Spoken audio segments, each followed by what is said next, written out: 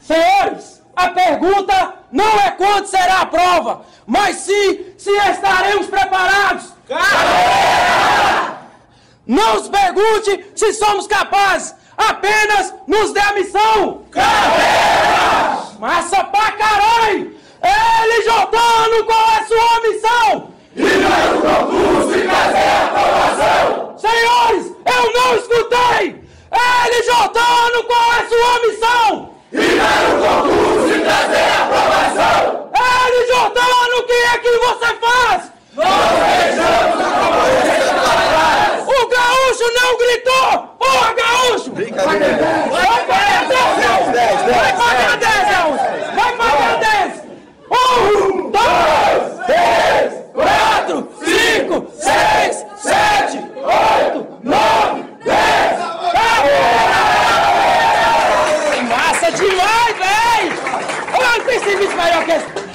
De novo, de novo pro Gaúcho gritar! E eu vou gritar junto com você, Gaúcho! Vai pra onde? Já gritar que você vai pagar 10 de novo. Vai! Vai pagar 10, não? Vai pagar 20 logo? Vamos lá! Vamos lá! Ele, Jordano, qual é sua missão? Grita, ó, grita, ó, fecha a cara, Gaúcho. Fecha a cara, é caveira, pô. Tá rindo por quê, Fecha a cara. Tá, tá rindo por quê? Boa. Fecha a cara, velho. Mostra pra concorrência que você é ele Jordano e a concorrência é porrada na cara, filho. Vamos lá. Ele, Jordano, qual é sua missão? Ele, Jordano, o que é que você faz? Não deixando a concorrência para trás! Caveira! Valeu, galera! Visão! Pra ser. Jordano tem que ter visão! O primeiro a acreditar no sonho é você! Não fica esperando de ninguém, não! Tem que virar pra você e falar, eu vou parar de contar a história de outras pessoas. As pessoas vão contar a minha. Chega amanhã, tem toda aquela merda, pô! Amanhã não estudei, você quer, pererê? Se vira até seus pulos! Fecha a cara! Cabeira! Vocês querem passar nesse concurso, vocês querem quebrar essa prova! Vocês não estão aqui pra brincar, não, pô! Que ir com violência! Tudo que você esperou de sua vida, tudo que você passou de raiva, tudo que jogaram na sua cara, tudo que disseram que você não ia ser, amanhã vai cair por terra, porque você vai fazer diferença pô! Aqui nessa sala, não tem só o sonho de cada um, não, pô! Junto com o sonho dos senhores, tá o sonho da mãe, tá o sonho de um irmão, tá o sonho de um, de um parente próximo, de um amigo. Tá o sonho de alguém que está esperando você passar para mudar de vida, parceiro. Pode ter certeza que tem alguém que você nem conhece e está esperando que você passa. Para quê? Para utilizar você como exemplo. Não brinca! Que a gente não veio por acaso, parceiro! E a vocês todos que assistiram e estão assistindo agora, é, eu digo que seja quem você for, seja é, qualquer posição que você tenha na vida, um nível altíssimo ou mais baixo social, tenha sempre como meta muita força, muita determinação e sempre faça tudo com muito amor e com muita fé em Deus, que um dia você chega lá, de alguma maneira você chega lá. Salve meu aluno querido, minha aluna querida, tudo bem com você? Meu nome é Luiz Fernando Carvalho, professor de língua portuguesa aqui do LJ Aulas. A melhor preparação para você, meu brother que quer se tornar um futuro policial penal de Minas Gerais e para você, minha brother que quer também se tornar um futuro, uma futura, né, policial penal de Minas Gerais. Hoje nós estamos aqui mais um dia para fazer a resolução do nosso simulado 09 de língua portuguesa, tá? Simuladão 09 que tá super sensacional. Vou tirar todas as dúvidas aí que vocês tiveram durante a realização da prova, que tá bem próximo assim do que a gente acha que vai cair na banca Silicon, tá? Então, bora lá corrigir o nosso simuladão, né? Simuladão, simuladão 09, portuguesa. Bora lá então, bora lá. Questãozinha aqui, ó, de número 1 do nosso simulado. Ó, Marque a alternativa que não possui erro de escrita, tá? Então isso aqui ó, faz parte lá da parte de ortografia. Então se ele está pedindo, ó, aqui não possui erro de escrita, o que, que você tem que tomar cuidado, meu brother? A gente tem aqui quatro alternativas, né? Dessas quatro alternativas, se eu quero aqui não possui erro, significa aquela que está certa, né?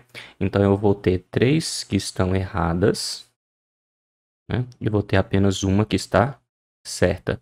Eu sugiro vocês fazerem isso aqui é, na hora da, da, resolução da prova, porque é muito comum que mesmo candidatos que, este, que sejam muito, muito bons em concurso público, de vez em quando, por falta de atenção e nervosismo na hora da prova, eles acabam lendo errado o enunciado. E se você ler errado o enunciado, você tem grande chance de errar a questão, né? Muita chance. Então eu gosto sempre de quando o enunciado ele tá assim, ó, não possui erro de escrita. Aí por que que você tem duas negações, ó? Você tem a do que não e você tem aqui o erro. Então aqui não tem erro, é aquela que tá certa. E aí quando você gasta esses 20 segundinhos aqui só marcando assim, tem três erradas e uma certa, eu quero a certa. O seu cérebro, ele já fica atento a, ao que, que a questão tá de fato pedindo. E se você simplesmente for lendo rapidão, pode ser que isso passe batido, tá? Então tomei bastante cuidado com isso. Então vamos lá, ele quer a que tá certa, né? Letra A ele tem assim, ó. As malas não caibem nesse armário. Ó, isso aqui, obviamente, né, meu brother? Tá falando aqui sobre o verbo caber, né? Então, as malas não caibem nesse armário? Existe isso aqui? Não, isso aqui não existe nem a pau, né?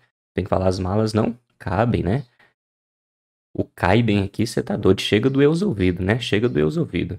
Você tá doido.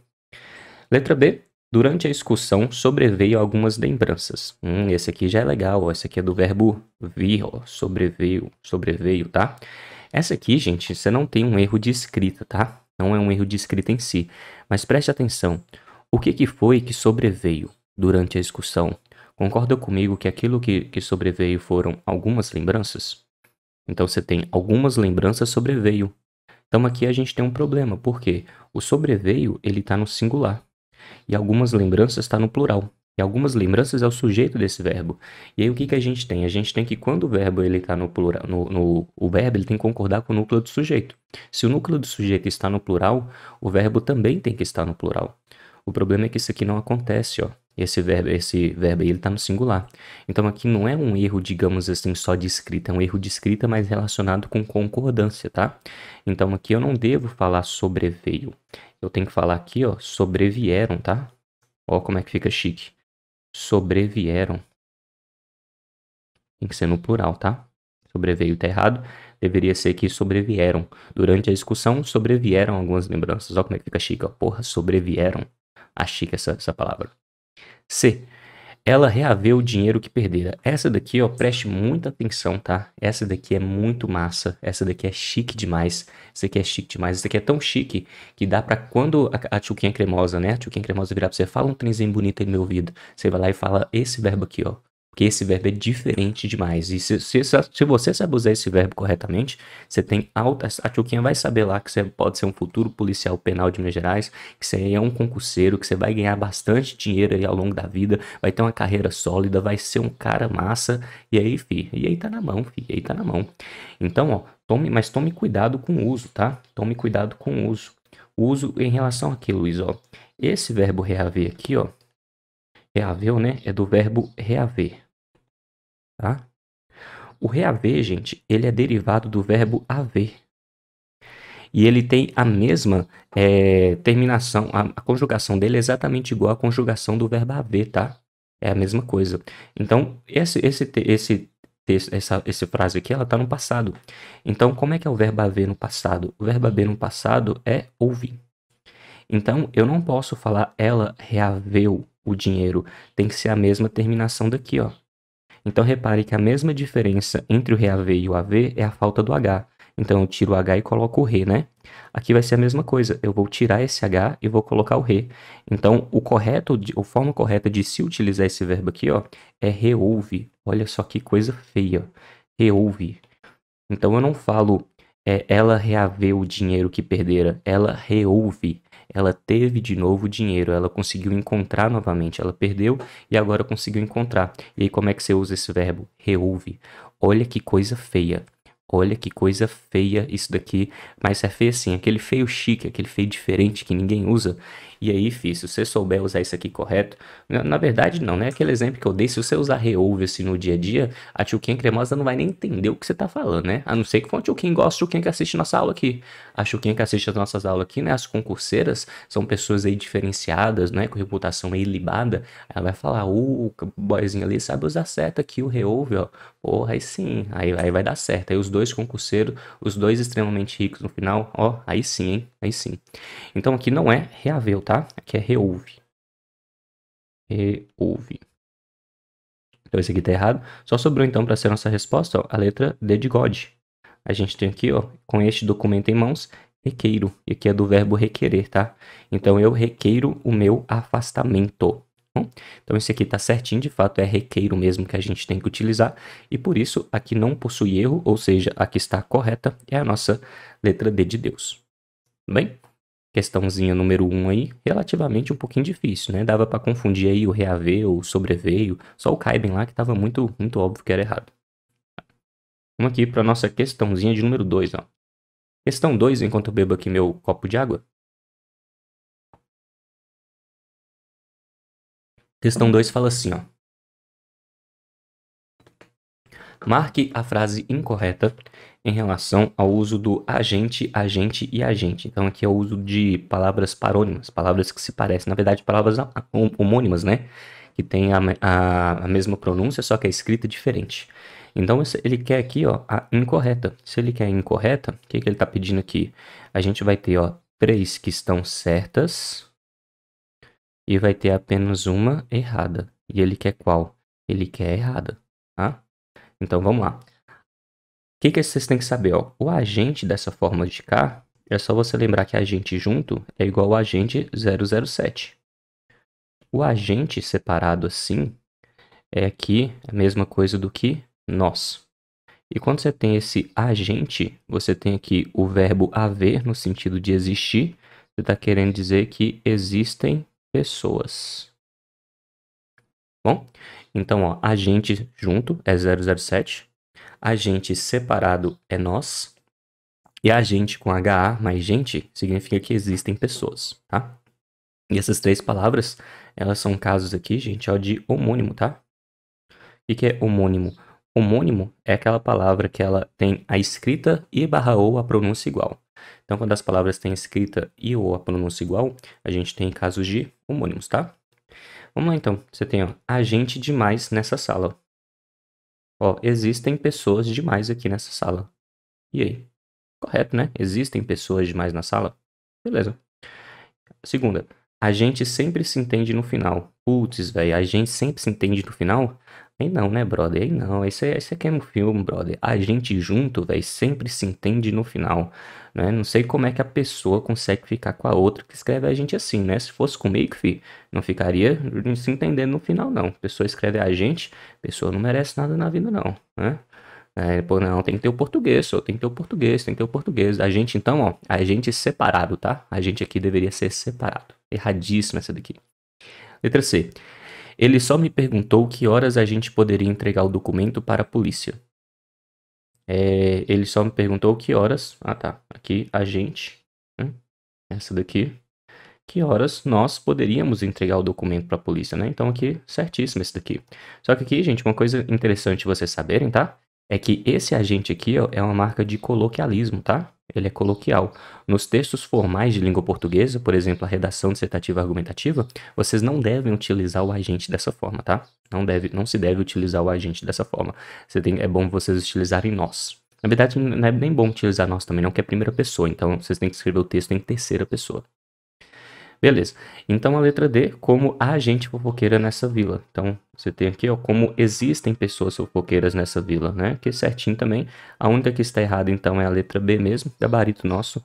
Letra B aqui, questãozinha relativamente de boas, né? Relativamente tranquila aqui. Essa questãozinha de número 2 nossa aí. Então bora lá, bora para questão 3, ó. Questão 3. Ah, lembrando, tá? Caso eu esteja explicando alguma coisa aqui para vocês, vocês não, não tenham, tenham entendido direitinho, pode me mandar aqui no meu Instagram, tá? Arroba Carvalho. Você fala, fala Luiz, meu brother, tá? Eu tava vendo lá a resolução do simuladão. Cara, não entendi a questãozinha 2. Tem como você me explicar? E você me manda uma fotinho lá e beleza, só isso. Tá bom, pode mandar lá, não precisa ter vergonha não, que nós estamos aqui juntos, principalmente nessa fase final aqui, né, da nossa preparação para a polícia penal. Então vamos lá, vamos lá, vamos lá, vamos arregaçar esse negócio aqui, ó. Vamos arregaçar esse negócio. Marque a alternativa correta, tá? Então, se ele está pedindo, ó, aqui está correta, significa aqui que eu tenho três erradas, ó, três erradas e tenho uma certa. Né? Três erradas e uma certa. Nossa, essa, essa letra minha ficou parecendo Bernardas, você tá doido? Vamos lá, ele fala aqui sobre o acento diferencial. Luiz, o acento diferencial não foi aquele que caiu, não? Não, meu brother. Acento diferencial, não. O acento que, que caiu, né? O acento que não existe mais é o, é o trema, tá? É o trema. O trema não, não existe mais. Mas o acento diferencial existe, tá? Luiz, o que é esse acento diferencial? Acento diferencial é esse aqui, meu brother. Você tem três casos do acento diferencial, tá? Na verdade, são quatro. Tem um caso número um, que é com os verbos ter e vir, que aí eles servem para indicar singular e plural, a acentuação nesses verbos. No singular, ele não vai ter acento e no plural ele vai ter acento circunflexo. Depois, você tem os derivados de ter e vir. Derivados de ter e vir. Aí os derivados de ter e vir, quando eles estiverem no singular, eles também servem para diferenciar singular e plural.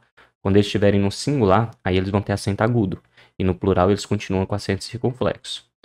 Depois você tem aqui ó, o verbo o por, né? Você diferenciar o por assim do por sem acento. O por com acento, ele é, ele é indicação. Ele pode ser verbo ou então ele pode ser substantivo, igual quando a gente fala pôr do sol, aí ele tem acento. E quando você tem esse por aqui, esse por é apenas uma preposição, tá? O por sem acento. E por último, nós temos aqui, ó, o com a palavra pode. Deixa eu trocar aqui a ordem, colocar só assim logo. O último você tem aqui, ó, o pode e você tem o pode, que ele serve para diferenciar o pode é passado, pretérito, e o pode é presente. E também tem um caso 5 que nunca cai em prova, muito difícil cair em prova, que é com, com a palavra forma. A palavra forma você pode escrever forma ou forma assim.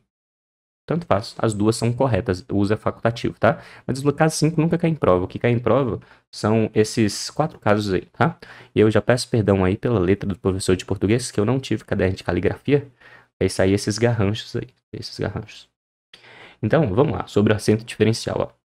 No passado, ela não pode, não pode estudar. Por isso é importante que haja educação de jovens e adultos. Repara aqui, ó, ela não no passado, ó, repare só, no passado, tá vendo? Então você tá usando o pode aqui, ó, no passado. E aí como que é o pode no passado, ó? A gente já escreveu aqui, ó, o pode no passado, ele que ser utilizado aqui com acento circunflexo. Repare que aqui ele não está sendo usado com acento circunflexo, ou seja, ele está errado, né? Tinha que ter o acento circunflexo aqui. Ele não, ela não pôde estudar. Bom, então isso aqui está errado. B. Na atualidade, toda criança pode ter acesso à educação. Opa, e esse pode aqui, ó? Aqui é no presente, né? E o pode no presente, ele não tem esse acento. O acento é só o acento circunflexo e quando ele está no passado. Desse jeito aqui, ó, fica completamente errado, ó, completamente errado, tá?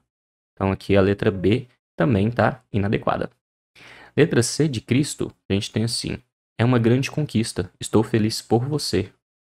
Ó, esse por aqui, ele de fato pode ter acento, mas só quando ele for um substantivo e verbo. Nesse caso aqui, esse por, ele está apenas ligando a palavra feliz e a palavra você. Ele está ligando. Se ele está ligando, ele é uma preposição. E quando ele é uma preposição, ele não pode ter acento. Estou feliz por você. Agora, vírgula, pode colher os frutos. O pode está certo, mas o por está errado. Então só sobrou para ser a nossa resposta correta ó, a letra D de God. Ele fala assim, ó, devido às fortes chuvas dos últimos dias, a defesa civil mantém. Mantém aqui, gente, é derivado de ter. E o derivado de ter, ó, ele tem que concordar com defesa civil. Repare aqui que defesa civil, que é o meu sujeito, está no singular. E aqui o mantém, repare que ele tem acentos, acento agudo, tá? quando o derivado de ter e vir está no, no, singular, ele tem de fato ó, o acento agudo. Então, nesse caso aqui, o mantém está correto e por isso o gabarito nosso da questão número 3 é a letra D de God, tá? Letra D de God. Bem? E aí, tomem cuidado para vocês não confundirem acento diferencial com trema, tá? O trema, de fato, ele está abolido nas palavras de língua portuguesa. Porém, o acento diferencial não. O acento diferencial, ele ainda existe nesses cinco casos aqui. Bom, o caso 5, nunca, eu nunca vi cair em prova em si, alguma das provas que eu já dei aula, nunca caiu. Já vi volta e meia lá, fazendo questão de prova aleatória, já vi aqui, mas nunca era a resposta correta de qualquer jeito. Mas de provas mesmo que eu, que eu já dei aula, né, que a gente estudou aqui para concurso, o forma e forma nunca, nunca foi resposta, não. Então é interessante você saber até o 4. Vamos lá. Questãozinha de número 4, inclusive. Leia a frase a seguir e responda a questão. Você tem Júlia e Adriano não têm noção de quanto são estimulados pelos amigos. Então, o acento atribuído à palavra destacada justifica-se pelo quê? então, a gente não tem palavra destacada aqui, né? Mas a gente só tem uma palavra que tem acento, que é esse daqui, ó. E aí, vamos lá. A gente tem aqui letra A. Trata-se de um monossílabo átono e todos são acentuados. É um oxítono terminado em M. É uma paroxítono terminada em M e indica verbo conjugado na terceira pessoa do plural. E aí, meu brother L. Jortano e minha brother L. Jortano, enquanto eu tomo aqui minha, minha aguinha para dar uma, aquela hidrataçãozinha, o que, que vocês marcariam? O que, que vocês marcaram nessa daí, ó? A de Alá, B de Buda, C de Cristo ou letra D de Deus?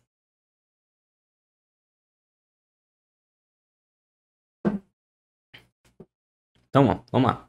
Esse aqui, gente, você tem, tem que ver que isso aqui é um acento diferencial, né? Por que, que é um acento diferencial? A gente escreveu aqui, ó, os verbos ter e vir no singular, eles é, não têm acento, tá? No singular não tem acento. E no plural eles vão ter acento circunflexo, tá vendo? Aqui, ó, é exatamente isso aqui que vai acontecer. Então você tem o verbo ter, e aí quem é que não tem noção? Quem não tem noção, ó, é a Júlia e o Adriano né? Você tem um sujeito composto. E o sujeito composto, apesar de ser singular, mas vai ficar singular mais singular, então vai ter dois. E aí, se tem dois, então tem que ficar o verbo no plural, né? Então, esse verbo aqui, ó, ele tá no, no plural para concordar tanto com Adriano quanto com Júlia. Tá bom? E aí, vamos lá. Trata-se de um monossílabo átono. Opa, aqui não. Aqui não é um monossílabo átono. Aqui é um monossílabo tônico, né? Aqui é um verbo. E todos os monossílabos átonos são acentuados? Não. Mesmo que fosse um monossílabo tônico, você só acentua os monossílabos tônicos terminados em A, E e O. Ou então As, Es, Os. Tá? Aqui então tem dois erros. Não são os monossílabos átonos, isso aqui é um monossílabo tônico. E além disso, nem todos os monossílabos tônicos são acentuados. É só se terminam em A, E, O tá? Então isso aqui está erradíssimo, mas daria para confundir porque o tem, de fato, é um monossílabo. Só, só que ele não é acentuado por ser um monossílabo, ele é acentuado por acento diferencial, tá? Beleza. É uma oxítono. Não, não é um oxítono, né? Oxítono tem que ter no mínimo duas sílabas. É uma paroxítono. Também não pode ser uma paroxítono. E a letra D, então, sobrou para ser a nossa resposta, né? Indica que um verbo conjugado na terceira pessoa do plural. O que é a terceira pessoa do plural? É quando o verbo é conjugado em eles. Então você fala eles têm. E é justamente porque está no plural mesmo que, que você tem esse acento diferencial? Sim, repare só que esse acento diferencial do caso número 1 e do caso número 2, eles indicam, eles diferenciam singular de plural, tá vendo? É para isso que eles servem. Servem então para indicar é, variação de número, tá bom? Variação de número. E aqui, o único gabarito nosso possível, então, é a letra D de God de novo, né? Nós tivemos uma letra D, duas letras D, três letras D, ó. Três letras D. Então, quem chutou letra D e até agora, tá de boa, ia acertar quase tudo, ó. Vamos lá, questãozinha 5, ó. Questãozinha 5 é perguntar aqui sobre o uso da crase, hein? A crase foi empregada corretamente em o quê? Tá, vamos, vamos analisar aqui, ó. Luiz, como que eu eu sei, como é que eu sei aqui utilizar a crase? E lembrando que se ele quer que tá corretamente, né? A gente tem aqui, ó, três erradas, tá? Três erradas e uma certa. Aqui ficou, esse um meu ficou parecendo dois. Toda vez que mexe com o número, eu erro. Se bem que minha letra tá feia com burro hoje, né? Aí vamos lá. Avisei a moça o resultado do concurso. Há um jogo cadenciado, prefiro as jogadas mais rápidas. Avisei a ela sobre a prova a realizar-se e prefiro pratos à moda da casa. E aí, e aí? Então vamos ver, ó. Para que tenha crase, gente, eu tenho que ter a junção de duas vogais iguais, tá? Então, ó, o que, que a gente vai ter aqui, ó? Primeiro a gente vai olhar o verbo, que é esse termo que está aqui à esquerda. Avisei. Quem avisa, avisa algo, tá? Quem avisa, avisa algo. Esse termo aqui, ele não exige preposição. Se ele não exige a preposição, a gente faz esse cortezinho aqui, ó. E aí você vai ver que a palavra moça, que é essa palavra que está à direita aqui, ela vai aceitar artigo, né? Você fala assim, ó, a moça é legal. Só que aqui não tem como ter a crase, porque para ter a crase eu tenho que ter a junção de duas vogais iguais. E aqui só tem a junção de uma vogal. Né? Então aqui essa crase, ela não está empregada corretamente. Essa letra B, gente, toma cuidado aqui ó, com essa vírgulazinha, porque essa vírgula, ela costuma indicar que a frase está na ordem invertida, tá? Então, ó, você tem aqui que há um jogo cadenciado, prefiro as jogadas mais rápidas. Você tem aqui que a frase é assim, ó. Eu prefiro as jogadas mais rápidas a um jogo cadenciado. tá? Então, isso aqui, ó, você tem que esse verbo é um verbo transitivo direto. Essa parte aqui de azul, ó, é o meu objeto direto. E essa parte aqui de verde, ó, é o meu objeto indireto, tá? Objeto indireto. Tanto é que esse azinho aqui, ó, é uma preposição. Ele não é um artigo, tá? Muita gente acha que aqui ele é um, um artigo, só que não, ele é uma preposição. Essa vírgula aí tá me indicando que a frase está invertida. Então, você quer dizer assim, ó, eu prefiro as jogadas mais rápidas a um jogo cadenciado. É isso que ele está querendo dizer. Tá bom, e aí, quem prefere, prefere algo a algo. E aí, então, você tem ó, que quem prefere, prefere algo. E o objeto direto, gente, ele não pode ser preposicionado, tá? Ele não é preposicionado, então não tem como eu ter essa frase aqui dentro do meu objeto direto, tá? Não posso ter como. Não, não tem como, né? Não existe essa possibilidade. Quem prefere, prefere algo. O termo regente não vai exigir a preposição no objeto direto. Letra C, você tem aqui, ó, avisei a elas. Aqui é o mesmo verbo lá, da, lá de cima, né? Quem avisa, avisa algo, avisa alguém. Então, ele não exige preposição. Automaticamente aqui já não teria como ter a crase, né? E além disso, esse elas, ela não aceita artigo, né? Você não fala, ah, elas é legal. Você fala apenas, elas são legais. Então, aqui não teria ter, como ter crase nem a pau, né? Nem a pau, nem a pau, nem a pau. E aqui você tem a letra D, então, que é a única forma possível, né? Prefiro pratos à moda da casa. Esse à moda de é uma é um adjunto adverbial feminino. E aí a gente viu nas regras de tradição que todos os adjuntos adverbiais de núcleo feminino, eles devem ser craseados, tá? Automaticamente pela regra de tradição. Então aqui a única resposta correta é a letra D de Deus, tá? Nossa única resposta correta é essa daqui. Bem, então, beleza, beleza, beleza, beleza. Vamos aqui para nossa questãozinha de número 6. Ele fala assim, ó. A crase está empregada de forma incorreta em... Opa, de novo crase, ó. E aqui quer de forma incorreta. Né? Se ele quer de forma incorreta, significa que, que eu tenho três que estão certas e eu tenho apenas uma que está errada. Três certas e uma errada. E eu vou usar aqui justamente a que está errada. Vamos lá. No fim do ano, retornarei à Bahia. Ó, então aqui eu quero saber se esse azinho aqui está certo. Para isso eu vou usar aqui o verbo de antes. Quem retorna, retorna a algum lugar. Bom? E aqui você fala a Bahia é legal. E vai juntar o A com A. Então essa primeira frase aqui, ó, ela está correta. Na letra B a gente tem assim. As homenagens foram entregues às alunas da Faculdade de Direito. Então você tem, ó, quem entrega, entrega algo a alguém, né? Então, esse termo aqui exige a preposição. A quem que foi entregue? As alunas. Então, você fala, as alunas são legais. Vai juntar o A com as, então esse Azinho aqui, ó, ele também vai estar correto, tá? Esta é a pessoa a qual me referi durante o evento. Esse aqui é um dos casos mais difíceis de crase, ó, porque você tem a crase no, no pronome relativo, tá? E aí, quando você tem a crase do pronome relativo, o que, que você tem que ter em mente, ó? Se eu, imagina que eu tenho essa frase aqui, ó. Fala assim, a moça que gosto é concurseira.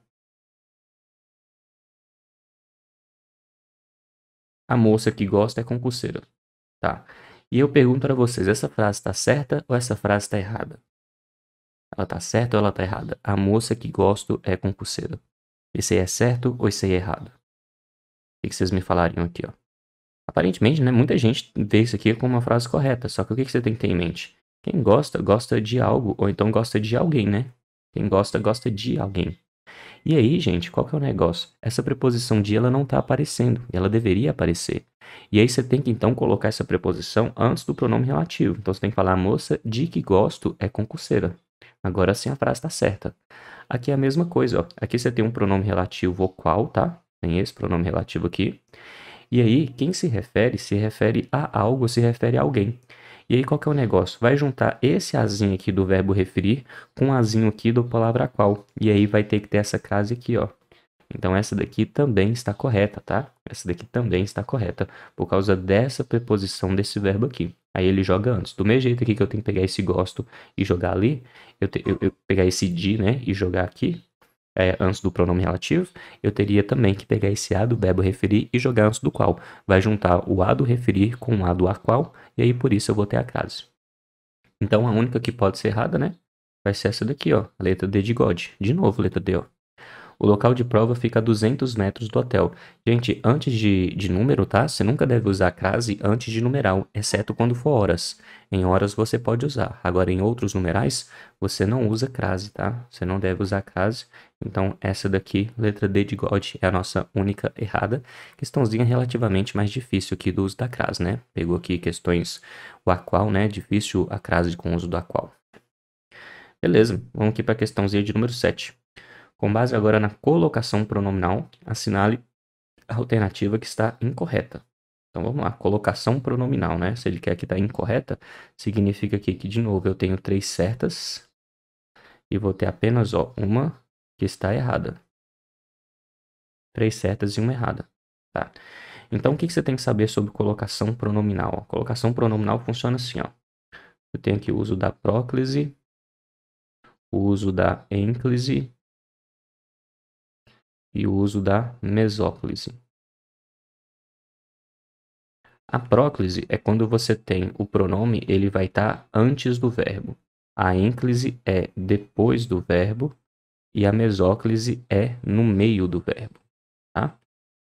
E aqui, quando você tiver o pronome próclise, você tem que ele não pode ser utilizado no início de frase e ele não pode ser utilizado depois de ponto e vírgula. Aqui ficou parecendo um J. Vou separar isso aqui. Ponto e vírgula.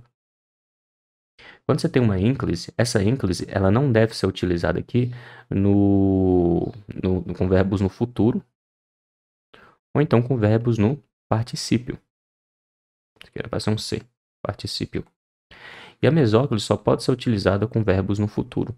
Então aqui a gente vem aqui e vai colocar um risquinho aqui mais de boas. Ó. Início de frase não pode ser usado, depois de ponto e vírgula não pode ser usado, verbos no futuro, verbos no particípio, e a ênclise pode ser usada aqui só com verbos no futuro. E agora a gente vem e fecha a nossa tabelinha. Aqui, aqui e aqui. Esse aqui então são os casos de colocação pronominal, tá? E aí você tem que tomar cuidado ainda que, se houver palavra atrativa, você tem que utilizar obrigatoriamente a próclise, tá? E quais são as palavras atrativas? É quando a gente tem, ó, o nasg, id, oi. Essas aqui são as nossas palavras atrativas. São palavras de sentido negativo, são os advérbios, são as conjunções subordinativas, são os gerúndios precedidos de em, precedidos de em. Você tem também o um pronome relativo, o pronome indefinido e o pronome demonstrativo. Depois você tem as orações optativas, que exprimem desejo, as orações interrogativas, que exprimem dúvidas, e as orações exclamativas. Vamos lá, caso tenha ficado aqui muito feia a letra e vocês não tiverem conseguido entender. Palavra ó, de sentido negativo, a primeira. Advérbios, a segunda. Conjunções subordinativas, a terceira. Gerúndios precedidos de em, em, por exemplo, em se tratando de tal coisa. Quando eu falo em se tratando, eu não posso falar em tratando-se. Tem que falar obrigatoriamente em se tratando. Você tem um pronome relativo, o pronome indefinido, o pronome demonstrativo, as orações optativas, que exprimem desejo, as orações interrogativas, as orações exclamativas. Isso aqui são as regras de colocação pronominal. Então, você sabendo isso aqui, você consegue fazer praticamente todas as questões de colocação pronominal. Tá? Aí, outra coisa interessante de vocês saberem, né, que cai muito na Selecom, é que os pronomes o, a, os e as, eles só podem retomar objetos diretos, tá? O pronome lhe ilhês, eles podem retomar objetos indiretos, adjuntos adnominais e complementos nominais. Hum? Então, você tem três observações aí. Hum, vamos fazer aqui, então, nossa questãozinha de colocação pronominal. Ó. Então, retirá-lo-ia do local se eu pudesse. Lembrando aqui que ele está pedindo a que está errada, né? Então, repare aqui, o pronome está aqui, ó. O pronome, então, ele está no meio do verbo. Se o pronome está no meio do verbo, isso aqui é um caso de mesóclise. Para utilizar uma mesóclise, o verbo ele tem que estar tá no futuro. Né? Será que esse verbo está no futuro? Como que eu sei que esse, esse verbo está no futuro? É só você tirar o lo. Fica assim, ó. Retirar, é, retiraria. Ó, eu retiraria, é isso que está escrito. Retiraria é um verbo que está no futuro, né? Futuro do pretérito. Eu retiraria. Tá, então aqui de fato, como esse verbo está no futuro, essa mesóclise aqui, ela vai ser aceita. Ela está certinha. Retirá-lo-ia do local se eu pudesse. Beleza. Letra B. Certamente eles dariam-nos tudo o que pudessem. Então você tem aqui, ó, esse nos aqui. Esse nos ele está depois do verbo, né? Então esse aqui é um caso de ênclise. E a ênclise não pode ser usada em verbos no futuro, nem em verbos no particípio. Qual que é o problema aqui, gente? Esse verbo aqui, ó, ele tem essa terminação em ria, né? Quando o verbo tem essa terminação em ria, significa que ele está no futuro, mais especificamente o futuro do pretérito, tá? E aqui, qual que é o problema? Você não pode utilizar aqui a ênclise com verbos no futuro.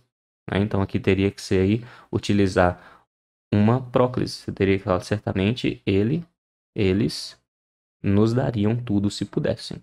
Teria que ser isso aqui.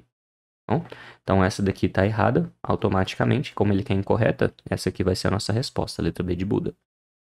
Letra C, só para garantir, ó, a gente tem aqui basta-lhes, basta-lhe os olhos negros. Né? Você tem aqui esse lhe, ele então tem um caso de enclis, né? o verbo não está no futuro, também não está no participio, então ele está certíssimo, não tem nenhum problema aqui.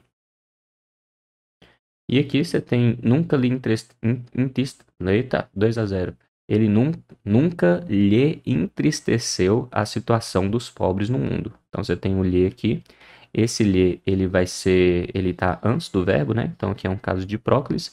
Ele não está depois de, no início de frase, nem depois de ponto e vírgula. Então aqui vai estar tá certo também. Então o nosso gabarito da questãozinha 7 é a letra B de Buda, tá? Letra B de Buda, nosso gabarito da questão 7. Questãozinha 8, ele fala aqui ó, sobre o emprego do pronome mi. Ó, pronome mi em me passa o link. E aí, vamos ver aqui, ó. Tá vendo aqui quando ele fala me passa o link? Vocês estão vendo que esse me ele tá com, no início de frase? Então, se ele tá no início de frase, isso aqui vai ser um caso ó, incorreto, tá? Incorreto. Em, em relação à gramática normativa, né? Em relação à gramática normativa. Então, ele fala, ó, ele caracteriza uma fala formal. Opa, não, né? Isso aí não é uma fala formal. Fala formal é fala da gramática. Isso aqui tá tendo um, um possível desvio de gramática, né? Então, tá errado. B representa uma possível maneira de expressão oral cotidiana. É, a gente utiliza isso aqui de maneira oral, ou seja, na fala do dia a dia, a gente costuma falar me passa o link? Sim, né? Tipo, me passa seu zap, me passa o link. Sim, a gente costuma falar isso. Então, ok, possível. Vamos ver a letra C. Está adequada à norma padrão escrita da língua portuguesa. Norma padrão e norma formal é a mesma coisa. Então, não é a nossa resposta.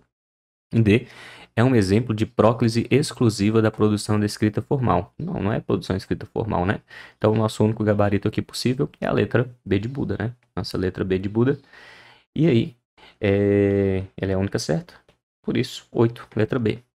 Aí, gente, agora na questãozinha número 9, ó, a gente vai ter um textão, tá? A gente vai ter um textão e a gente vai ter a questãozinha 9 aqui que vai perguntar. De acordo com o texto, a restauração da democracia no Brasil evidenciou o quê? Tá? Então a gente vai ter que ler o texto e a nossa que a gente tem que caçar ó, é a restauração da democracia. E o que que essa restauração da democracia evidenciou? Tá? Vamos ver lá, ó, vamos ver lá.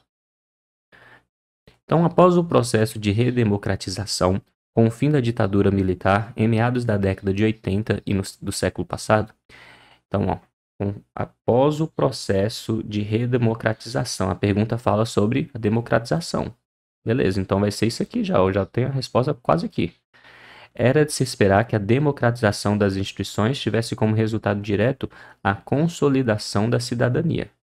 Tá? E o que, que seria essa cidadania? Cidadania é de modo amplo. Então você tem três categorias de direitos: os direitos civis, os direitos políticos e os direitos sociais. Tá? Então, quando você teve o processo de redemocratização, esperaria-se que tivesse a consolidação da cidadania. Só que, porém, né, e a ideia mais importante do texto sempre está junto aqui com as conjunções adversativas, porém, ó, problemas que configuram mais desafios para a cidadania brasileira, como a violência urbana, que ameaça os direitos individuais, e o desemprego, que ameaça os direitos sociais. Ah tá, sobressaem, porém, problemas que configuram. Então, você esperou que com a redemocratização eu teria aí mais direitos civis, políticos e sociais, porém, problemas, é, problemas que, que, que, contradizem a cidadania brasileira, né, são sobressaídos. Né? Então, porém, são sobressaídos problemas. Beleza, aqui já dá para a gente até achar nossa resposta. Ó. Dá para achar nossa resposta. Então você tem, ó, o que, que essa restauração da democracia evidenciou? Você tem a diminuição do controle social decorrente do aumento da mobilidade. O texto não fala sobre mobilidade, né? fala sobre violência, direitos civis.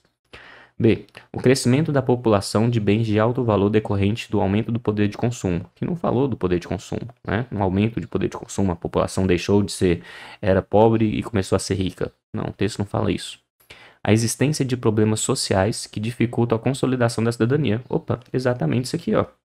Você tem aqui problemas sociais, né? Quais são os problemas sociais que ele citou? Violência, é, que dificulta a consolidação da cidadania, que esperou que o direito, os três principais pilares lá que ele citou no texto, fossem é, é, resolvidos, né? Depois da, da, consolidação da democracia. E o que, segundo o texto, não aconteceu. Né? Você tem aí a violência, por exemplo. Então, isso aqui é o nosso, a única resposta que tem relação aqui com o texto é a letra C de Cristo, tá? Letra C de Cristo. Hum? Questãozinha 10 fala assim: assinale a alternativa que apresenta a frase pontuada conforme a norma padrão da língua portuguesa. Tá? Então, beleza, vamos, vamos achar aqui, ó. Os amigos de Lucas acabaram chegando atrasados. Ó, então aqui, ó, você tem aqui que o sujeito. A, a, a pontuação, gente, tem a ver mais com análise sintática, tá? Só beber um copinho d'água aqui rapidinho. Então, a pontuação tem a ver com análise sintática. E aí, o que, que é interessante da gente notar? É, quando você tem aqui, ó, os amigos de Lucas, você vai ter aqui, ó, aqui, os amigos de Lucas, isso aqui tudo é o meu sujeito, tá? E qual que é o negócio? Essa vírgula aqui, ó, ela tá separando o meu sujeito. Ela tá pegando o meu sujeito e separando o meu sujeito no meio. Eu posso fazer isso? Não, eu não posso fazer isso. Né? Então, os amigos de Lucas acabaram chegando atrasados. Isso aqui também não posso ter essa vírgula aqui. Que a gente tem dois probleminhas porque eu estou separando termos da nossa oração. Tá? Não posso colocar vírgula aí do, dentro do sujeito. E eu também não posso separar aqui, ó. Você tem aqui esse acabaram chegando. Isso aqui é uma locução verbal, né? Locução verbal. E depois dessa locução verbal, você tem atrasados. Atrasados aqui vai ser o meu predicativo. E predicativo é um complemento do verbo. Essa vírgula aqui antes de atrasados, ela está separando o complemento do verbo do verbo. Eu não posso separar o complemento do verbo do verbo, tá bom? Então isso aqui está erradíssimo. Letra B. Naquela tarde, meus colegas não foram à escola. Então quem é que não foram à escola? Você tem aqui, ó, meus colegas, né? Meus colegas aqui é o sujeito. E o que, que os colegas não fizeram? Não foram. Isso aqui vai ser o meu predicado, tá? E eu não posso separar sujeito e predicado. Então isso aqui está errado. Por outro lado, ó, você tem esse aqui, ó, esse é, naquela tarde é um adjunto adverbial, tá? Naquela tarde é um adjunto adverbial. Esse adjunto adverbial, quando ele está deslocado, ele tem que ser isolado por pontuação. E essa pontuação, ela não está aparecendo aqui, tá?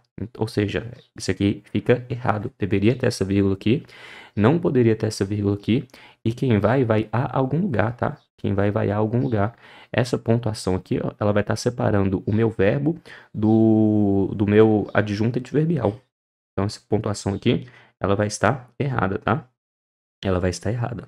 Tudo bem? Então, ó, essa daqui tá erradíssima também. Erradíssima também. Aí você tem, ó, o que importa de fato é a qualidade das amizades. Aqui a gente tem dois problemas. Esse de fato aqui, gente, ela é uma expressão que sempre tem que ser isolada por pontuação, tá?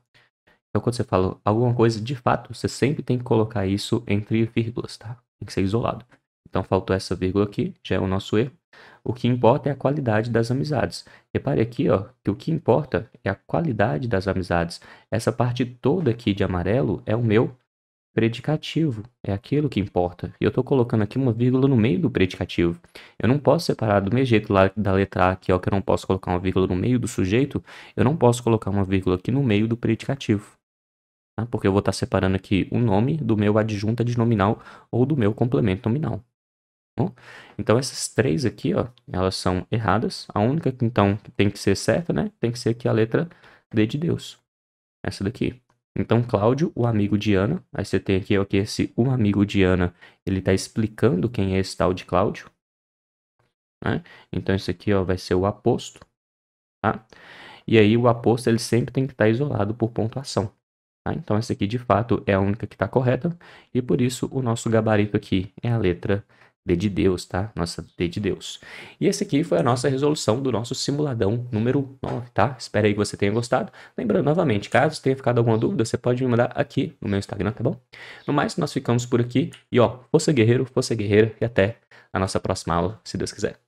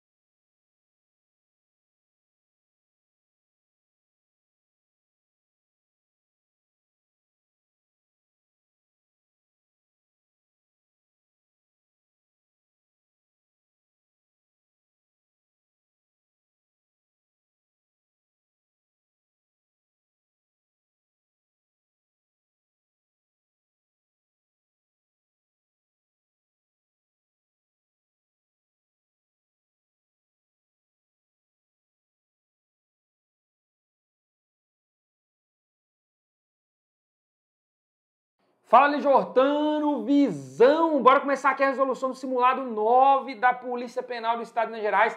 Caveira! Caminhada só acaba quando alcançamos a farda. E se Deus quiser se permitir, a caminhada sua está acabando, pô. Já estamos no simulado 9, de 10 simulados até o dia da prova. Só tem mais um. Esse é o penúltimo simulado que aconteceu da Polícia Penal. Espero que você que esteja assistindo esse vídeo tenha feito todos os nove simulados, ou no mínimo a metade, né, meu filho? Pelo amor de Deus. Espero que você não tente essa prova sem fazer o simulado da Polícia Penal, não, que é pra acabar. Puta que o pariu. Meu gato botou ovo, mas gato não põe ovo, então puta que pariu de novo. Bora começar aqui? O que, é que vocês acham? Bora começar aqui mais um evento aqui, resolvendo o simulado da Polícia Penal, o simulado 9 do seu concurso aí da Polícia Penal de Minas Gerais. Cara, preste muita atenção, nós estamos tá no simulado 9, tá perto pra caralho para chegar o dia da sua prova, velho. Muito perto, velho. Velho, só falta mais um simulado. Você fez o simulado tudo? Você tem que fazer boca aberta. Você só tem mais uma chance de fazer um simulado. Antes você errar com a gente do que errar na prova. Lembra disso. Bora lá então. Simulado online 9, né? Questão 11. Gasta em média, né? Certo trabalhador gasta em média mensalmente. Gasta em média mensalmente, mensalmente gasta. Dois terços do seu salário com todas as despesas de seu lar e 10% do que resta com transporte, sobrando-lhe apenas 300 reais. Qual é o seu salário? Lembrando aí, Boca Aberta, me segue lá no Instagram, o Leonardo LJ Aulas Visão, o link do meu Instagram na descrição do vídeo. Falo de concurso de Minas o tempo inteiro, porque o foco nosso, o foco do LJ é especialização total em Minas, diferente dos nossos concorrentes que querem preparar para tudo. Quem faz tudo não faz nada bem feito. Isso é o linguajar da vida, é o algoritmo da existência. Vai brigar com a existência, irmão, não é comigo. Então, nosso foco é Minas. Então, você quer acompanhar um cara focado nos concursos de Minas? Me segue lá no Instagram, o Leonardo LJ Aulas Visão. Tá, o que é que eu faço aqui então? Então, o salário do cara, o salário do cara que eu não sei quanto que é, eu vou chamar de S. Eu sei que ele perdeu aí, ó, dois terços de salário, dois terços do, do, do salário. Então, é dois terços de S, né? Perdeu dois terços de S. Logo em seguida, vai perder 10% né, 10% do que resta. 10%, ele vai perder 10% aí.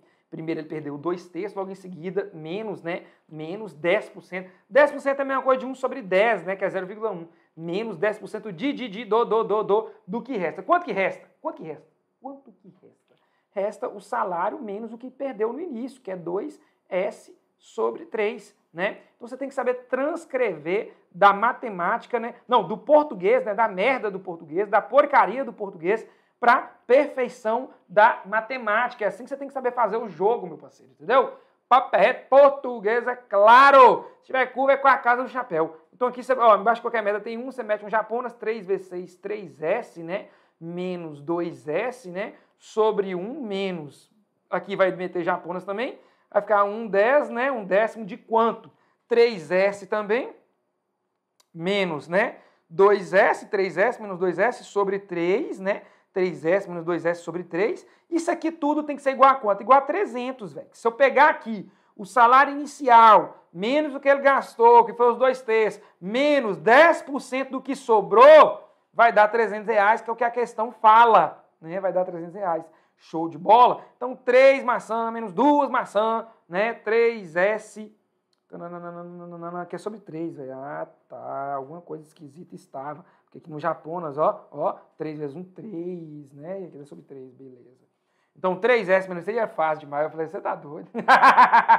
Ia ser fácil pra caralho. É 1 sobre 1, porra. Ia ser fácil pra caralho. Então, já vi que deu medo. Não, tem alguma coisa errada. 1 sobre 1, né? O cara que faz a prova não é nem mamãe nem papai, então não passa a mão na cabeça da etapa, meu parceiro. Então, 3 maçãs menos 2 maçãs é dar uma maçã. Então vai ter 1S sobre 3, menos, ó, menos 1 sobre 10 de, de 1S sobre 3 também. 1S sobre 3, que é se subtrair 3 maçãs menos 2 maçãs, 1S sobre 3. Então, Paranã, então, Paranã, então, Paranã, então, Paranã, Paranã.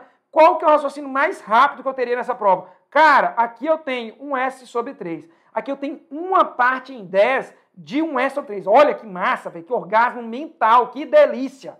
Então, ó, aqui eu tenho uma parte em 10 de um S sobre 3. Então, que, que me resta se eu pegar uma parte em 10 e tirar do total? Vai sobrar 9 partes em 10 de, de, de, de, de, de, de do, do, do, vezes de um S sobre 3. Isso aqui vai ser igual a 300. Massa pra caralho, né, velho? Não entendeu? Volta o vídeo, não entendeu? Volta o vídeo.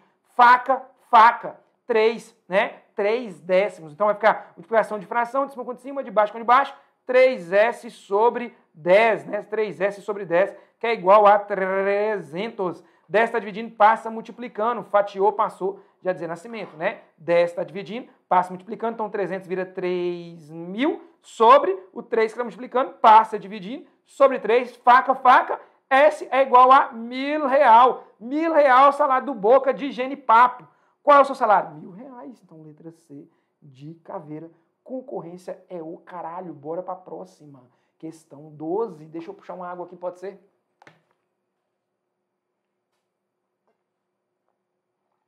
Que foi, Zé? Você tá arrumando? Olá, questão 12. Um grupo de 33 pais de crianças, né? Pré-adolescentes se reuniu para discutir de quem é a tarefa de abordar a educação sexual dos seus filhos. Nesse grupo, 30 pais têm a opinião de que, é, é, é, de que essa educação deve ser dada pela família. E 28 pais né, pensam que é uma missão para a escola. Considerando que todos opinaram, quantos pais desse grupo concordam que é um dever da família e também da escola? Hum, fácil pra caralho de graça. Qual é o macete que eu já rachei de cansar de passar para vocês? Soma a porra toda que você vai saber quem é a intercessão, né? Quantos pais desse grupo concordam que é um dever da família e, seja intercessão, né, da escola juntos, né, cara? O grupo 3 vai de criança para adolescente, é uniu para... Então tá. Então, nesse grupo, 30 pais têm opinião que é na família, 28 que é da escola. Então tá, o total é 33. Beleza. Então, acima de 33, né, ó, eu já tenho 30 aqui. Pã, morreu eu tenho 28 aqui, eu tiro 3, fica 25. Tá aí minha resposta. Né? Letra B de Barãozinho na missão. Fácil pra caralho. Ou seja, é só você somar as partes né, e tirar o total. O que tiver acima vai ser o resultado. Do... Só que eu fiz de uma forma diferente, fiz de uma forma mais rápida, né? Eu peguei o 30, já matei aqui dentro logo, sobrou 3 ainda para matar, tirei o 3 daqui do 28, sobrou 25, é isso mesmo. Poucas ideias, poucas ideias, poucas ideias. 13, 13, 13 é galo, pô, galo, campeão brasileiro e pau que rola, né? Ó, Bora lá, questão 13, meu irmão. Devido à crise econômica atual, o Barãozinho aumentou valores de todos os cursos da LJ Aulas, né? Aumentou o valor de todos os cursos em 20%, certo? Percebendo, percebendo uma grande queda nas vendas. Olha, olha, olha, hein? Olha, olha, olha, percebendo uma grande queda nas vendas, certo? Resolveu dar um desconto de 20% sobre o valor aumentado inicialmente. O preço final né, da venda corresponde a porra, parceiro. Você acha que essa aqui estava mais difícil? Vocês que fizeram o simulado aí, o que vocês acharam dessa questão? Muito mais difícil, tranquila, suave na nave, qual que é o papo? Dá o papo aí. Então tá, vamos pensar que X né, é o valor inicial dos produtos, né? Então o preço final vai ser de quanto? Cara, primeiro, primeiro, né, primeiro deu um aumento aí no preço. Né? Primeiro deu um aumento no preço, então foi. Então deu um aumento de 20%, é a mesma coisa de 1 mais 0,2, que é um aumento de 20%, beleza? 1 mais 0,2, tranquilo? O que mais agora? Agora é o seguinte, depois teve um desconto, né, cara? Teve um desconto aí de eu, tive, eu dei um desconto de 20%, certo? 20% do valor, né, do valor aumentado, 20% no valor aumentado. Então, de, de, de, do, do. Então, deu um desconto de 20% nesse valor. 20% de quanto? 20% do total, que é 1 menos, né? 0,2 vezes x, que é igual. Então, ó, primeiro eu dei um aumento de 20%, 1 mais 0,2. Depois, eu dei um desconto de 20% no valor total. Depois eu dei um desconto de 20% no valor total. Primeiro eu dei um aumento, né? No valor total, que é 1, né? Um aumento de 20%, ou seja, 1 mais 0,2. Depois eu dei um desconto, né? De 20%, ou seja, 1 menos 0,2 no valor total. Teve esse aumento no valor total, teve esse desconto no valor total. Então, do, do, do, do, do valor total. Então, taranã, taranã. Beleza? Então, 1 mais 0,2 dá 1,2 vezes 0,8, né? De x, né? De x, x, x, x. Vai dar quanto aqui? 1,2 vezes 0,8? 1,2 vezes 0,1,2 vezes 0,8. Dá quanto aí, 0,1? Agiliza para mim aí. 1,2 vezes 0,8. Hã? Hum, 0,96, 0,96, 0,96 de X, né? Então, o preço, o preço final de venda corresponde ao valor do preço original reduzido em 2%? Não. Não reduziu em 2, reduziu em 4% do preço original, já que é 96. O valor do preço original também não, não é, não é, não é, não é um X inteiro, é 0,96 de X. O valor do preço original aumentado em 4%, hum. o valor do preço original reduzido em 4%, Aumentado ou reduzido? Reduzido, porra, porque é 0,96, reduziu de 4%. Então, reduzido de 4%, letra D, de Deus nos abençoe nessa caminhada. Bora para a questão número 14, vi, vi, vi, visão. Bora voar, bando de águia. Bora, bora, bora. Questão 14. Considera as seguintes proposições. Se Júlia tem 20 anos, então Marcela é amiga de João. Pode concluir que, ou seja, a equivalência lógica está pedindo aí. Qual que é a equivalência lógica do sim, então? Temos duas, volta negando, e a do Neymar, né? Um sim, então, tá aqui, ó, se, p, então, que, temos a equivalência lógica volta negando. Você nega todas as partes, coloca o sim, então, né? E mantém o conectivo sim, então. E temos a, a, a Neymar, né? Nega a primeira, nega-se a primeira, ou, né? Ou mantém-se a segunda, nega a primeira e mantém-se a segunda. Beleza, cara. Agora bora lá, ó. Então temos duas equivalências lógicas, uma com sim então e outra com o ou. Você percebe que as equivalências aqui são todas com sim então. Então vai voltar negando, essa aqui não foi utilizada na questão, porque cada alternativa aqui tem o si de início. Então vai voltar negando, ele escolheu volta negando. Então vai ser, é, se Marcela não é amiga de João, então Júlia não tem 20 anos. Se Marcela é amiga, tá errado. Júlia começar tá errado. Se Marcela não é amiga de João, então Júlia não tem 20 anos. Você entendeu isso, irmão? Se Marcela não é amiga de João, então, então assim, você já, velho, você mata o. Você, o negócio é estudar, estudar, estudar, estudar. Cara, estuda que a coisa acontece, segue o protocolo. Se você sabe que a equivalência lógica é volta negando, você já sabe que tem que começar com Marcela não. Aqui é Marcela, mas não tem um não. Já era. Aqui começou com Marcela, não começou. Aqui tem Marcela, não tem Marcela. Então a resposta é letra C, não precisa nem olhar tudo. O negócio é aprender o protocolo, meu parceiro. Prega o protocolo. Se você pregar o protocolo na prova, acabou, fatiou, passou. Papel reto português é claro. Ah, Barão, tem que aprender isso. Quem quer rir tem que fazer rir, meu parceiro. Você não quer passar? Então, letra C de caveira, concorrência é o caralho. Põe os formosos na bota, põe os pomposos na bota. Questão 15, saideira aí para vocês. São proposições equivalentes para a negação da proposição todo homem é. Todo homem ama lógica. Todo homem, todo homem ama lógica, verdade, né? Então, pelo menos, o cara que não. Que não ó, todo homem ama lógica, hein, velho? Quem tá aí que é homem. Que fala que é homem. É, fala que é homem porque não gosta de lógica. Não sei se vocês entenderam a lógica. ó, pelo menos um homem não ama lógica. Alguns homens não amam lógica. Existe homem, então assim, aqui ele mostrou todas, os, todas as formas de negar, né? É, de negar o todo, né? Pelo menos um, algum, existe um e tem no mínimo um ainda, né? Que são formas que eu já te falei lá no Missão 100 Dias. Espero que você, tenha, que você esteja acompanhando esse evento que acontece de segunda a sexta no canal do YouTube, ao vivo, né? Só resolução de questão. Assim, às 19 horas da noite. Assim, a forma correta de negar a proposição todas as vagas deste vestibular são de ensino superior é qual é a forma correta de negar todas né, as vagas de vestibular são de ensino médio.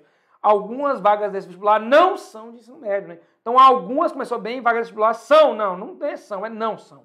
Existem, pode ser, né? Existem vagas de vestibular que não são de ensino superior, tem que ser ensino médio. Nenhum nunca nega o todo, né? Você já mata logo essa alternativa toda vez. E pelo menos uma vaga desse vestibular é de ensino superior. Hum, todas as vagas desse vestibular são de ensino superior. Todas as vagas desse vestibular são de ensino superior. Pelo menos uma vaga desse vestibular é de ensino superior. As vagas desse vestibular aqui não são de ensino superior. Não, acho que a letra B, letra B mesmo, velho. Letra B tem mais chance, muito mais chance do que a letra D, né? Passei muito rápido. Ó o Barãozinho pegando mal aí, mil anos de curso, porra. Quer foder meu batalhão, Barãozinho? Olha lá, ó. Existem vagas desse vestibular que não são de ensino superior. Sim, é desse jeito, tem que ter o não, tem que ter o não. Aqui, ó, pelo menos uma vaga vestibular é de não, tem que ter o não. Então, existe um, pelo menos um, no mínimo um, nega, né? E aí tem que ter o não também. Não opção né, não são de ensino superior. Então, a letra B de Barãozinho na missão resposta. Acelerei demais, quase que eu cheguei na D, mas pelo meu conhecimento já vi que estava errado, que faltou o não aqui. Então tem que ser a letra B. Me ajuda aí, chama o gordinho, meu parceiro. Muito obrigado pela companhia de vocês. Tem mais aula, tem mais professores resolvendo questão. Esse é o penúltimo simulado, falta mais um simulado. Preste muita atenção, fica atinado nisso, fica com isso, sua hora tá chegando, seu concurso está chegando. Espero que você esteja vibrando pra caralho, velho. Porque um corpo que não vibra é um esqueleto que se arrasta. Meu irmão, chama o gordinho que a coisa acontece. Um abraço, um ótimo final de semana para vocês. A caminhada só acaba quando alcançamos a. Estou olhando aqui essa canetinha que eu achei que ia cair. Se a canetinha cai, o gordinho infarta. Se o gordinho infarta, a canetinha cai. Então a canetinha não cai, o gordinho não infarta, a canetinha é cara, então não pode cair. Visão. Falou, galera. Tamo junto.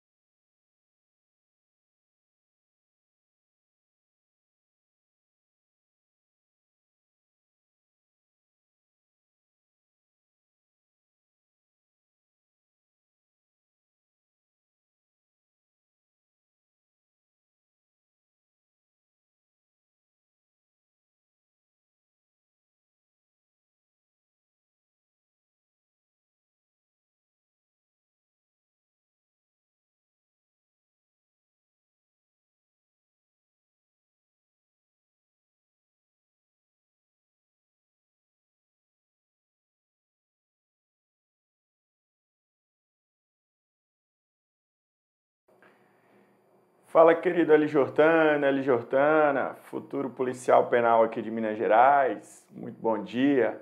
Sou professor Gabriel Caires. Hoje estamos aqui para corrigir o nosso simulado, nosso nono simulado online, aplicado aí dia 19, dia 19 de dezembro aí, domingo passado. Beleza? Espero aí que vocês tenham ido bem a essa altura do campeonato aí, né? Nosso penúltimo simulado, então já é para ter uma noção de qual é seu nível de preparação para a prova. Se você teve dificuldade agora nesse simulado, né, ou então você corra atrás realmente agora, ou então né, você, você tem que dar uma melhorada aí, beleza? A essa altura aí já tem que estar tá bem afiado nas nossas questões. Bacana?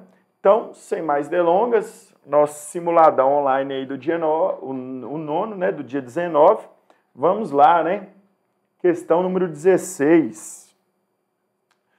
O que, que fala a questão número 16? Com relação às disposições da Lei 10, 826, Estatuto do Desarmamento e suas alterações posteriores e o entendimento sumulado e jurisprudência dos tribunais superiores, assinale a alternativa correta.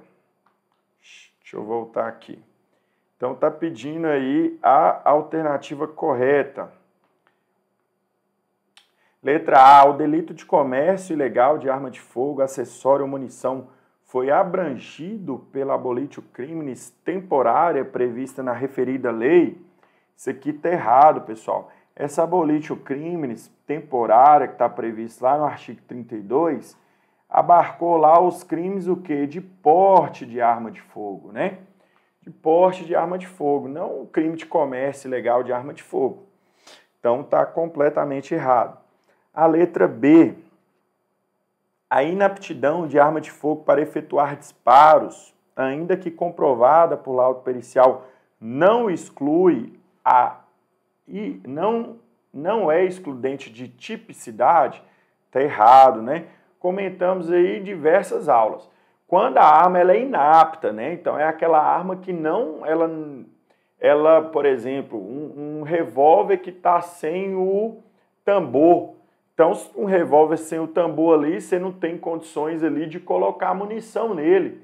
Se você não tem nem condição de colocar munição nele, ele não tem nenhum potencial de causar algum mal ali a alguém. A não ser que você pega ali o revólver e taca na cabeça do cara, né?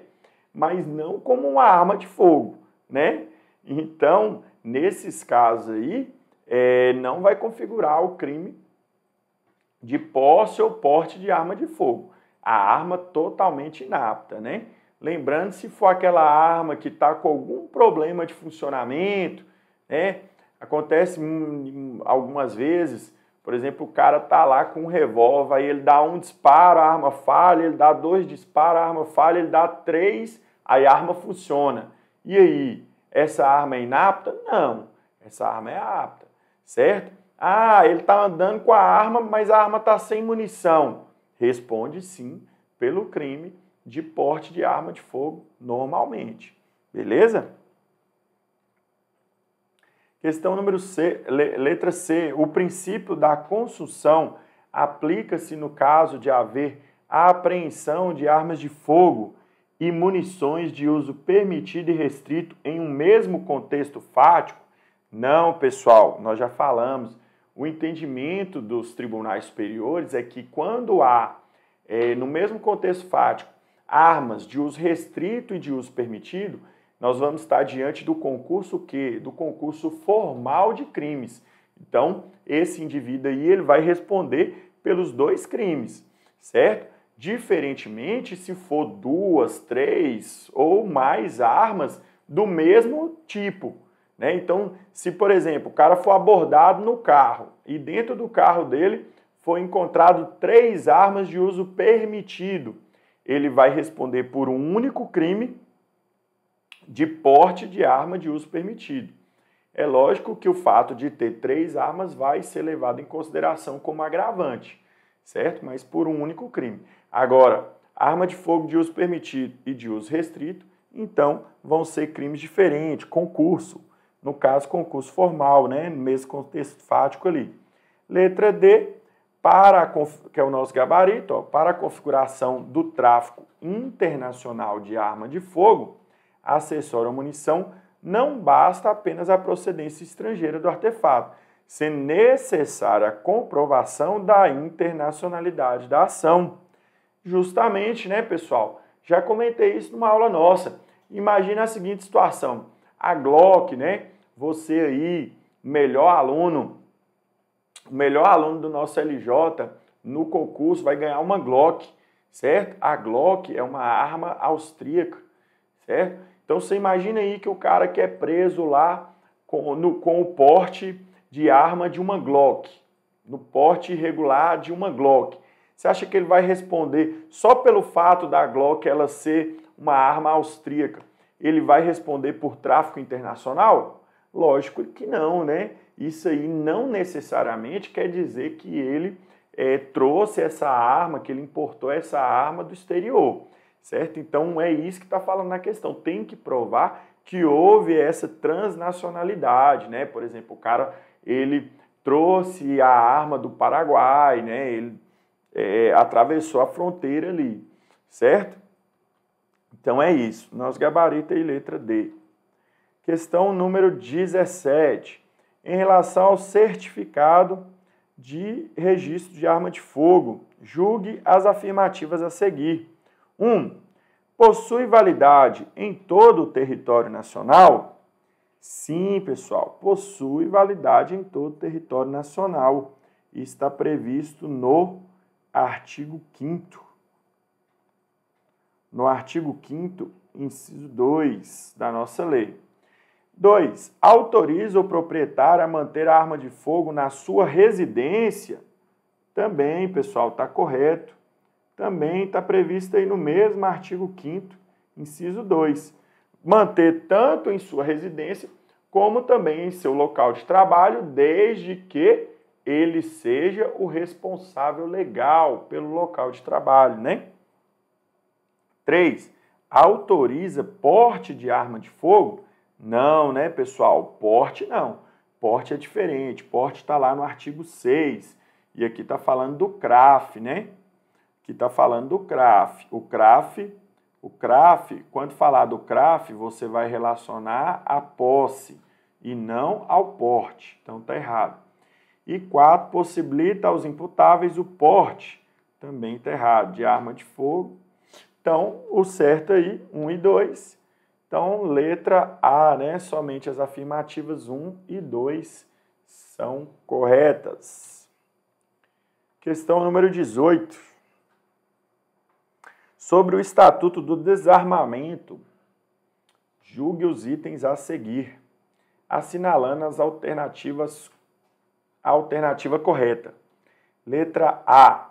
Via de regra, é vedado ao menor de 21 anos adquirir arma de fogo, ressalvado se integrante de entidades expressamente arroladas no Estatuto do Desarmamento, em sede do chamado porte funcional, como por exemplo no caso dos policiais civis dos estados da federação, é 21, pessoal? Não.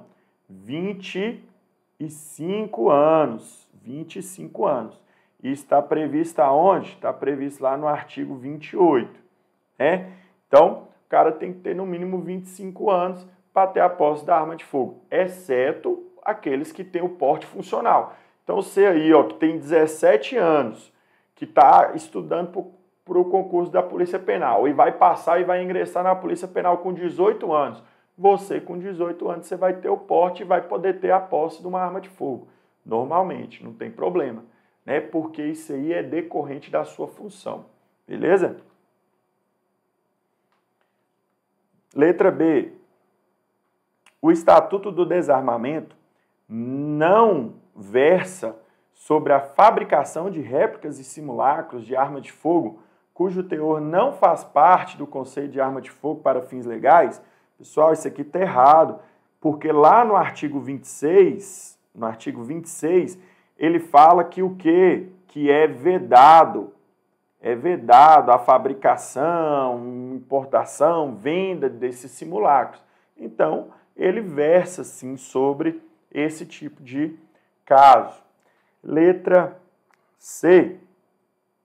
O Estatuto do Desarmamento permite expressamente que o Ministério da Defesa celebre convênios com os estados e com o Distrito Federal para o cumprimento de suas disposições? Pessoal, está errado. Não é Ministério da Defesa. É o Ministério o quê? Da Justiça. Ministério da Justiça. E está previsto lá no artigo 22.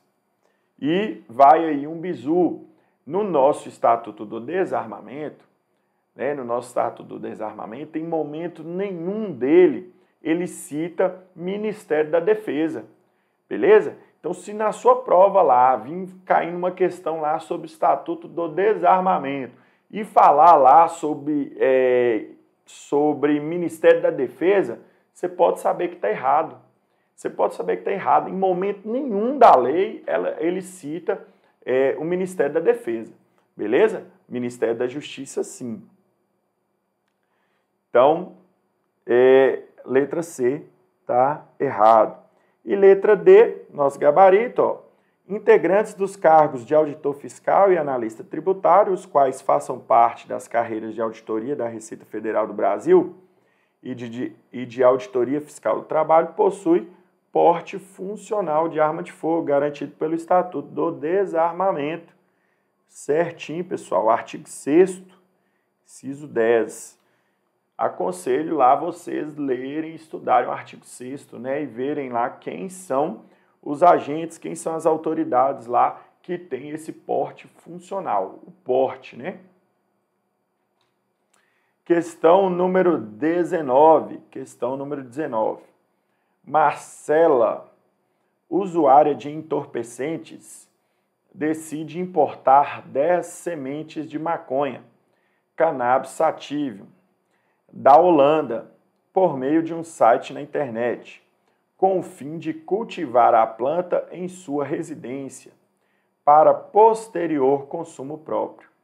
A encomenda foi rastreada pelas autoridades brasileiras e Marcela denunciada pela prática de tráfico internacional de drogas, artigo 33 caput, concomitante o artigo 40, inciso 1, ambos da Lei 11343.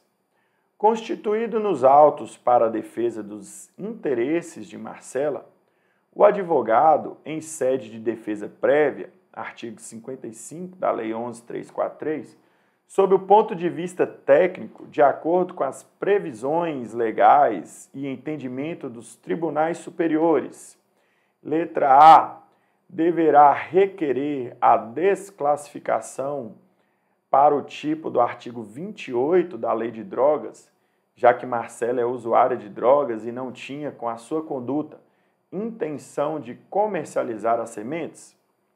Letra B. Deverá requerer a desclassificação para o tipo do artigo 334-A do Código Penal, contrabando, considerando que é proibida a importação de sementes de maconha para o Brasil. Letra C. Deverá indicar as provas que pretende produzir ao longo da instrução e arrolar até cinco testemunhas de defesa já que a conduta de Marcela de fato amolda-se ao tráfico internacional de drogas. E letra D deverá postular a rejeição da denúncia por ausência de justa causa para o exercício da ação penal, considerando que sementes de maconha não se enquadram no conceito de droga para fins penais, o que acarreta a atipicidade da conduta.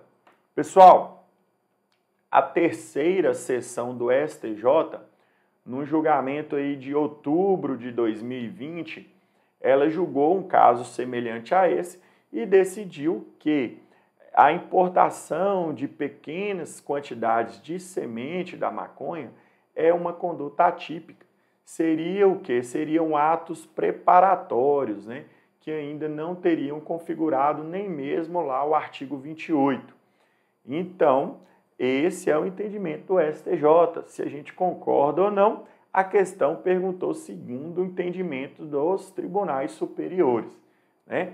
Eu não acho, acho que por uma, questão, uma prova de para a polícia penal ou fosse para a polícia militar, não, não acho que vai cobrar isso, né? Mas fiquem sabendo que é esse o entendimento atual do STJ certo? Pequenas quantidades, né? Da semente, da semente, que seria, né, o entendimento da STJ de que seriam meros atos preparatórios, então por isso a conduta é atípica. Então por isso o gabarito é letra D. Questão número 20. Em relação aos prazos de conclusão do inquérito policial, instaurada a fim de apurar a prática do crime de tráfico de entorpecentes, marca a alternativa correta, de acordo com a Lei 11343. Letra A. Será de até 180 dias se o indiciado estiver solto excepcionalmente, quando requerido de forma fundamentada pela autoridade polícia judiciária ou ouvido o Ministério Público Letra B, se o indiciado estiver preso, o prazo não poderá ultrapassar 35 dias. Letra C, se o indiciado estiver preso, o prazo será de 30 dias e de 90 dias se estiver solto, podendo o juiz ouvir o Ministério Público, mediante pedido justificado da autoridade polícia judiciária, triplicar tal prazo. Ou letra D, se o indiciado estiver preso, o prazo será de 10 dias e de 30 na hipótese de o indiciado estiver solto. Pessoal, é o seguinte, vou usar esse espaço aqui. Esses prazos é, do inquérito aqui estão previstos no artigo 51, no artigo 51 da nossa lei. e eles vão ser, esse prazo vai ser o seguinte, ele vai ser um prazo de 30 dias. Deixa eu escrever aqui o dias. Ele vai ser um prazo aqui de 30 dias quando o indiciado estiver preso, certo? E um prazo de 90 dias quando o indiciado estiver solto. Então, isso aqui está previsto no artigo 51. E lá no parágrafo único, no parágrafo único do artigo 51, fala que eles podem, esse prazo pode ser o quê? Duplicado, certo? Duplicado, né? Desde que requerido pela autoridade de polícia judiciária e ouvido o Ministério Público. Então, beleza. Então, vamos lá, vamos analisar aqui, ó, letra D. Se o indiciado estiver preso, o prazo será de 10 dias e 30 na hipótese solto? Errado, né? Letra C. Se o indiciado estiver preso, o prazo será de 30 dias, correto. E de 90 dias se estiver solto, correto. Podendo o juiz ouvir do Ministério Público, mediante pedido justificado da autoridade de polícia judiciária, triplicar o prazo? Não, né, pessoal? É duplicar o prazo. Então tá errado.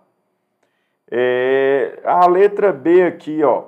Se o indiciado estiver preso, o prazo não poderá ultrapassar 30 dias Está errado, né, pessoal? Porque lá está falando que pode duplicar, então pode chegar até 60 dias. Então, o nosso gabarito é letra A, ó, será de até 180 dias se o indiciado estiver solto. Né? Porque se ele estiver solto, o prazo é de 90. Mas como ele pode ser duplicado, então pode chegar a 180 dias né, quando requerido de forma fundamentada pela autoridade de polícia judiciária. Então, gabarito e letra A.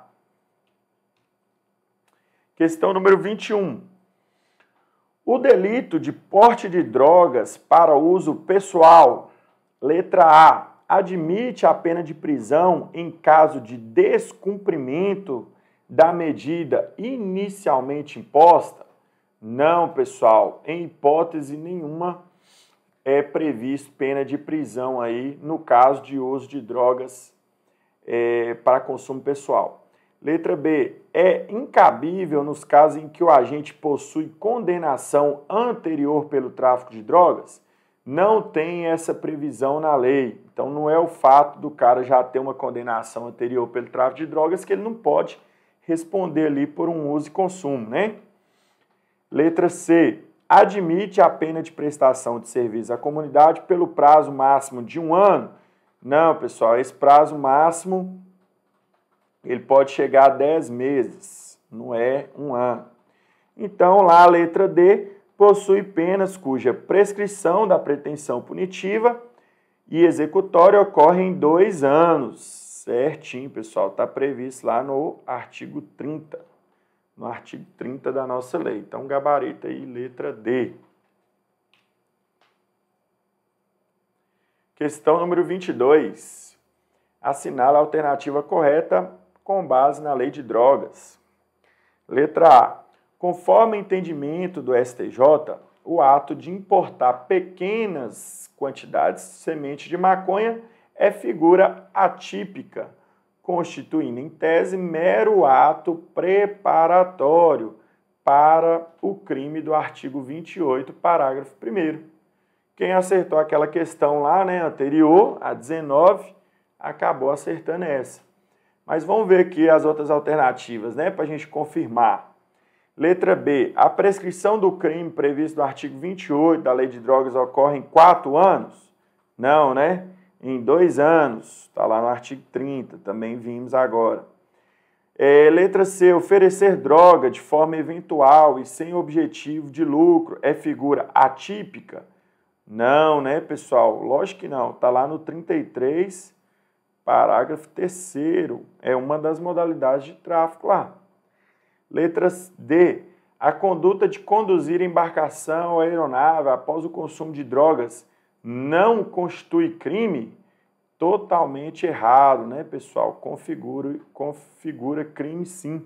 Está previsto lá no artigo 9, 39, né? Com a pena lá de detenção, o quê? De seis meses a três anos, né? De seis meses a três anos. Questão número 23. Agora nós já vamos tratar que as últimas questões foram sobre a lei de improbidade administrativa. Então, questão 23. Acerca dos atos de improbidade que causam enriquecimento ilícito. Ó, enriquecimento ilícito. Apresentados na Lei 8429, assinale a alternativa correta.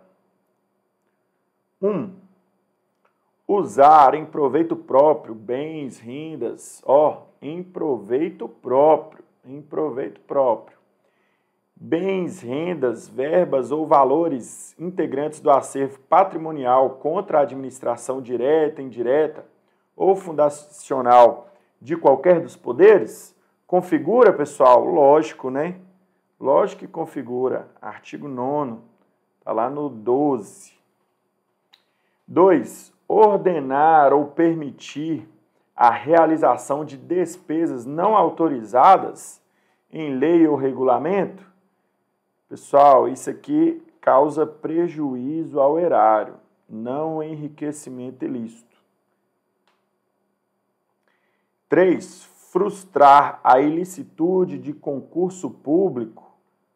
Isso aqui, pessoal, fere os princípios da administração. E a quarta aqui, utilizar em obra ou serviço particular, serviço particular, veículos, máquinas, equipamentos ou material de qualquer natureza, de propriedade ou à disposição de qualquer das entidades mencionadas no artigo 1 desta lei, bem como trabalho de terceiros, trabalho de servidores públicos. Então, isso aqui, sim, configura, né, pessoal? Está lá no artigo 9, inciso 4 artigo 9, inciso 4. Então, nós temos aqui dois casos né, de artigo 9, o 1 e o 4. Então, lá, apenas um item está correto? Não. Todos os itens estão corretos? Não. Apenas dois itens estão corretos? Sim. Gabarito, letra C. E questão número 24. Questão número 24. De acordo com a lei de improbidade administrativa, assinale a alternativa que retrata um ato que importa enriquecimento ilícito. Letra A.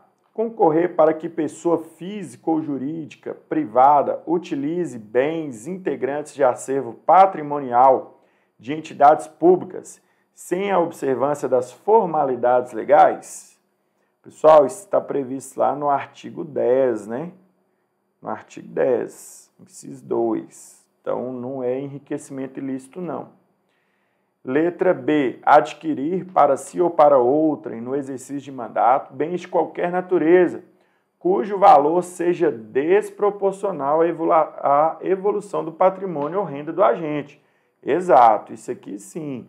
Está previsto lá no artigo 9. Artigo 9, inciso 7, né? C frustrar a ilicitude de processo licitatório. Nós já vimos que é artigo 10, isso aqui, né? Artigo 10, inciso 8 E letra D é o artigo 10 também, ó. Permitir, facilitar ou concorrer para que terceiro se enriqueça ilicitamente. Artigo 10, inciso 12. Inciso 12. Beleza?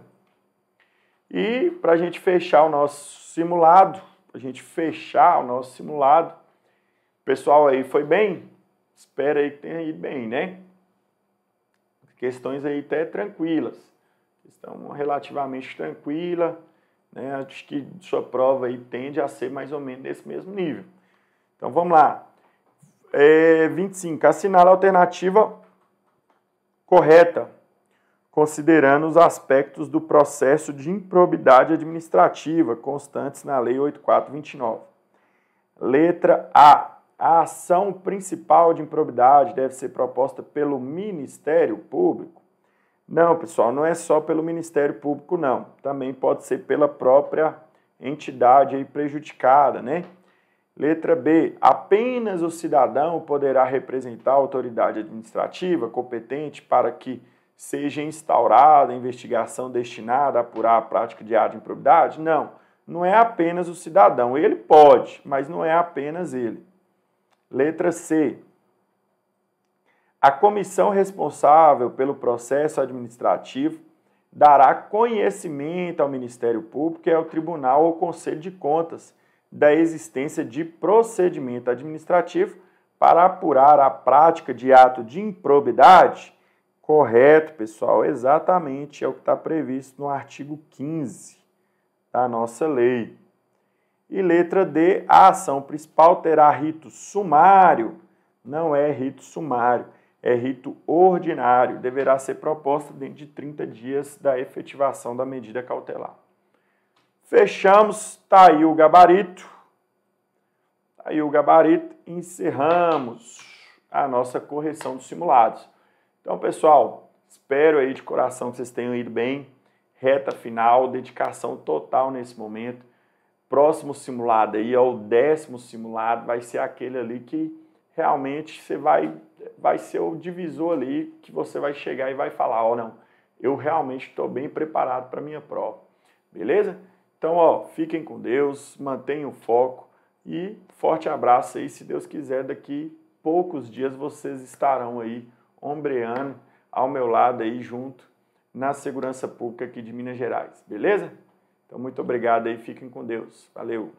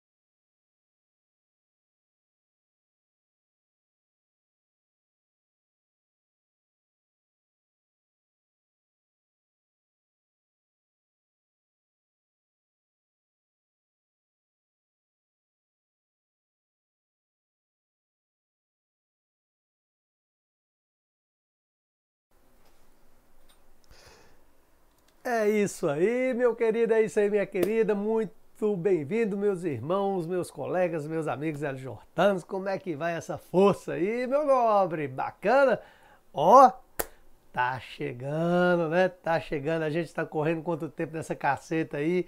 E vamos que vamos, não deixa o desespero tomar conta não, meu querido, porque o desespero nos faz, né, embolar aí a realidade das situações. Então vamos devagar naquela mesma meta que os senhores estão indo aí, que está bacana. Né? A gente tem acompanhado, tem recebido alguns dos colegas aí, os alunos aí, gostando de ver o resultado aí, viu? Tá melhorando, né? A partir do último aí que a gente comentou, que teve uma porrada de, de, de reprovação. Reprovação não, é eliminação, né? Na específica aí. E nessa parece ter sido melhor, né?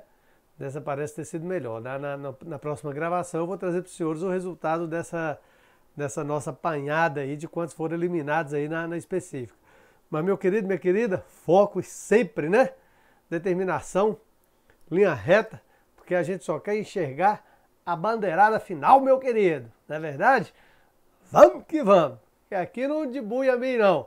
Aqui como mim inteiro e sapeca pipoca, meu querido. É desse modelo.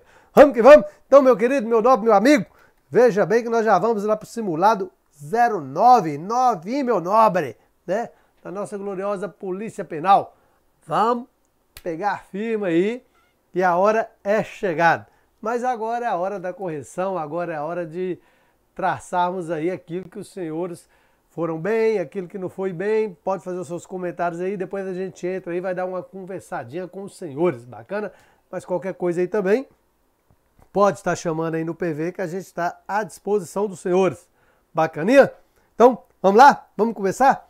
Vem comigo então, meu querido, sem muitas delongas, começando na número 26. Não esqueçam, não confunda. O simulado nosso aqui é o 9, né? É o 09 aqui nessa caceta. Beleza? Ficou bonitinho aí pra vocês, ó. Vamos lá. Institui a lei de execução penal. A lei, qual lei é a instituição penal? A lei 7.210, né? A LEP.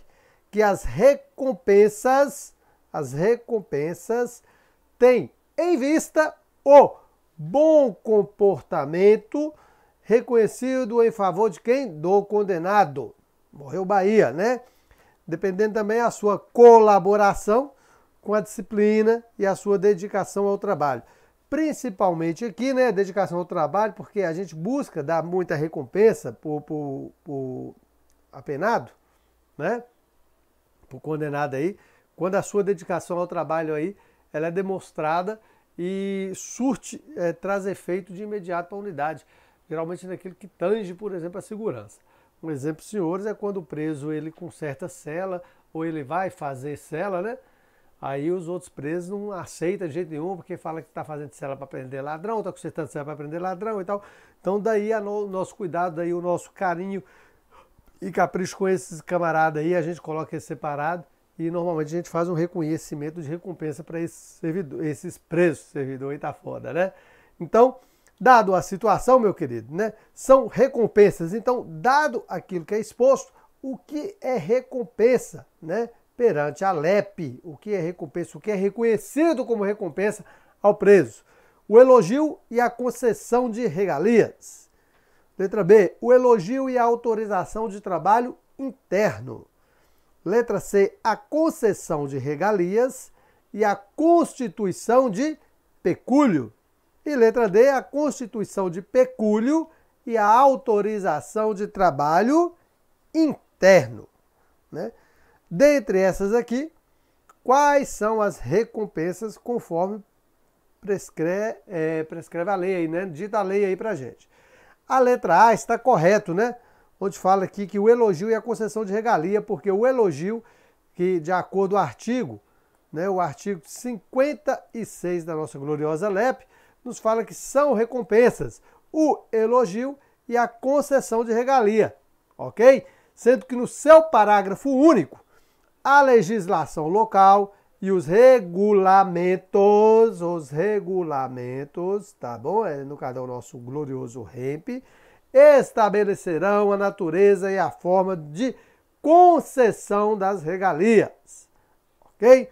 A letra B e a letra C estão incorretas. Vamos mudar nossa canetinha aqui.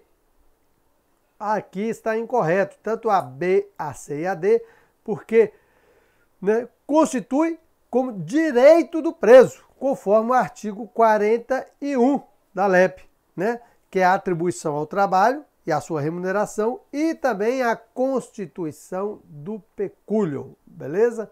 Então lá a gente fez aquela misturança lá para os senhores, onde fala também das concessões de regalias e também do elogio. Portanto, aqui o nosso gabaritim, letra A. Primeira mamãozinho para os senhores aí, né? Para não dar, não dar bronca. Então, olha só, a autorização aqui de trabalho interno é um direito dele, né? A constituir pecúlio também é um direito do apenado e onde também aqui a constituição de pecúlio, né? E também a autorização do trabalho interno. Então, para nós aqui, errada, errada, errada, correta a letra A. Beleza? Show de bola? Mamãozinho para começar, né? Mamãozinho. Fino aí? Bacana, bacana, bacana, né? Essas questões, meus nobres, vocês não podem errar não, tá? É aquilo que eu gosto sempre de dizer, você tem que fazer a questão visualizando como se o senhor estivesse vivenciando a prática, porque aí o senhor vai, né, concatenar a situação melhor. Na é verdade, você vai guardar na cachola, porque vai ser como se eu, pô, eu tô ali, eu sou o diretor, eu posso conceder, né, recompensa para o camarada. O que que pode ser a recompensa?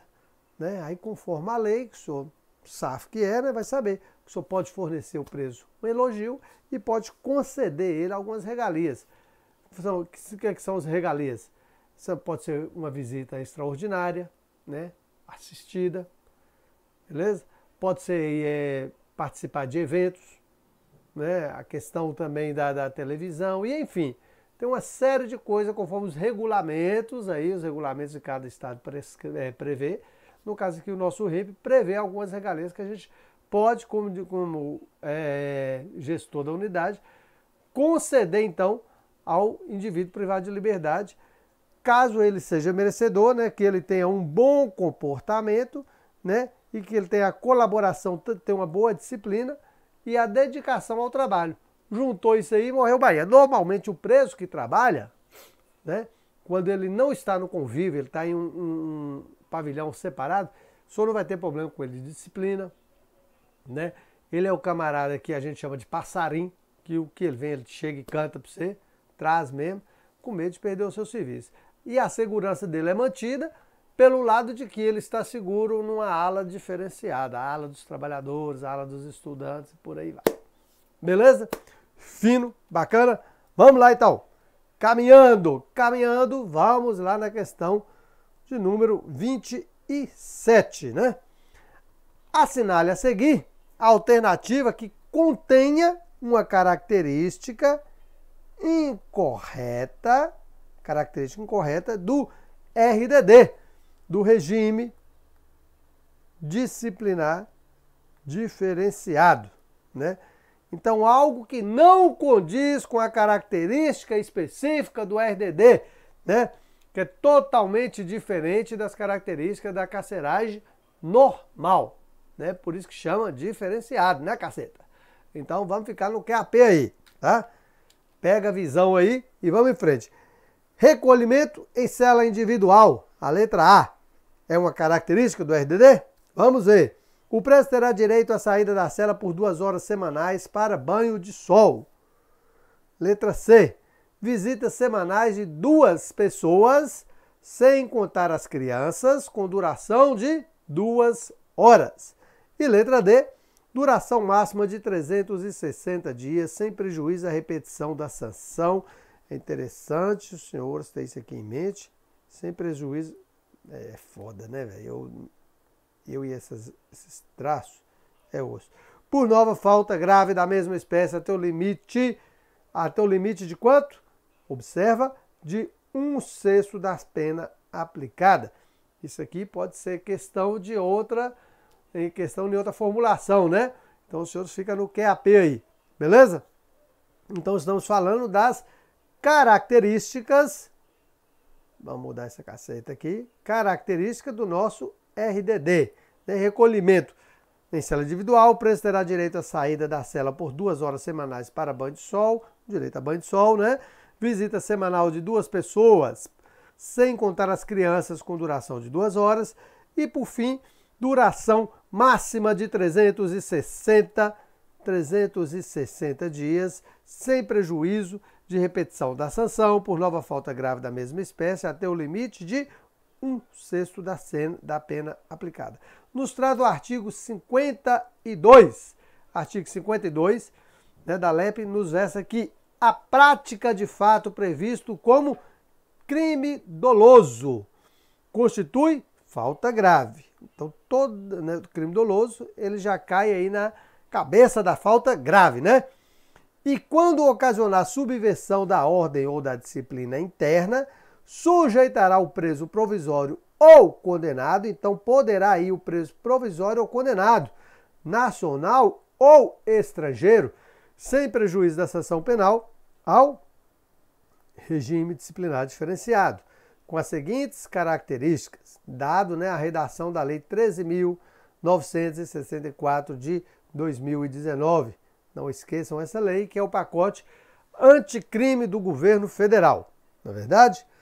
Então, vamos lá. Item 1. Duração máxima de até dois anos. Dois anos, embora a questão lá, né, conforme não foi atualizada, né, sem prejuízo da repetição da sanção por nova falta da mesma espécie, a redação dada pela Lei 13.964.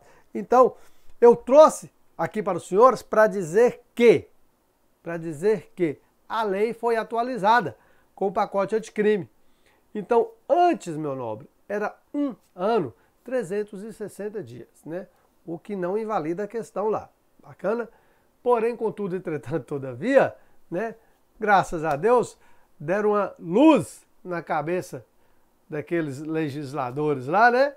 E então remodelaram essa situação e jogaram então para dois anos sem prejuízo né, da mesma repetição aí no cometimento de nova falta. Beleza?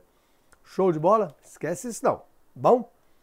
O item 2, recolhimento em cela individual. Bacana. Também a redação da mesma lei, o pacote anticrime, ok? Vai recolher em cela individual. O RDD, ele jamais poderá ser, né, cela coletiva, tá ok? Ele sempre, sempre será cela individual. Eu dei uma sentadinha e deixa eu ver como é que ficou o enquadramento. Ficou bom. Então vamos caminhando. Visitas quinzenais, meu nobre, de duas pessoas, duas pessoas por vez, a serem realizadas em instalações equipadas para impedir o quê? O contato físico. Então, meu querido, mesmo na visita, é impedido esse contato físico e a passagem de qualquer objeto por pessoa da família ou caso de terceiro, amigos, né? Autorizado judicialmente, com duração de quê? Duas horas. Também a redação da mesma lei, o nosso pacote anticrime, a lei 13.964. E o item 4 nos traz direito do preso à saída da cela por duas horas diárias para o banho de sol. Duas horas diárias para o banho de sol, meu querido. E não duas horas semanais, tá ok? Em grupos de até quatro presos, desde que não haja contato com presos do mesmo grupo criminoso, a redação também da mesma lei, a lei do pacote anticrime. Então, aí vem o senhor e pergunta assim, né? Nosso gabaritinho aqui, letra B, bola, besta, de bobo, que aqueles otários lá, né? É o seguinte, o camarada tá preso, tá lá no RDD. Se ele foi pego numa quadrilha, coisa assim, né? Deixa eu tirar essa arma aqui que tá... Aí, Matilde, essa minha criança aqui chama Matilde, né? Aí, é, foi preso de repente um crime criminoso, um, uma, uma quadrilha criminosa, né? Por tráfico internacional de droga, supostamente assim dizendo para os senhores a grosso entendimento, né? Então vai todo mundo para o RDD. Né? Se for aqui em Minas, vai para. Nós temos uma unidade só que tem RDD, baixa para lá. Né, Francisco? Quando da saída de banho de sol, se os senhores vão levar eles para um pátio, um grupo de quatro pessoas, eles não podem ter contato com membros da mesma facção, da mesma quadrilha, tá ok? A gente evita que tenha contato, inclusive, com amigos, com parentes também que estejam presos, tá ok? A gente tem esses cuidados. Para quê? Fragilizar o crime, quebrar a perna do crime, não é verdade? Deixar o cara na pedra mesmo, velho, na pedra, porque aí a lei garante. Aí é onde o senhor pode falar, aí, é, eu vou tirar o esparro. Você não está tirando o esparro, você está cumprindo a lei. Aquilo que a lei determina, o senhor está fazendo. Então faça, né, observando sempre aquilo que a lei traz quanto a essas situações. Vamos manter todo mundo separado. Então visita duas horas e aqui está correto, tá? É, aonde, onde fala aqui. Cadê, cadê, cadê, cadê, cadê? Aqui, duração máxima de 360 dias, aí passou para dois anos já, né? Conforme os processos. Terá o direito de saída da cela, aqui, aqui é a questão que está errada, né? Que a gente busca. A cela individual está correta. Visita semanal de duas pessoas positivo, meu querido, sem contar criança de menor, tá ok? Não conta criança. Vai entrar os catarrentinhos, tudo, meu querido, né? Vai entrar os catarrentinhos, tudo. E as nossas colegas aí, as policiais penais, vão fazer revista conforme preconiza o REP, tá ok? No curso formação técnico profissional, os senhores, as senhoras irão aprender como é, proceder com a visita de crianças, né? Não vamos trazer aqui agora não, porque a gente está fora da matéria se vier trazer. Mas então é uma revista diferenciada, as senhoras vão aprender. Então, quantos tiverem, né? Vem aquelas escadinhas. É Zezinho, Guinho, Luizinho, Zezinho, Guinho, é? é o Guinho, Zezinho, Luizinho, Pedrinho, Joãozinho, tudo catarretinho, vai entrar todo mundo, né? Se comprovado que é filho, cadastrou belezinha, a mãe Tá lá a esposa de Onofre, Onofre tá preso, se lascou, vai levar todo mundo. Duas horas por dois, dois adultos. Bacana? Show de bola! Bacana? Não esquece que toda essa questão do RDD, ela foi remodelada, né, com o pacote anticrime do governo federal, que é a lei 13.964 aí de 2019, ok? Deve chover na prova dos senhores questões referentes ao pacote anticrime, ok? Coisa nova, né? É ou não é? Né? Então, possivelmente, vamos cobrar isso aí dos senhores, ok? Vamos lá! Questão então de número 28. Se eu não me engano, é esse simulado que me contemplou com poucas questões. Por isso que eu estou aperfeiçoando, é, entrando mais no mérito das questões aí, trazendo para os senhores mais especificidade aí das situações. De acordo com as competências do agente penitenciário, vamos analisar as afirmações. Então nós vamos falar sobre as competências, né? Competência do policial penal aqui nessa caceta. Bacana, essa caneta aí eu não tenho nada a ver. Essa caceta só anda falhando. Vamos lá. Item 1.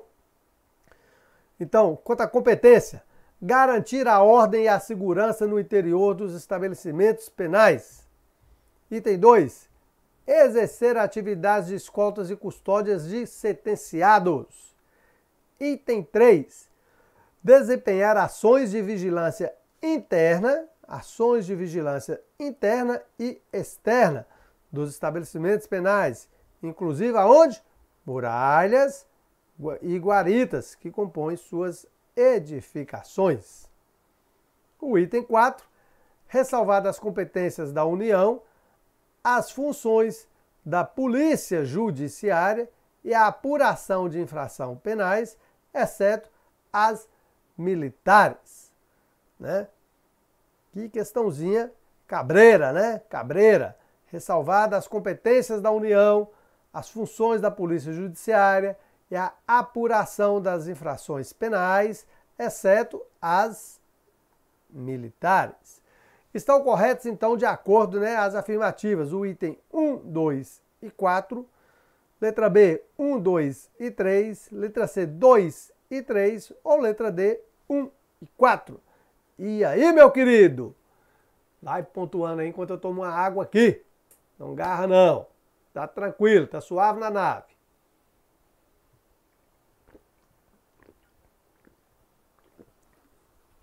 Hoje eu tô com a voz melhor. Aê, glória a Deus. Vamos lá. O item 1 e 2 e 3 estão corretos, tá? Porque de acordo o artigo 60 do REMP, quem pensou que a gente estava saindo fora, né? Devido a essa questão aqui, polícia judiciária, cuidado com as questões que vêm para os senhores, para os senhores não meter o pé pela mão, tá bom? Porque os senhores podem levar pau numa questão aí por falta de conhecimento interpretativo. Então vamos interpretar a questão, né? Bacana aí para a gente não pagar pelo erro aí. Bom? Beleza. Então, o artigo 60 do REP nos traz que os agentes de segurança penitenciário, lotados em atividades do Comando de Operações Especiais, em consonância com a legislação pertinente, bem como em conformidade com as diretrizes da SSPI SUAP, compete. O item 12 nos traz que garantir a ordem e a segurança das unidades prisionais. Meu querido, é o nosso feijão com arroz, né? A gente trabalha garantindo a ordem e a disciplina com foco na, na, na custódia e ressocialização do preso. Não é verdade? A nossa missão é justamente essa: garantir a ordem e a segurança com foco na custódia e ressocialização do preso. Tá ok? Costumo eu dizer uma coisa minha, né? que a custódia ela é garantida, a ressocialização ela é né, relativa, né, porque não depende só de um lado, vai depender dos dois. Né? Nós fazemos a nossa parte para ressocializar o cidadão lá, o IPL, e vai ele né, ter que fazer a parte dele para aceitar essa ressocialização. bacana, é um trabalho árduo, porém muito gratificante. Exercer atividade de escolta, né? Vamos exercer atividade de escolta, custódia e condução de preso à presença da, da, de autoridades. A Lei 14.695, de 30 de julho de 2013, no artigo 6 fala que compete a quem? Ao agente de segurança penitenciário, ao policial penal, né? O item 3 traz que desempenhar ações de vigilância internas e externas dos estabelecimentos penais, inclusive de onde? Das muralhas e das guaritas. Aqui é uma solidão da porra, né? Mas tem quem gosta, que compõe as suas edificações. O item 4 está incorreto, porque no artigo 144 da Constituição da República Federativa do Brasil, a CRFB de 88, no seu parágrafo 4 nos traz que os, as polícias civis, dirigidas por delegados de, policias, de polícia de carreira, incumbem, ressalvadas as competências da União, tá? as funções de polícia judiciária e a apuração de infrações penais, exceto as militares. Beleza? Fiquem no QAP para não marcarem bobeira, né? A gente não errar questões fáceis. Então, realmente a questão 4 está errada. Polícia judiciária não é polícia penal, né? Então, assim, só para adiantar para os senhores, a gente já matava essa por eliminação, né? Porque sim, né, fala que garantir a ordem e a disciplina no interior dos estabelecimentos penais, óbvio, estabelecimentos penais, polícia penal. Morreu Bahia. Exercer atividades de escolta, também somos nós. Antes era exercido pela polícia militar, né? Hoje somos nós e desempenhar ações de vigilância interna e externa dentro de presídio, meu querido, inclusive muralha e guarita, também somos nós. Lembrando que antes, né, há anos luz atrás, muralha e guarita era feito também pela PM. Então, como se fosse a DSE a PM e a DSI a civil. Né? Então, a guarda prisional antes, em Minas Gerais, era feita dessa maneira a Polícia Civil tomava conta da parte administrativa interna do presídio, né? Galeria, movimentação do sol, esses negócios e tal, e a Polícia Militar tomava conta da externa, né? Ela que pegava muralha, ela que pegava escolta e por aí ia. E aí era aquela confusão, né? Onde se empregava mais policiais civis dentro da, da, de um presídio do que militares, e um não queria fazer o serviço do outro, e era aquela, né, bafafá. Então, graças ao nosso bom Deus, criou-se a polícia militar, ou a, a polícia penal, antes agente de segurança penitenciário, né? Aí acabamos com isso. Né? Hoje nós fazemos a função que realmente é de custódia e ressocialização de preso. Beleza? Show de bola. Então, questãozinha lá, conforme falamos para os senhores, a questão B, porque A1 está correta, A2 também está correta e A3 também está corretíssima. Ok? Vamos lá, meu querido. Vamos lá, vamos caminhando e cantando, seguindo a canção na questão de número 29, né? Questão de número 29 nos traz que o egresso na carreira de agente de segurança penitenciário dar-se-á no primeiro grau do nível inicial da carreira, mediante aprovação em concurso público. É uma das sucessivas etapas. Então sabemos que nós temos sucessivas etapas para o ingresso na carreira de polícia penal, né?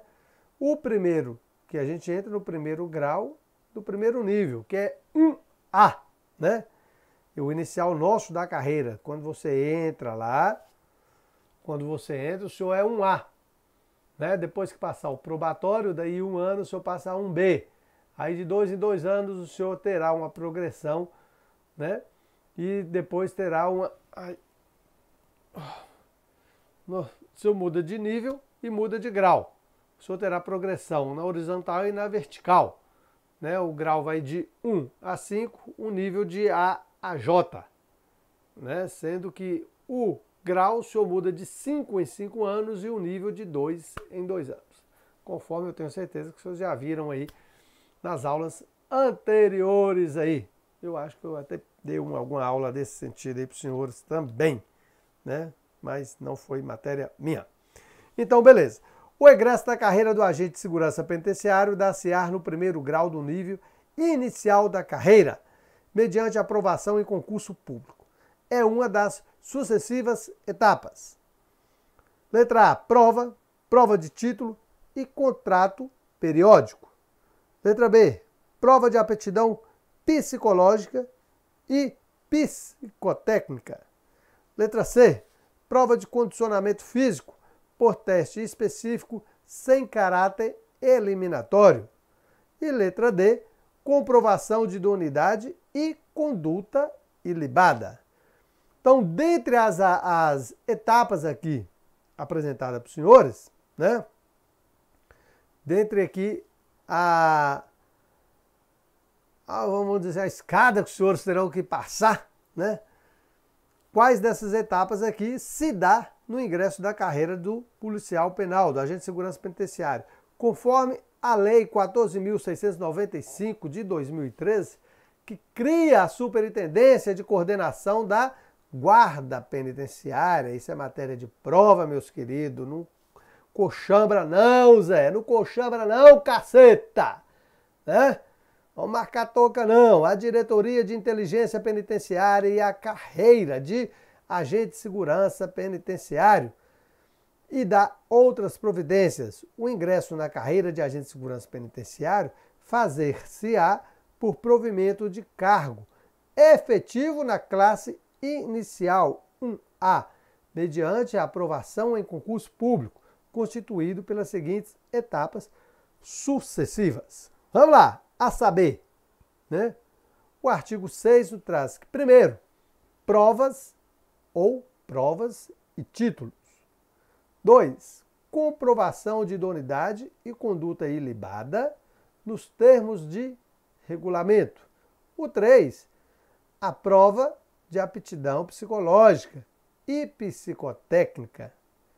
E o 4. Comprovação de condicionamento físico por teste específico. 5. Exame médico. E o 6. O curso de formação técnico profissional. Então, a nossa resposta está na letra B de bola, né? Fácil comentar o seguinte, tá? Hoje, nenhum concurso nosso entra com prova de títulos, mas não. Tá? Eu não sei nem se teve algum concurso que entrou com prova de títulos. Tá? Inclusive, eu antes de ser efetivo, eu era contratado, fui contratado por dois anos e ainda no contrato prestei o concurso, né? 2000 e bolinha lá para trás, prestei o concurso. E já tinha dois anos e a gente contava com pelo menos um ponto por ano aí em prova de título e realmente não teve. Né? Eu achei no, no tempo ruim, né? mas eu passei em 30, 34, foi 35 lugar no estado de Minas, então para mim não ia fazer muita diferença não. Mas eu achei ruim, né? mas depois eu entendi melhor e agradeci a Deus, porque tanta gente que tentou, né? não desmerecendo os colegas de forma alguma, mas muitos colegas tentaram com muito mais anos de contrato do que eu. Tinha neguinho com mais de 10 anos de contrato e que ficou lá embaixo na classificação. Se tivesse valido essas provas de, de título, eu estava na bosta, né? talvez não teria entrado naquele concurso. Mas Deus sabe todas as coisas e deu certo. Né? O, o bom que deu certo e glória a Deus a gente está aí. Né? Então, meu querido, minha querida, gabaritinho nosso aqui, a letra B, né?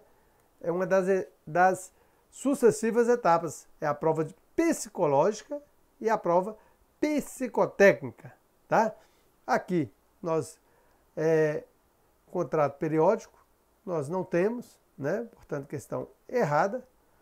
O caráter eliminatório, ele é classificatório, ele não é só em caráter eliminatório.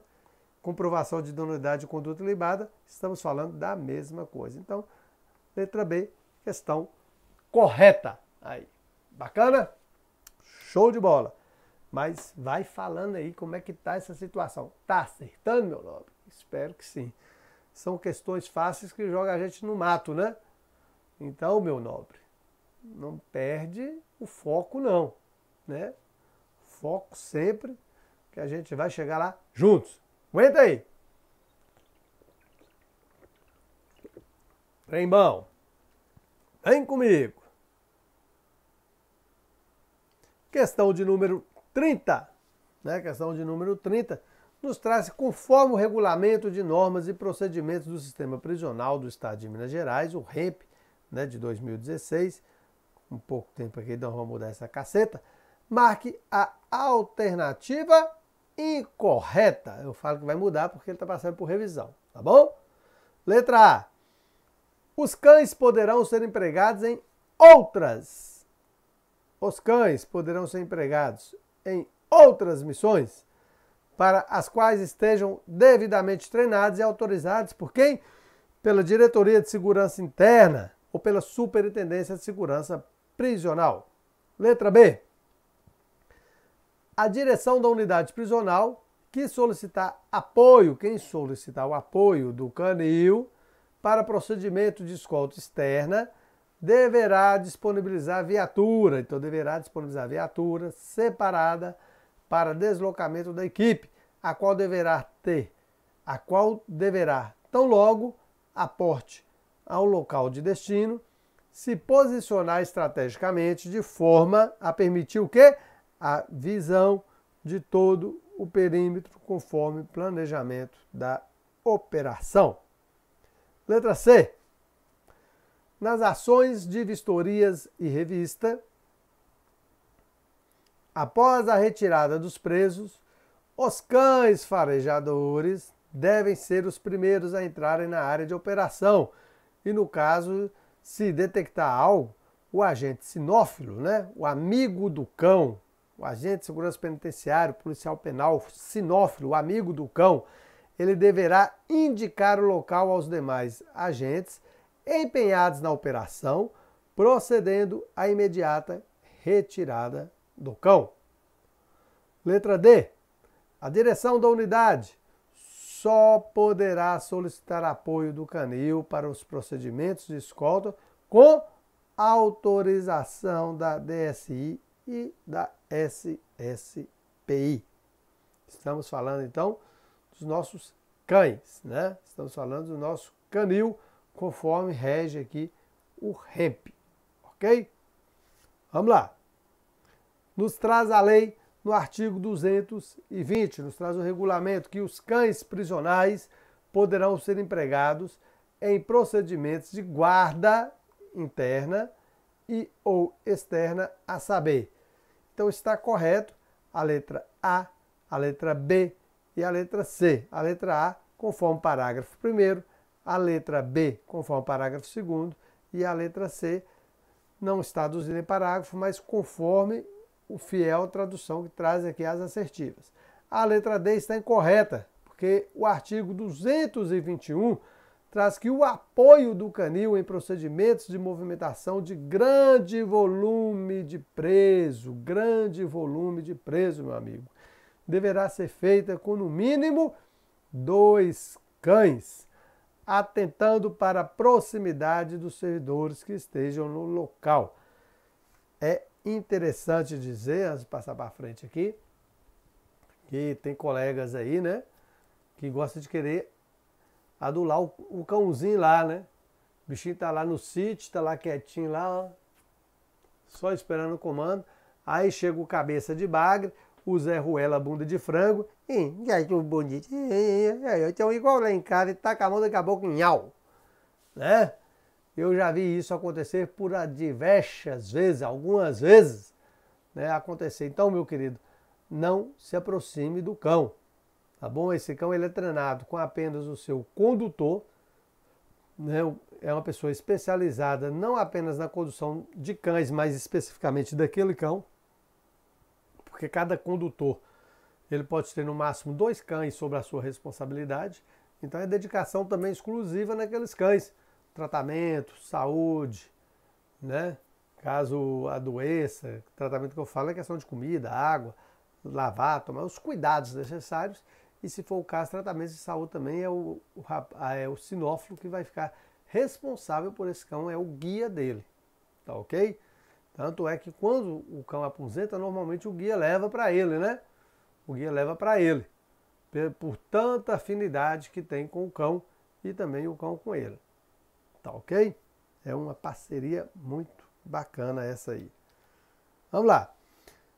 Nós temos aqui então que está correto, porque o apoio do canil em procedimentos de movimentação de grande porte, grande volume de presos deverá ser feita com, no mínimo, dois cães, atentando para a proximidade dos servidores que estejam no local, sendo que, nos ambientes com pouco espaço, o cão deverá, por questão de segurança, ser conduzido próximo à parede, né?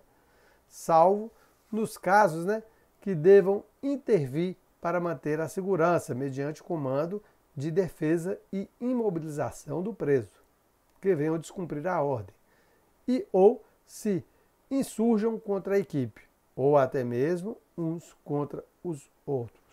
Então são os casos que a gente usa o cão aí, né? É para manter a segurança na unidade prisional, seja o cão de faro ou de proteção, mediante o comando do seu guia, né? Imobilizar preso que venha descumprir a ordem e ou insurjam contra a equipe, ou até mesmo uns contra os outros. Está no pau da paulada lá, o senhor na, na, na velha, no velho comando aí vai estumar o preso. É, alguém já ouviu essa, essa fala aí? Estumar, estuma o preso. Pisca o preso. É, o preso não, é o cão, né? estuma o cão. Pisca o preso são, são pisca o preso. Pisca o cão, preso na cabeça aqui, misericórdia. Então, hoje a gente já não tem essas falas, né? Essas antigas falas. Hoje a gente tem uma voz de comando diferenciada por, por os cães com a língua né, diferenciada. Né? Não é uma língua brasileira. Não é senta, não é deita, não é vai, né? não é pega, não é solta. Então, o senhor que será um, um policial penal sinófilo vai aprender muito bem a lidar com ele, inclusive esse essa conversação com ele. Portanto, aqui, meu nobre, nosso gabaritim, a letra D de dado, né, está incorreto, porque a direção da unidade só poderá solicitar apoio do canil para o procedimento com autorização da SSPI negativo, né? Senão a gente vai ficar amarrado, agarrado aí numa situação que a gente ali mesmo resolva. Por isso é que nós temos o canil que está subordinado diretamente ao diretor de segurança, né? Letra A está correto, a letra B também está correto, a letra C, QSL total, a letra D, errada. Ok? Está aqui a nossa letra E, D. Bacana? Show de bola, meu querido, minha querida. Então tá aí o nosso gabaritinho, né? Esperto para os senhores. Espero que os senhores tenham acertado. São cinco? Uma, duas, três, quatro, cinco. Espero que os senhores tenham acertado no mínimo aí quatro. Né? Porque são questões realmente fáceis, mas não espera questões muito fáceis na prova. Pode ser que venha fácil, pode ver que ser que não venha. Inclusive, eu estava conversando aí com o 01 ainda há pouco, antes de entrar aqui para o estúdio, né, que eu estava estudando uma prova da Celecom, na prefeitura de um outro estado, né, para a guarda municipal. Eles, ao mesmo tempo que a questão é fácil, é um pouco meio que complexa, né?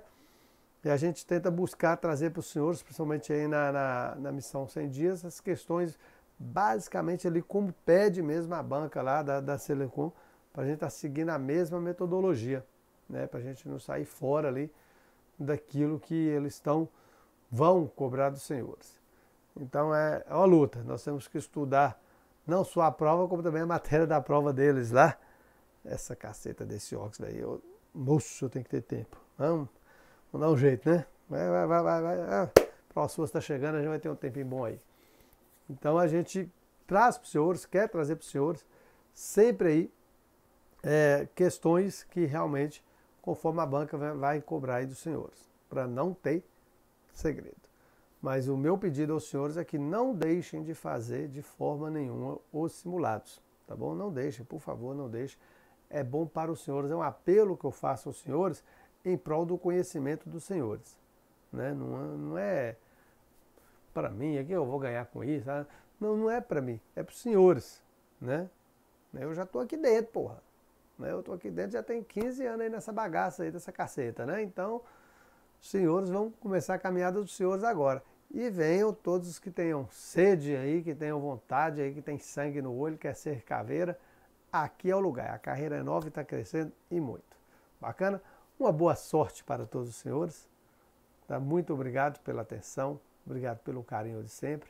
Que Deus abençoe, nos dê sabedoria, entendimento né, e saúde para junto podermos chegar a realizar os nossos sonhos. Força e honra. Até a próxima.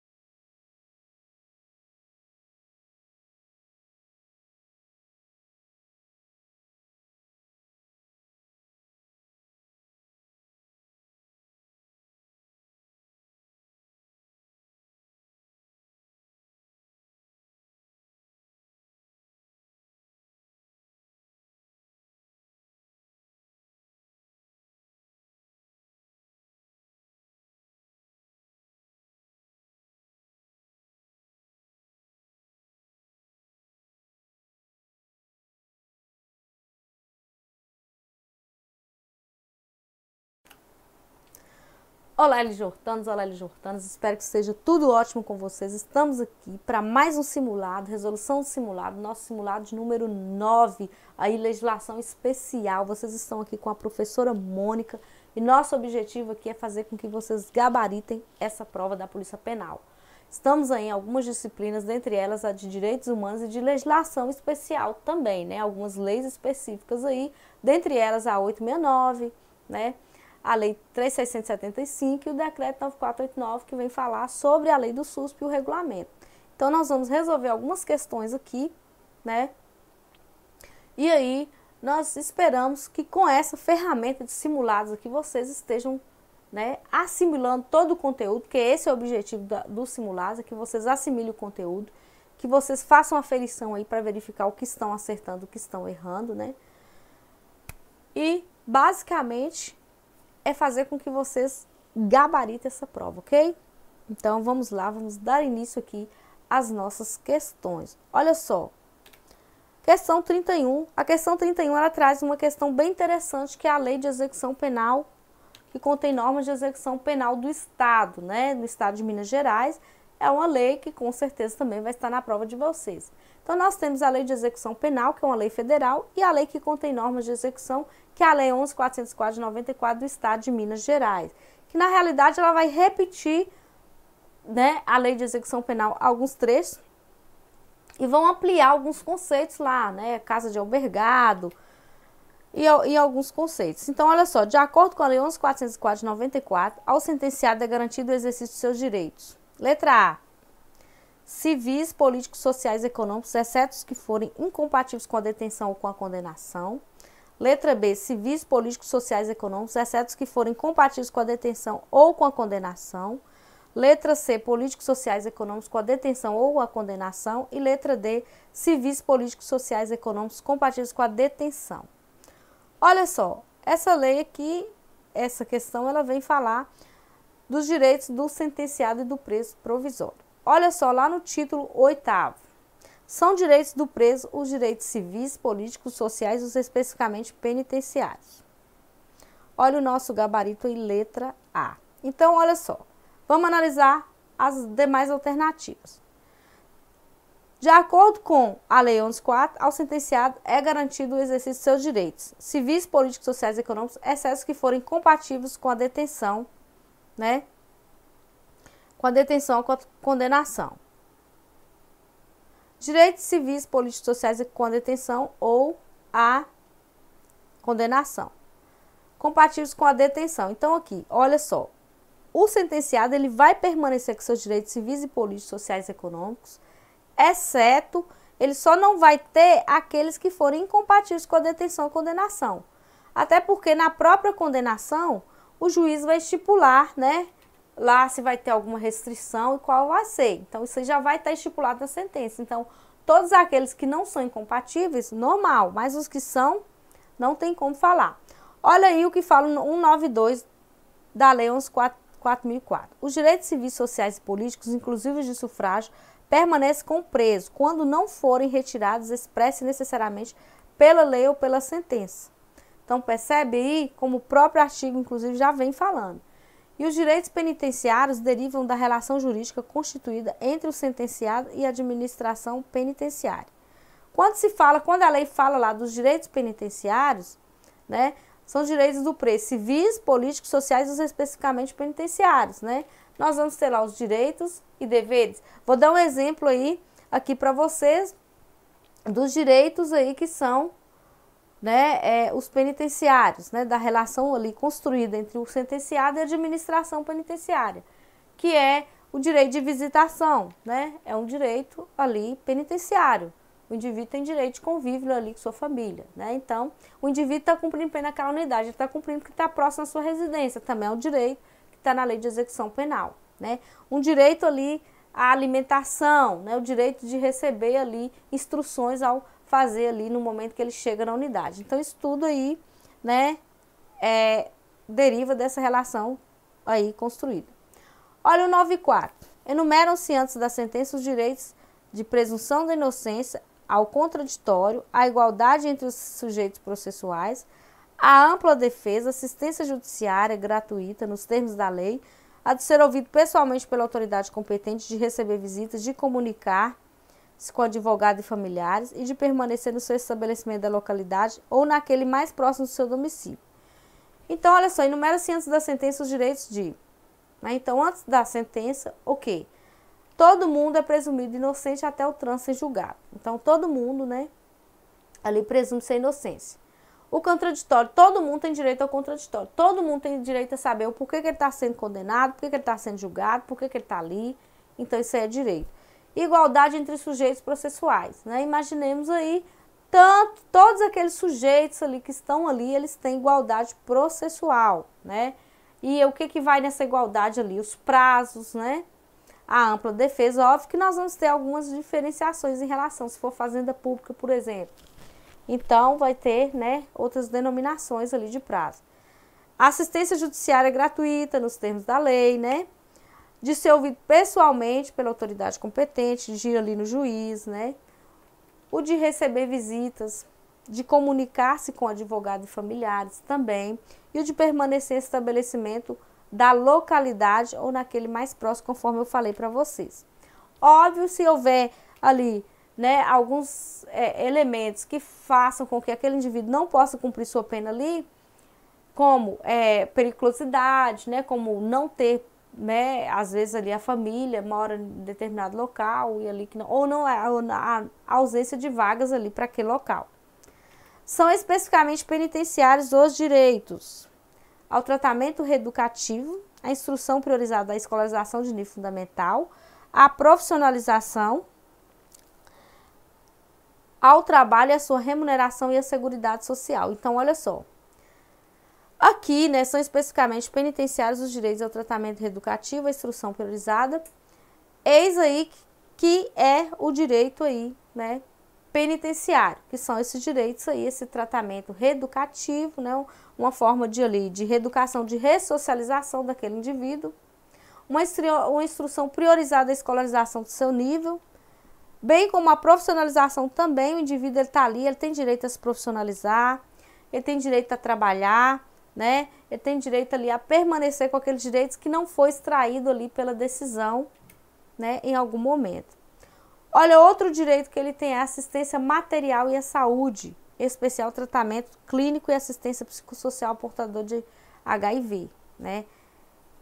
Que a, AIDS. Então, assistência material e a saúde, né? O que é assistência material? O indivíduo, ele, ao adentrar na unidade, né, a ser acolhido ali na unidade prisional, ele tem direito ali, né, a receber, ali a ser acolhido, a dizer, olha, seus direitos são esses. Ele tem direito também, em especial aí, ali a questão, né, de toda assistência psicossocial, né, de passar por um psicólogo, passar por um psiquiatra, né, se ele for portador de HIV, ele tem ali direito ao seu coquetel, ele tem direito à sua consulta ali em um hospital especializado, né? Ele tem direito ali a receber preservativo se for tiver um parceiro fixo, né? E aquele parceiro também vai ter que ter ali todos os exames que ele tem que fazer também. Ele tem direito ali também à assistência social, nomeadamente probacionária e ao egresso. Ok? Então, ali, mesmo que ele esteja ali, né? Naquela probação ali, assistência social, ela tem que se dar, né? Assistência jurídica. Assistência jurídica, ela tem ali através do ATJ, que é o analista jurídico, que tem formação jurídica, do advogado particular ou da própria defensoria pública, né? Então, ali o ATJ vai fazer a parte inicial, vai olhar a situação processual dele, se for alguma manifestação, porque nem toda manifestação o ATJ tem autonomia para fazer. Se for alguma manifestação que o ATJ não puder fazer, ele vai solicitar, ele vai passar para a defensoria pública vai perguntar o preço, você tem advogado? Sim ou não, ele vai responder, ou senão ele vai passar para a defensoria pública. Né? Assistência religiosa. Dentro das unidades prisionais, está lá na Constituição, no artigo 5 fala lá da assistência religiosa. Nós temos várias unidades, como nós vivemos em um Brasil laico, em um país laico, qualquer atividade é aceita ali, né? qualquer assistência religiosa. Então, dentro das unidades prisionais, nós temos inscritos várias igrejas ali credenciadas, né? com seus devidamente é, é, apoiadores ali, as pessoas que vão ingressar na unidade prisional. E essa assistência religiosa, ela é muito bacana, porque ela ali, ela, independente de qual religião, a pessoa tem direito ali a professar. Quer batizar na religião ali, a unidade, ela oportuniza os batismos. Então é muito interessante isso aí. Além do esporte da recreação. Então, o diretor de atendimento, ele tem, eu já fui diretora de atendimento, eu sei como é. A gente tem que estar sempre promovendo esporte e recreação. E as igrejas são grandes parceiros aí, principalmente nessa parte também de esporte e recreação. A comunicação com o mundo exterior como preparação para a sua reinserção na sociedade. Essa daí é um pouco mais é, devagar, né? Porque essa comunicação com o mundo exterior, normalmente as unidades, os regimes semiabertos ou as unidades que comportam esse regime, trabalham diretamente com os órgãos ali, com alguns né, algumas instituições ali, dentre eles alguns programas que vão, né, assim dizer, poder oportunizar esses indivíduos ali essa relação já direta com esse mundo exterior, com a sociedade, né? Inclusive tem muitos que às vezes saem da unidade prisional que já perderam a família toda para o crime. Então é papel também desses programas fazer essa inclusão, conseguir alocar esse indivíduo em um, um, um local de moradia, né, uma casa de abrigo, para que assim esse indivíduo não volte para as ruas, para que ele não volte a cometer delitos, né? Então, esse é o papel, inclusive, geralmente isso é administrado pelos próprios municípios. A visita de advogado familiar e cônjuge ou companheiro, né? Tem direito a advogado familiar e cônjuge ou companheiro, inclusive a visita íntima, né? A visita íntima para o companheiro ali que tem a união estável, que seja tem o casamento civil, né, do acesso aos meios de comunicação social. Né, óbvio que ali o diretor ele pode autorizar uma, uma televisão em cada cela, conforme o comportamento, né? E esse acesso a esses meios de comunicação social, de petição e representação a qualquer autoridade para defesa de direito. Tem isso aí, né? Essa representação a qualquer autoridade. Da entrevista regular com o diretor. Então, o preso ele tem direito também a entrevistar, fazer entrevista com o diretor, pedir uma audiência com o diretor, conversar com o diretor, né? E é, normalmente assim, né? Aqui fala o diretor, aqui não fala o diretor geral, mas vem o REMP e fala, né? Também algumas situações específicas lá do diretor. Então, às vezes, o diretor é muito, né? Tem muitas atribuições, né? Mas é um direito dele, né? Direito dele. Então, sempre quando eu estava na unidade que algum preso pedia para falar comigo, eu falava, normalmente eu sempre tinha ali o um meu assessor do meu lado para ali acompanhar, para verificar, né, tudo isso aí, porque a gente tem que tomar muito cuidado, porque o preso pode ali durante uma entrevista com o diretor, durante essa entrevista regular, ele, ele oferecer ali, né, cometer ali algum crime oferecendo o diretor ali alguma espécie ali em troca de algum favor. Então, por isso que é interessante você ter sempre ali uma testemunha do seu lado para garantir a lisura ali de tudo, né? Eu nunca atendia preso sozinha, sempre tinha alguém me acompanhando, né? Alguma, algum outro diretor, algum servidor, a minha assessoria, então sempre era com alguém justamente para evitar, né, esse tipo de contato aí e, né, e de falácias, né? Porque entre o céu e o abismo existe um, um, uma grande distância. É, ao recebimento de atestado de pena cumprir, o direito emitido semestralmente, né, o atestado sob pena de responsabilização da, da autoridade judiciária competente. Né, então, aí, olha, ele tem direito a receber esse atestado de pena cumprir aqui, emitido semestralmente sob pena de responsabilização da autoridade judiciária. Na realidade, é, né, normalmente isso acontece anualmente, porque realmente tem unidades que são muitos presos. Então, para você fazer isso com essa regularidade, dá um certo trabalho. Então, normalmente na prática, se tem aí, né, anualmente você passa, ou sempre quando o preso vai no atendimento também jurídico, ele tem essas informações todas, né? Então, ele está passando o tempo inteiro, acaba que ele recebe o atendimento jurídico menos dos seis meses, porque ele está passando o tempo inteiro ali nas, né, em atendimentos técnicos. Então, bacana, olha só. Aqui, só voltando aqui, então, os direitos aí, nós falamos dos direitos sentenciados e do preço provisório, ok? Então, só para vocês terem essa noção aí, conforme a questão pediu aí, né? Nós tínhamos aí, então, nossa questão letra A, nosso gabarito. Bacana? Então, vamos lá para nossa próxima questão, que é a questão 32. Olha só, da observação psicossocial acerca da lei mineira 11.4004 de 94. É incorreto afirmar. É incorreto afirmar. Letra A. A observação médico-psicossocial compreende exames biológicos, psicológicos e complementares do estudo social do sentenciado. A observação empírica se realizará no trabalho, na sala de aula, no refeitório, na praça de esporte, em todas as situações de vida cotidiana do sentenciado. O exame criminológico será realizado no centro de observação ou na seção de observação do estabelecimento penitenciário ou por especialistas da comunidade. A equipe de observação se reunirá mensalmente para reapreciar o resultado de cada exame e, afinal, redigir relatório social de síntese. Então, olha só. Olha o nosso gabarito aí. A equipe de observação se reunirá mensalmente para apreciar o resultado de cada exame e, afinal, redigir o relatório social de síntese. Olha só como que é engraçado isso aqui.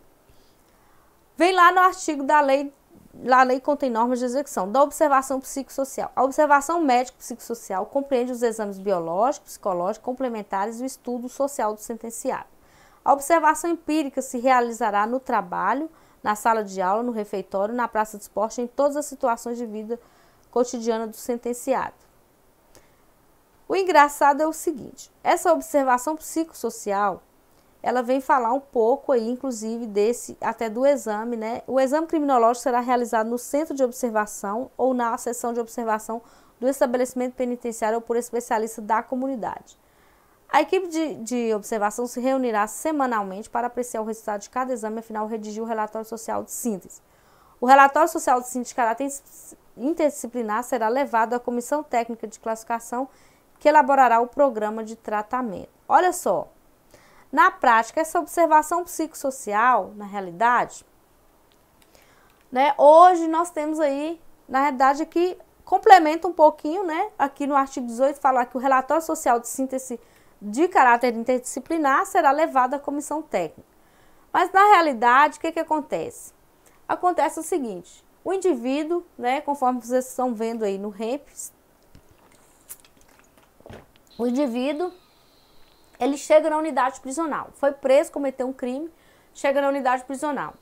Ele vai para o setor Infopem, né? Vai passar por todo aquele processo de admissão, né? Tirar foto, corte de cabelo, vai entregar roupa e tal, vai até ser alocado ali é, em uma cela, em um pavilhão. vai ter a acolhida dele, vai falar quais são os direitos e deveres. Esse indivíduo, após ser admitido, o REMP fala que ele tem até 30 dias para ser classificado.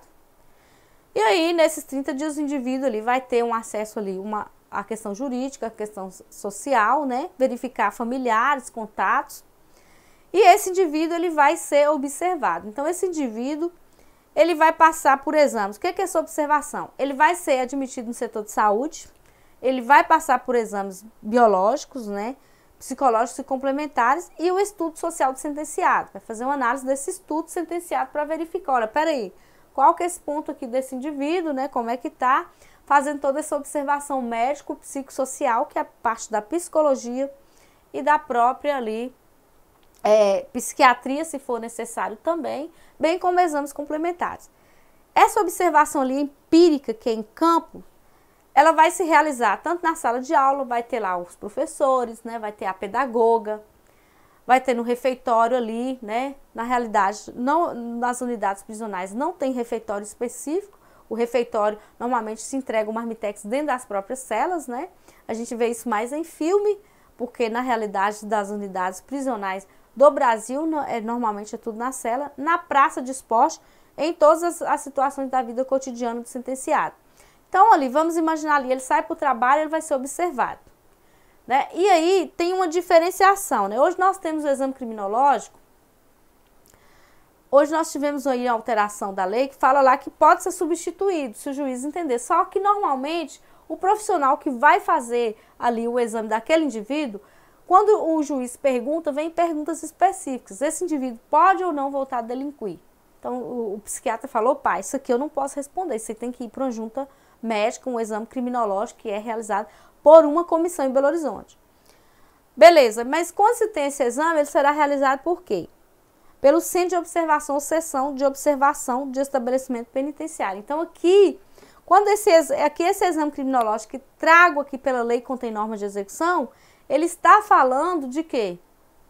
Ele está falando aqui do exame criminológico, é o exame criminológico daquele indivíduo ali naquela unidade, naquele estabelecimento. Como que é o convívio desse indivíduo, né? E essa, essa equipe de observação vai se reunir o que? Semanalmente para apreciar né, o resultado de cada exame. Olha só, aqui fala, aqui a observação médica compreende exames biológicos, psicológicos, complementares e estudo social do sentenciado, né? Esse estudo social é verificar a vida pregressa desse indivíduo aí. Aqui, a observação é, é incorreta, né? A equipe se reunirá mensalmente. Não é mensalmente, conforme nós acabamos de ver, semanalmente. Mais uma aqui, olha só. O relatório social de síntese de caráter interdisciplinar. Hoje a nossa equipe de comissão ela é multidisciplinar, né? Chamada de multidisciplinar. Não é mais né, é interdisciplinar, é multidisciplinar vai ser levado esse relatório social de síntese, né, que vai resumir, vai resumir todo o histórico daquele indivíduo ali. Ele vai ser levado para a Comissão Técnica de Classificação, que é a CTC, que é prevista lá na lei de execução, que vai elaborar o programa de tratamento. Então, na realidade, a lei, a, a lei do Estado de Minas Gerais, ela tentou copiar ali um pouco da LEP e acabou se perdendo. Na realidade, foi isso que aconteceu. Então, aqui, ela fala do exame criminológico, ela fala dessa observação, na realidade ela quis dizer aqui o papel da CTC, né, que está previsto lá na Lei de Execução Penal, que é a Lei Federal, Lei CE 210. E aí vem essa lei que contém normas de execução, que em algumas partes ela acaba se confundindo, né?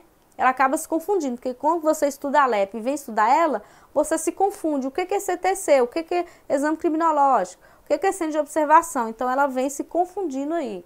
Mas aqui que, é que vocês precisam saber? Que esse exame criminológico ele vai ser realizado por esse centro de observação, que na realidade ali né, seria um local ou às vezes um hospital, e essa ela se observará semanalmente, né? E ela, o que, que vai acontecer? Ela vai colocar, será levada isso à CTC, que vai elaborar esse programa de tratamento, né? Opa, qual o tratamento mais adequado para esse indivíduo aqui? Então, basicamente é isso que acontece, né? Então, acaba se confundindo aqui, acabou tendo uma confusão aqui na legislação. Mas aí, né, o que está incorreto aqui é que a equipe elas de observação, ela se reunirá semanalmente, não mensalmente. Conforme traz aí, o restante é observação médico-social compreende os exames biológicos e psicológicos complementares do estudo social do sentenciado, ok? A observação empírica se realizará no trabalho, na sala de aula, no refeitório, na praça de esporte, em todas as situações da vida cotidiana do sentenciado, ok? E o exame criminológico será realizado no centro de observação, na sessão de observação também está ok. Vamos lá. Além de vencimento da remuneração do cargo, o funcionário poderá oferir as seguintes vantagens, exceto letra A, ajuda de custo, letra B, diárias, letra C, auxílio para diferença de caixa ou letra D, auxílio emergencial. Olha só aí o gabarito letra D, né? Letra D. Vamos falar uma por uma aqui para que vocês não se percam aí. Olha só, dos direitos, vantagens e concessões. O artigo 118 da Lei 869, já estamos falando aqui agora da Lei 869. Deixamos a lei que contém normas de execução agora, agora vamos para a Lei 869. Além do vencimento ou da remuneração do cargo, o funcionário poderá oferir as seguintes vantagens: ajuda de custo, diárias, auxílio para diferença de caixa, abono de família, gratificações, honorários, cotas, partes percentuais previstas em lei e adicionais previstos em lei. Bacana? Bacana. Olha só, o que é ajuda de custo? ajuda de custo ela será concedida ao funcionário que, em virtude de transferência, remoção ou designação para a função gratificada, passar a ter exercício em nova sede ou quando designado para, para estudo ou serviço fora do Estado. Então, o que é o servidor, né, o funcionário que for transferido aí ou removido, ele terá direito a essa ajuda de custo até para se alocar ali na, na nova moradia, né? E essa ajuda de custo, ela, ela destina a indenizar o funcionário das despesas de viagem da nova instalação. O transporte do funcionário de sua família ocorrerá por conta do Estado, ok? Então, será por conta do Estado. A ajuda de custo será arbitrada pelos secretários de Estado e diretores de departamento diretamente subordinados ao governador de Estado. Então, olha só, a ajuda de custo ela será arbitrada, né, conforme nós falamos aí nas nossas aulas da Lei 869, né, estamos falando aí, é, ela será arbitrada pelos secretários de Estado e diretores de departamento diretamente subordinados ao governador de Estado, tendo em vista cada caso, as condições de vida da nova sede, a distância que deverá ser percorrida, o tempo de viagem e os recursos orçamentários disponíveis. E essa ajuda de curso ela não poderá ser inferior à importância correspondente a um mês de vencimento e nem superior a três, salvo quando se tratar de funcionário designado para o serviço ou estudo no estrangeiro. Então, tem que ter no mínimo um salário, um vencimento e no mar e três, salvo se for fora do estado, né, uma missão, aí, aí sim o, o governador ele poderá né, limitar ali, deliberar o valor diferente desse aí, que é no mínimo um e no máximo três. No caso de remuneração, vamos calcular a média mensal da mesma do último exercício financeiro. Será ajuda de custo calculada nos casos de promoção na base de vencimento ou remuneração do novo cargo a ser exercido. Ok? Então, essa média aí será calculada aí, né, sobre esse novo cargo. Ajuda de custo, ela será paga ao funcionário adiantada, adiantadamente no local da repartição no serviço que foi desligado. Adiantadamente, ok? E o funcionário, sempre que ele preferir, ele poderá receber integralmente a ajuda de custo na sede da nova repartição. Então, ele pode receber tanto no local de onde ele laborava, de onde ele está saindo, como no local de onde ele está, para onde ele está indo. Olha só, quando que não será concedida a ajuda de custo? Isso aqui pode cair na prova também. É uma questão, poderia ser diferente a questão, né? Não poderá ser concedida a ajuda de custo, exceto. Aí vem lá, quando o funcionário se afastar da sede ou ela voltar em virtude de mandato eletivo, quando for posto à disposição do governo federal, municipal e de outro estado, né? Quando for transferido ou removido a pedido ou permuta, inclusive, restituirá a ajuda de custo que tiver recebido o funcionário que não seguir para a nova sede dentro dos prazos determinados, ou funcionário que antes de, antes de terminar o desempenho da incumbência que lhe foi cometida, regressar na nova sede pedir exoneração ou abandonar o serviço. Então, restituirá a ajuda de custo que tiver recebido, então, nessas situações. Né? O funcionário que não seguir para a nova sede dentro dos prazos determinados, o funcionário que antes de terminado o desempenho da incumbência lhe foi cometida, regressar da nova sede, pedir exoneração ou abandonar. Então, beleza, não será concedido nesses casos aí, afastar-se da sede ou a ela voltar em virtude de mandato eletivo. Eu, dei exemplo, eu dou exemplo aqui do, do funcionário que se candidatar a vereador, né? E é problema dele, ele está indo mudar para outro município, isso aí não é problema do Estado. Quando for posto à disposição do governo federal, municipal de outro Estado, existe a possibilidade né, de, de cessão do servidor para outro Estado, né, para o município, isso aí também é problema do servidor, não tem ajuda de curso ou quando for transferido ou remo removido a seu pedido, inclusive, né? Então, também, isso aí não foi o Estado que removeu, então, também é problema do servidor. Olha só, a restituição será feita parceladamente, salvo no caso de recebimento indevido e em que a importância correspondente será descontada integralmente do vencimento ou remuneração, sem esse prejuízo aí da aplicação da pena disciplinar cabível na espécie. E a responsabilidade pela restituição, né, de que trata este artigo, ela o quê? Ela atinge exclusivamente a pessoa do funcionário. Se o regresso do funcionário for determinado pela autoridade competente, ou em caso de pedido de exoneração apresentado pelo menos 90 dias após o seu exercício na nova sede ou doença comprovada, não ficará ele obrigado a restituir a ajuda de curso.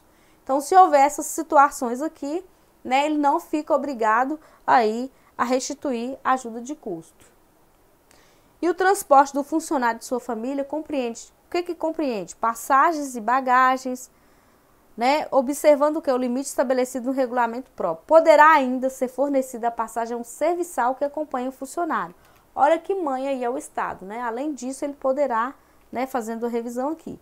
Funcionário será obrigado a repor a importância correspondente ao transporte irregularmente requisitado, além de sofrer a pena disciplinar que for aplicável. E compete ao governador de estado que vai arbitrar a ajuda de custo que será paga ao funcionário designado para o exercício do estudo fora do estado.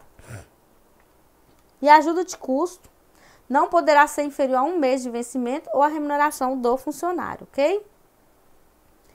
Bacana. Então vamos lá falar um pouquinho das diárias. Olha só, as diárias, funcionário que se deslocar da sua sede, eventualmente por motivo de serviço, faz jus à percepção diária nos termos de regulamento. E a diária não é devida, o quê? No período de trânsito, né, ao funcionário removido ou transferido, quando o deslocamento funcionário durar menos de seis horas, quando o deslocamento se der para a localidade onde o funcionário resida, quando relativa a sábado, domingo ou feriado, salvo se a permanência do funcionário fora da sede nesses dias for conveniente ou necessária ao serviço, ok? Então, sábado, domingo ou feriado, só se for conveniente ao serviço. E aí vem o conceito de sede que a própria lei traz, que é a localidade onde o funcionário tem exercício. E só lembrando também que o pagamento da diária ele pode ser feito antecipadamente, ele destina-se exclusivamente a indenizar o que? O funcionário pelas despesas com alimentação e pousada devendo ocorrer por dia de afastamento e pelo valor fixado no regulamento. A diária é integral quando o afastamento se der por mais de 12 horas, ok? E exigir pousada paga pelo funcionário. Então, aí, nesse caso aí, será, né, integral. Ocorrendo afastamento por até 12 horas, é devido apenas à parcela diária relativa à alimentação. É vedado, é proibido o pagamento de diária cumulativamente com qualquer outra retribuição de caráter indenizatório, de despesa com alimentação e pousada, e vai constituir infração disciplinar grave punível na forma da lei conceder ou receber diária indevidamente. Então, isso aí, né, o sujeito está aí, sujeito ali a, a uma penalidade ali no artigo 244. Então, vamos ficar atento ali quem receber diária indevidamente. Do auxílio para a diferença de caixa, o funcionário que no desempenho de suas atribuições comuns pagar ou receber em moeda corrente poderá ser concedido um auxílio fixado em lei para compensar as diferenças de caixa. Olha só, então isso aqui quase não é utilizado isso aqui, ok? O auxílio não poderá exceder a 5% do padrão de vencimento e será concedido dentro dos limites da dotação orçamentária.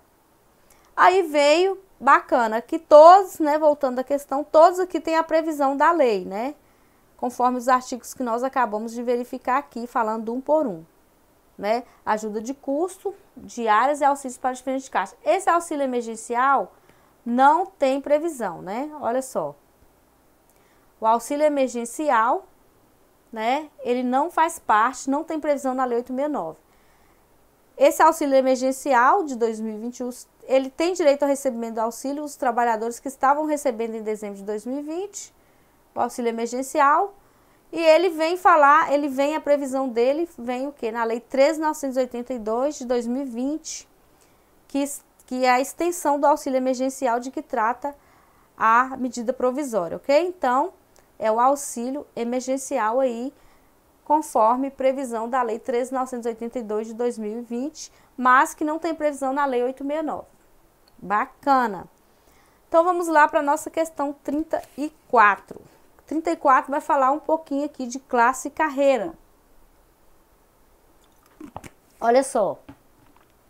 Analise as assertivas abaixo. Classe é um agrupamento de cargos da mesma profissão de igual padrão de vencimento. Carreira é um conjunto de classes da mesma profissão escalonado segundo o padrão de vencimento.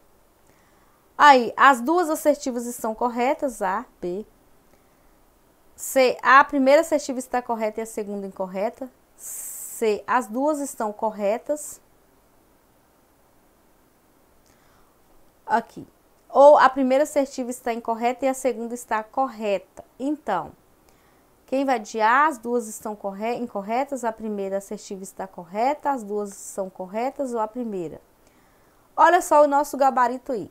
Gabarito letra C. As duas estão corretas. Vamos verificar aí, olha. Os cargos são de carreira ou isolados. São de carreiros que se integram em classes e correspondem a uma profissão. Isolados, os que não se podem integrar em classes e correspondem a certa e determinada função. Classe é um grupamento de cargos da mesma profissão de igual padrão de vencimento. Então, aí a previsão no artigo 4 e 5 da Lei 869, ok? Então, bacana aí a questão, letra C. Olha só, carreira é um conjunto de classes da mesma profissão escalonado segundo os padrões de vencimento e as atribuições de cada carreira serão definidas em regulamento. Cuidado, que pode na prova de vocês que serão definidos em lei, em regulamento. Respeitada essa regulamentação, as atribuições inerentes a uma carreira podem ser cometidas indistintamente aos funcionários de suas diferentes classes. E quadro é um conjunto de carreiras de cargos isolados e de funções gratificadas. Olha só, não haverá equivalente entre as diferentes carreiras, nem entre cargos isolados ou funções gratificadas. Bacana? Então aí, né, bem tranquilo, nossa questão aí, a letra C, nosso gabarito. Vamos para mais uma questão aqui, nossa questão 35, que vai falar um pouquinho da lei 13675 de 2018, que é o SUSP, o Sistema Único de Segurança Pública, né? Institui o SUSP, o Sistema Único de Segurança Pública, e cria a política Nacional de Segurança Pública. Olha só a questão. Lei a Lei 3675 de 2018 institui o Sistema Único de Segurança Pública, o SUSP, e cria a Política Nacional de Segurança Pública e Defesa Social, PNSPDS, com a finalidade de: letra A, promover a melhora da qualidade de gestão das políticas sobre segurança pública e defesa social. Letra B, assegurar a produção de conhecimento no tema a definição de metas e avaliação dos resultados das políticas de segurança pública e defesa social. Letra C, priorizar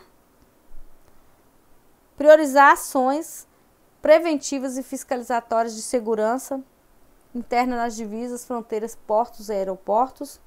Ou letra D, preservação da ordem pública e da incolumidade das pessoas e do patrimônio por meio de atuação conjunta coordenada sistêmica e integrada dos órgãos de segurança pública e defesa social da União, dos estados, do Distrito Federal e dos municípios em articulação com a sociedade.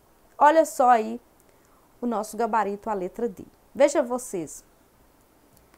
O que, que acontece aqui? Olha lá, essa lei, a lei 3675, ela vai instituir o Sistema Único de Segurança Pública, né?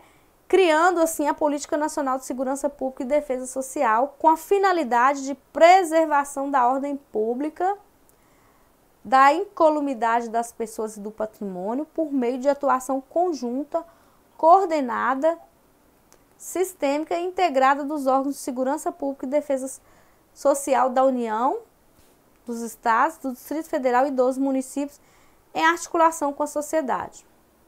A segurança pública é dever do Estado e responsabilidade de todos, compreendendo a União, os estados, o Distrito Federal, os municípios, no âmbito das competências e atribuições legais de cada um.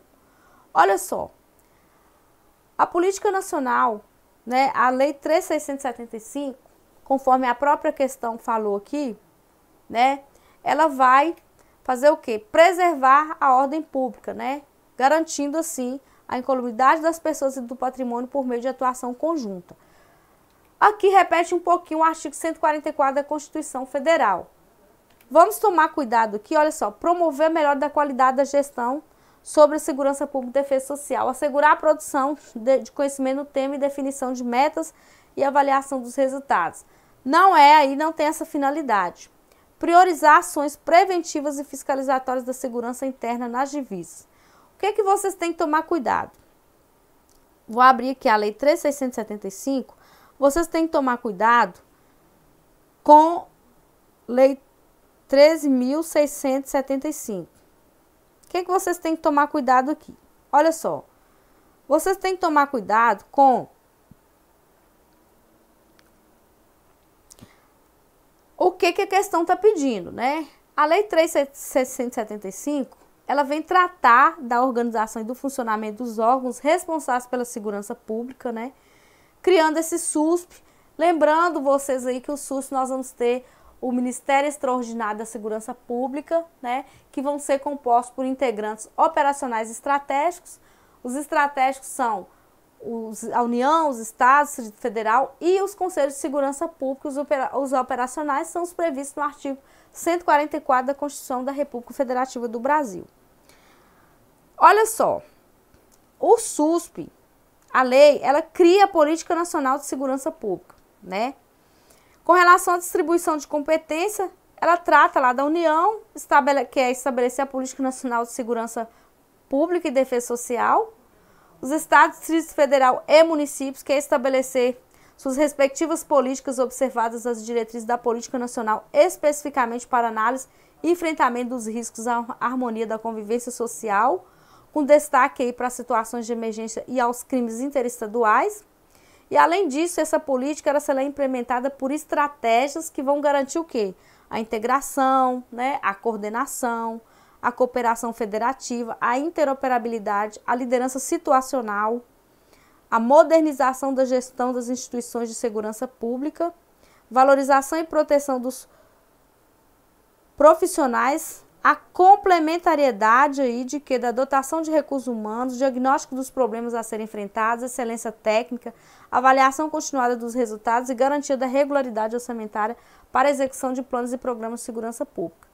E esse órgão central do SUSP é o Ministério Extraordinário de Segurança Pública, certo? e os demais órgãos na forma do organo, do organo que é o Sistema de Segurança Pública. Nós temos aí os integrantes estratégicos, né, que são a União, os estados, o Distrito Federal, os municípios, por intermédio de seus respectivos poderes executivo, os conselhos de segurança pública, de defesa social dos três entes federados, que é a União, estados e municípios, e nós vamos ter os operacionais, que são o quê? Polícia Federal, Polícia Rodoviária Federal, Polícia Civil, Polícia Militar, Corpo de Bombeiros Militar, Guardas Municipais, órgãos do Sistema Penitenciário, instituições oficiais das Criminalística, Medicina Legal e Identificação, a SENASP, que é a Secretaria Nacional de Segurança Pública, as Secretarias Estaduais de Segurança Pública ou congêneres, a Secretaria Nacional de Proteção e Defesa Civil, que é o SEDEC, e a Secretaria Nacional de Política sobre Drogas, o SENAD, agentes de trânsito e guarda portuária. Então, olha só, a União, ela tem que instituir esse Plano Nacional de Segurança Pública, né? Como eu falei com vocês, outra informação, esse Plano Nacional de Segurança Pública, ele é feito para 10 anos, ele é decenal, né? São para 10 anos. Ou seja, ele é decenal, Então, ele será dividido em cinco ciclos, um primeiro, um segundo, um terceiro, um quarto e o quinto, cada um contendo dois anos, e no final de cada ano do primeiro ciclo ele será avaliado. Então, né, olha só a importância aí, né, dessa lei 3675. Então, fiquem atentos aí aqui, foi uma questão tranquila, que perguntou, né, aí estava aí já de cara no artigo 1 né, o artigo 1 e o segundo, que vem falar da segurança pública, que é dever do Estado, direito e responsabilidade de todos e compreende a União, os Estados, Distrito Federal e municípios. Então vamos tomar cuidado aqui, olha para vocês ver, priorizar ações preventivas, né? Preservação da ordem pública e da incolumidade das pessoas e do patrimônio, né? Por meio dessa atuação conjunta, coordenada e sistemática integrada. Então, se cair na prova de vocês lá os objetivos, vocês têm que lembrar as diretrizes, as incumbências, né? O Ministério Extraordinário. Aqui caiu uma questão mais tranquila, que é perguntar a finalidade dessa política aí, né? Nacional de Segurança Pública. Então, vamos ficar atentos aí. Conforme nós já resolvemos aqui os nossos simulados aí, vocês perceberam, né? As questões, e tanto as questões que contém lei, que contém normas de execução penal, resolvemos aqui questões da Lei 869 e resolvemos questões aqui da Lei 3675. Então vamos ficar atentos aí, né, com essa lei, a lei 869, que é a lei com certeza vai estar cheia de questão para vocês na prova, porque é a lei que vai falar sobre o Estatuto dos Servidores Públicos Civis, né?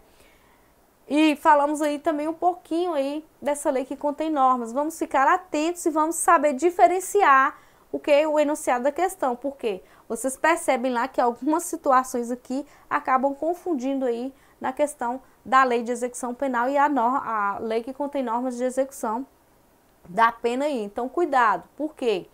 Né? Quando a gente fala nas observação psicossocial e também nessa questão aí da própria CTC, da Comissão Técnica de Classificação.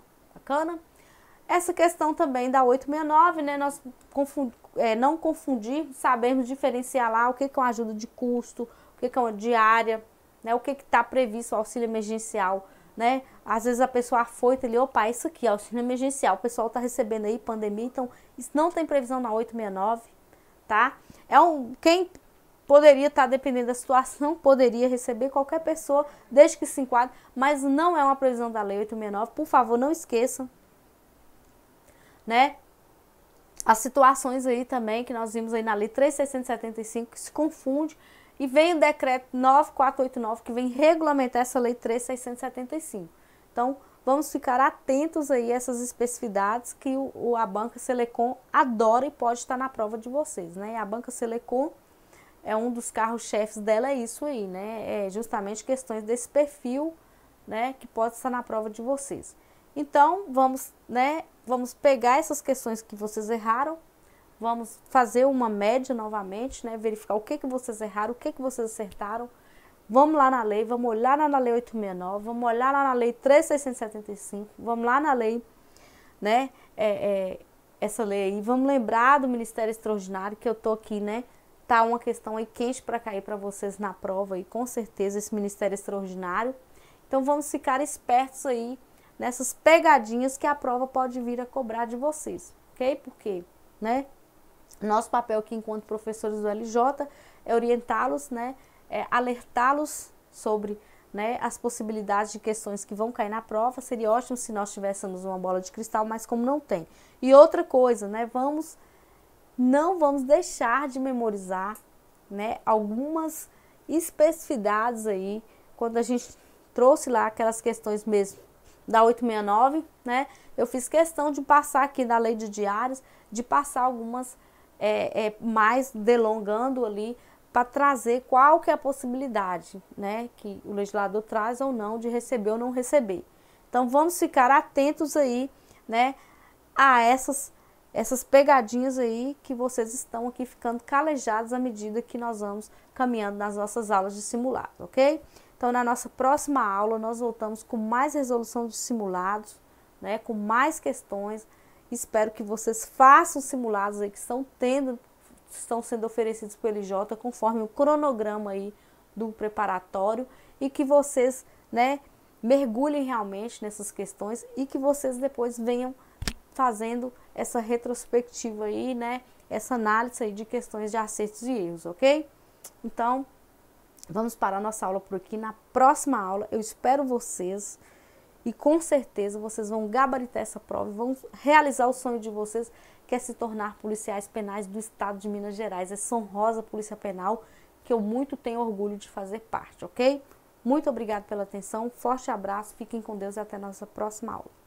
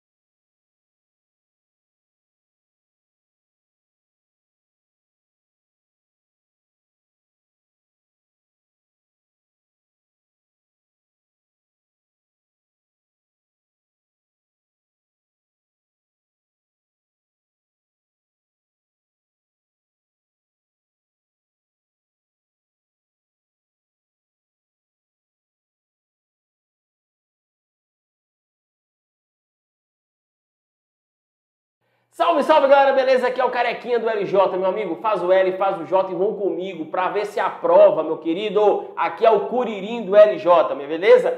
É o seguinte, vamos lá pra resolução de simulado. É, meu velho, você tem que prestar atenção. Tá fazendo seus simulados? Tá fazendo seus simulados?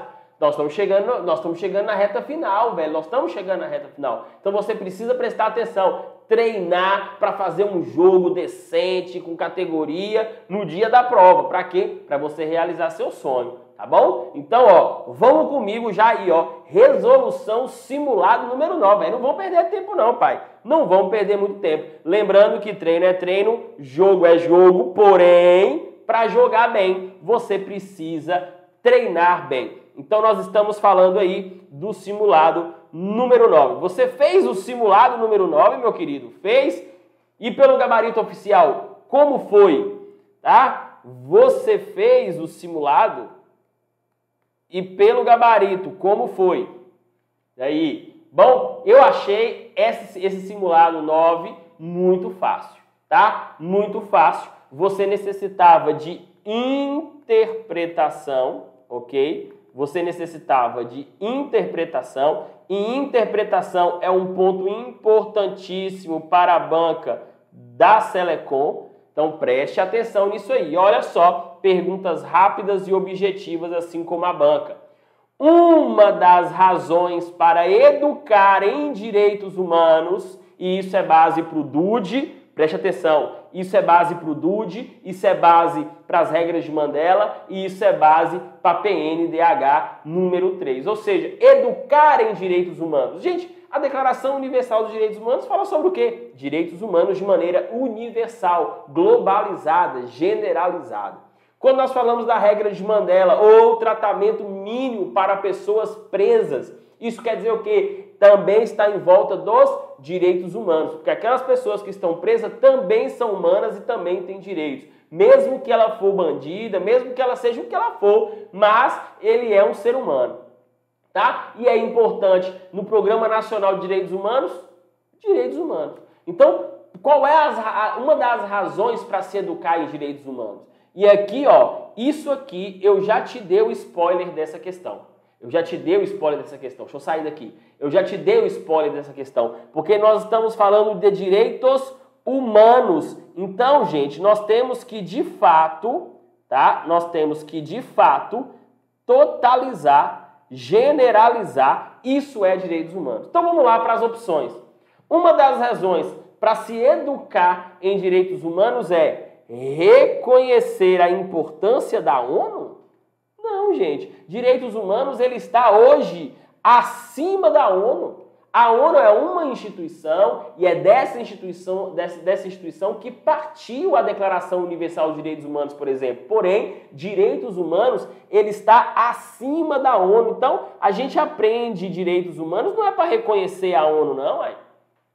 Tá? Não é para reconhecer a ONU. Então, eliminamos essa questão. Perceba, interpretação, camada de precoce. Implementar os objetivos do plano setorial em direitos humanos? Não, velho. Isso aqui é simplificar demais. Essa canetinha hoje tá ruim, hein? Simplificar demais. Automaticamente nós aprendemos direitos humanos não é para implementar os objetivos do plano setorial. Não. Nós temos que trabalhar uma coisa mais total, generalizada, mais ampla. Reconhecer os direitos humanos, olha que tem coisa boa aí na sociedade do conhecimento? Hum, será? Ou formar para o exercício da cidadania e para a participação na democratização da sociedade. Óbvio que a letra D, óbvio que a letra D, D de deu bom, D de deu bom. Formar, gente, uma das razões para se educar em direitos humanos é formar para o exercício da cidadania. Quando nós nos identificamos como cidadãos e nós identificamos o outro ser humano como cidadãos do mundo, nós temos aí um dos fundamentos para se estudar direitos humanos. E quando nós entendemos os direitos humanos e vimos o outro como cidadão, nós temos condições de participar na democratização da sociedade. Então são palavras que vão acompanhar aí direitos humanos de uma maneira muito promissora, muito promissora. Lembrando que esse tipo de questão aí, ó, ela não tá só o DUD. Ela não tá só o DUD, ela tá as regras de Mandela, ela tá aqui a PNDH número 3, tudo que envolve direitos humanos, já que direitos humanos é a base desses três documentos que eu, Carequinha, Curirim do LJ, trabalho com vocês aqui. Beleza? Então nós temos aí a letra D. Acertou ou errou no simulado, galerinha? Acertou, vibre, errou? Aprenda. Simples assim. Olha essa 37. Olha essa 37 aqui pra gente, tá? Vamos lá. Vocês acertaram ela? Acertaram ela? Então vamos embora. Segundo, olha, muito parecido com as provas da Selecom. Segundo a Declaração Universal dos Direitos Humanos, assinale a alternativa, gente. Ó, grife é o correto para você não errar, beleza? Para você entender que todas estão erradas menos uma. Letra A. Deve-se presumir, é, ó, gente, a palavrinha deve-se é uma palavrinha que sempre tem, é uma palavrinha que sempre tem que estar tá no DUD, tá? Deve, deve, não é nem sempre, é deve, deve. Até porque nós temos que lembrar sempre que o DUD ele é uma resolução. Tá? Então vamos, deve-se presumir a inocência de todo acusado de um crime até que a sua culpabilidade tenha sido provada de acordo com a lei. Em julgamento público, no qual lhe sejam asseguradas todas as garantias necessárias para sua defesa. Até então, não tem nenhum erro nessa letra A, mas vamos ver as outras. A lei protege todo homem contra interferência na sua vida privada, beleza? Na sua família, perfeito. No seu lar, ok. Não se estendendo tal proteção à sua correspondência, não. Se estende sim estende tal proteção à sua correspondência. Então, essa letra B ela está errada. E nós já sabemos que ela está errada pelas leituras de outras questões também, tá? Podem ficar tranquilos aí. Então a lei tem, protege, protege minha vida privada, protege minha família, protege o meu lar e protege sim a minha correspondência que não pode ser violada. Já viu aqueles filmes que alguém violou a correspondência, aí processa e tal? Pois é. Então a letra B está errada. Até então temos a letra A como correta. Todo homem tem direito à propriedade só ou em sociedade com outros, sendo vedada qualquer restrição a esse direito. Será, gente?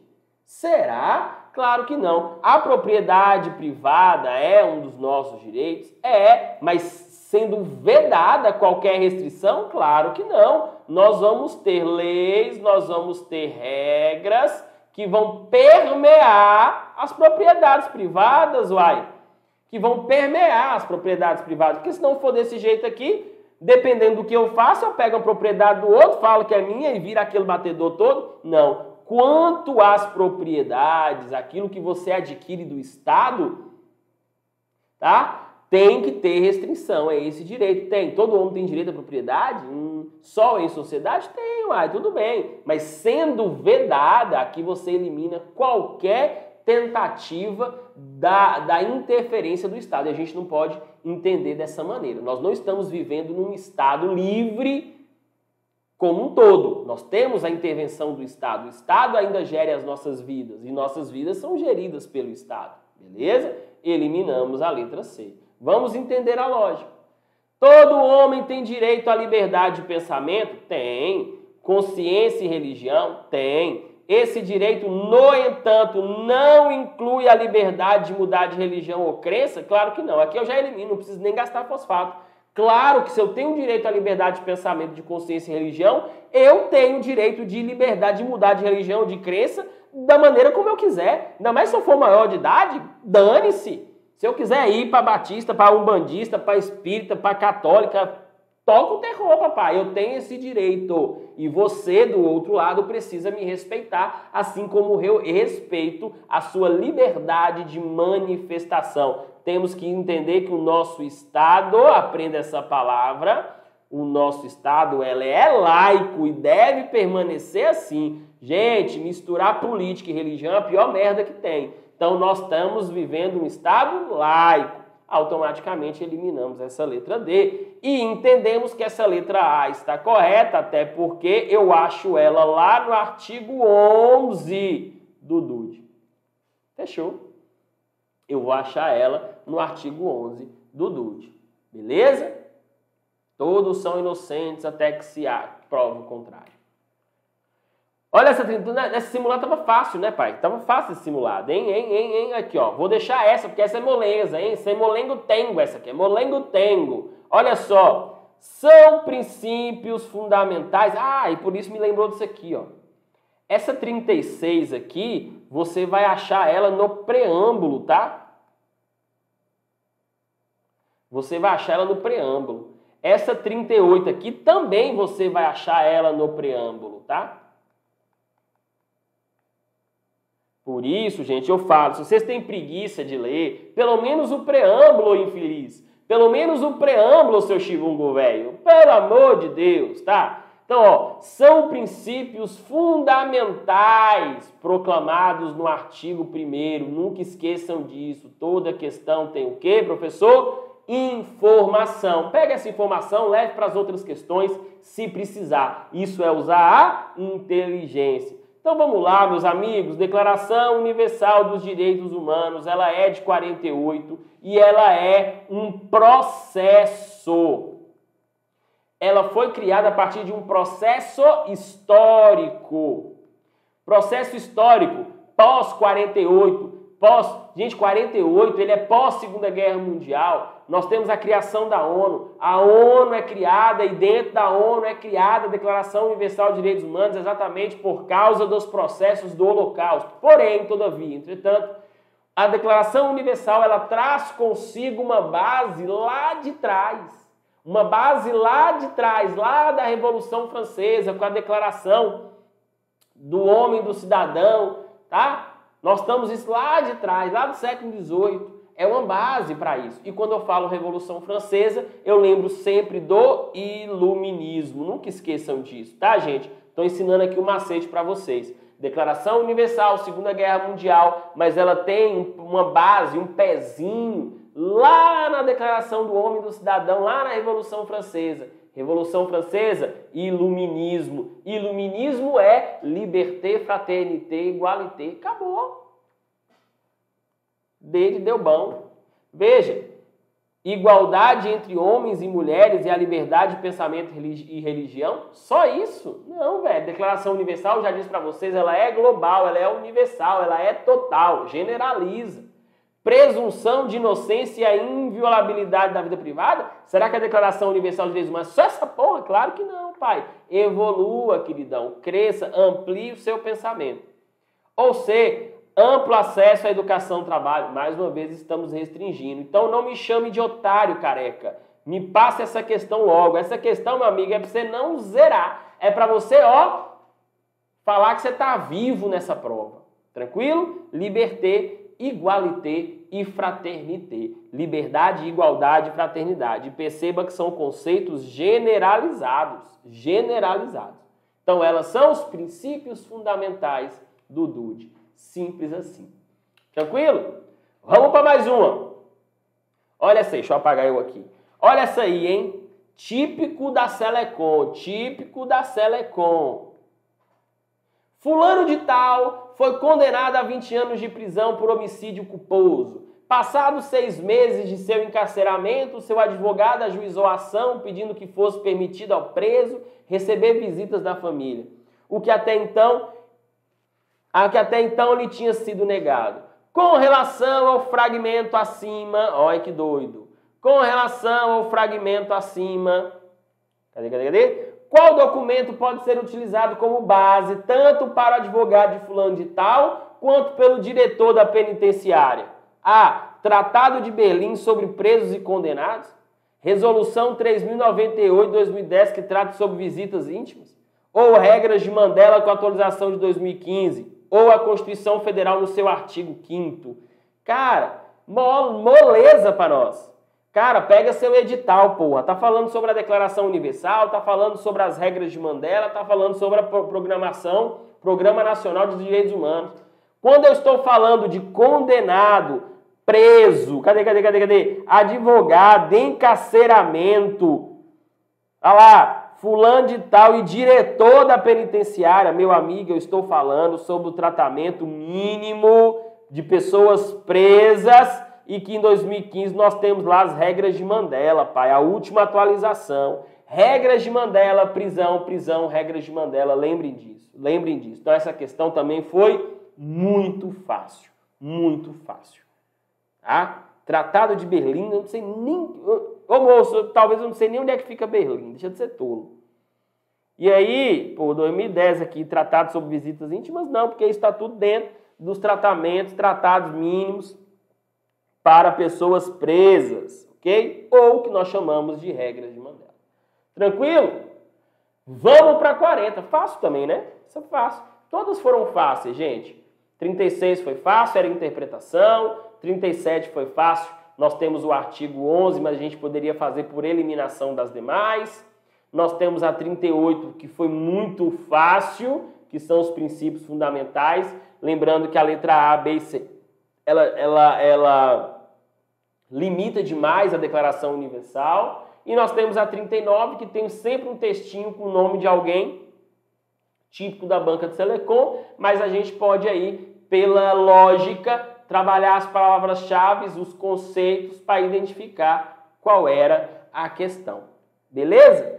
E aí, nós temos a questão 40. E lembre-se mais uma vez, nós estamos treinando, gente, nós estamos treinando, tá? Se é treinamento, nós temos que treinar de todas as maneiras para a gente ficar craque. Porque treino fácil, prova difícil. Treino difícil, a prova é fácil. Então vamos lá. Assinale a alternativa incorreta. Quando for assim, você grifa para você não cometer deslizes jeguísticos, tá? Para não cometer deslizes jeguísticos. Então, incorreta, todas estão certas, menos uma. Todas estão certas, menos uma. E qual seria? Qual seria? Essas questões de incorreta é ótimo para a gente poder adquirir mais conhecimento. Todo ser humano, sem qualquer distinção, tem direito a igual remuneração por igual trabalho? Todo ser humano tem direito ao trabalho, à livre escolha de emprego, à condição justa e favorável de trabalho e à proteção contra o desemprego? E aí? Ou Todo ser humano tem direito a repouso e lazer, inclusive a limitação razoável das horas de trabalho e a férias periódicas não remuneradas. Ou todo ser humano tem direito a organizar sindicatos e neles ingressar para a proteção de seus interesses. Gente, essa é muito fácil. Pegue as questões, mas você precisa ter o quê? Concentração, para você não cometer, não cair na pegadinha do concurso Pegadinha do careca, preste atenção, leia com concentração. A letra A está certa? Perfeita. Todo ser humano, sem qualquer distinção de raça, cor, gênero, sexo, que for, tem direito a igual remuneração por igual trabalho. Isso é óbvio, independente do sexo, de religião, de tudo. Todo ser humano tem direito ao trabalho, à livre escolha de emprego, às condições justas favoráveis de trabalho, à proteção contra os empregos? Sim, perfeito. Todo mundo tem direito. Se todo mundo tem, é outros 500. Tá? Nós estamos trabalhando com a Declaração Universal de Direitos Humanos, nós estamos trabalhando com a teoria. Todo ser humano tem direito de organizar sindicatos e neles ingressar na proteção civil? Tem, mesmo se você gostar ou não de sindicato, ou seu chibungo, velho. Você tem direito a ter um sindicato, seus funcionários têm direito a formar um sindicato. Tá? Agora pega a letra C. Por que, que a letra C está errada? Todo ser humano tem direito a repouso e lazer? Tem. Inclusive a limitações razoáveis das horas de trabalho. E férias periódicas não remuneradas, não, velho. Todas as férias têm que ser remuneradas, pelo amor de Deus. Sede careca, careca o quê? Careca feliz. Pelo amor de Deus. Simulado fácil igual esse, meu amigo, não tem muito para onde a gente correr. É um tipo de simulado, cheguei próximo nas vésperas da prova, para você poder relaxar, para você poder ter uma confiança, para elevar sua autoestima, mas preste atenção, tem gente que errou essas questões. E se você foi uma dessas, para, respira. A hora é de errar agora mesmo. Agora você pode errar, você não pode errar para a prova. Então, amigo, acertou, vibre, errou, aprenda, aprenda com os melhores, aprende com o LJ, aprende com o Careca. Beijos, fui e até a próxima. Valeu!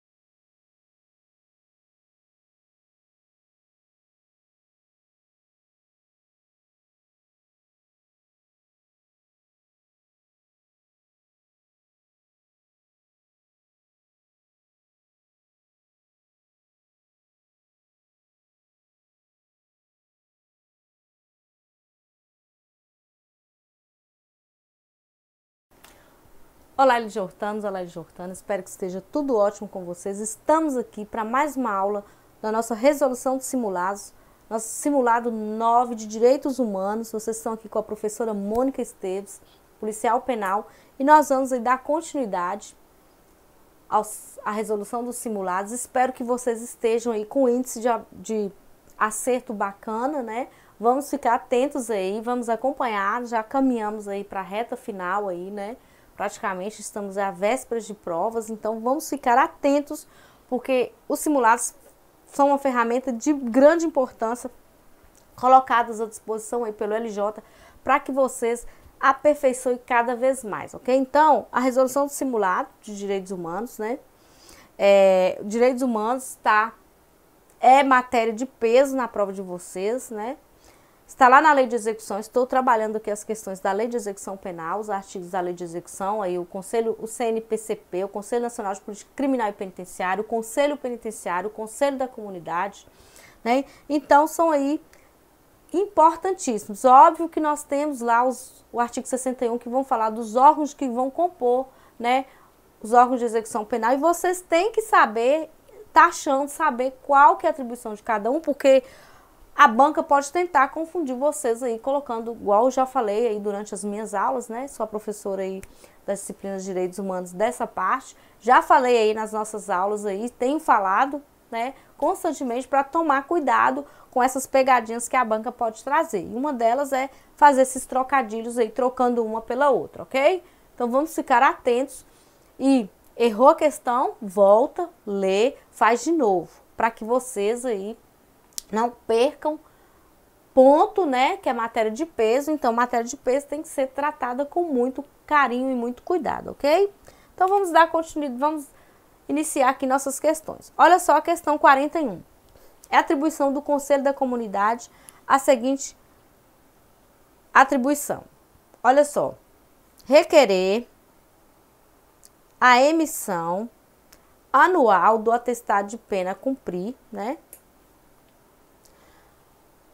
Interpor recursos, letra B, de decisões proferidas pela autoridade judiciária, proferidas pela autoridade ou administrativa durante a execução. Letra C, representar o juiz da execução ou autoridade administrativa para instauração de sindicância ou procedimento administrativa em caso de violação das normas referentes à execução penal. Ou letra D, diligenciar a obtenção de recursos materiais e humanos para melhor assistência ao preso ou internado em harmonia com a direção do estabelecimento. Olha só, aqui nós temos uma questão aí do Conselho da Comunidade, né? Como eu falei para vocês, o Conselho da Comunidade, né? Ele é um órgão importante de fiscalização da pena aí, né? Está aí, a, a, contribui enormemente com o diretor-geral aí da unidade, né? Com,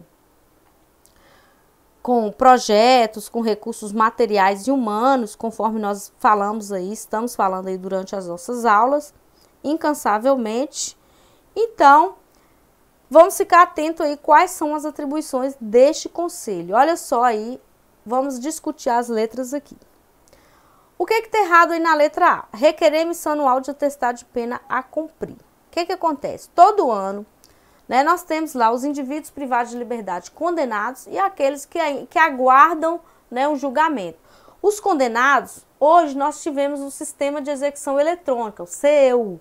Esse sistema de execução eletrônica, ele vai condensar as penas e ali, todo ano, né, Lá, quando você consta lá, você vai ter lá pausadamente, atualizadamente, ali o próprio sistema vai calculando a emissão anual de atestado de pena. Até porque, vamos imaginar que o indivíduo ele tem que cumprir 10 anos, né? 10 anos, 10 anos de prisão. O que, que acontece? Se esse indivíduo trabalhou ali dentro da unidade de estudo, ele vai ter direito à remissão, né? A própria lei fala que a cada 3 dias de pena, um dia de remissão. A cada 12 horas de estudo, um dia de remissão. O que, que vai acontecer com esse indivíduo? ele vai abatendo ali a pena, né? Ele vai abatendo, ele vai diminuindo ali.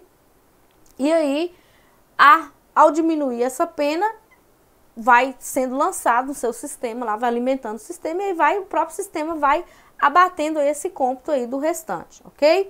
Então, a incumbência ali de requerer a missão anual do atestado de pena a cumprir é da Defensoria Pública, né? E também do advogado, né? Porque ali nós temos a Defensoria Pública, que é o que é a Defensoria Pública? É aquele advogado pago pelo Estado, né, que faz o concurso, que é pago pelo Estado, e aqueles indivíduos que não têm condições ali de, né, de pagar um advogado, de constituir um defensor próprio. Então, nós temos o advogado e a Defensoria Pública aí paralela, ok? Paralela no sentido assim, aqui não tem condições de pagar o advogado, então vai para a Defensoria Pública. Então, é papel da Defensoria Pública requerer emissão anual, né, não do Conselho da Comunidade interpor recurso das decisões proferidas pela autoridade judiciária ou administrativa durante a execução. Olha só. Incumbe ao Ministério Público interpor recurso de decisões proferidas pela autoridade judiciária durante a execução.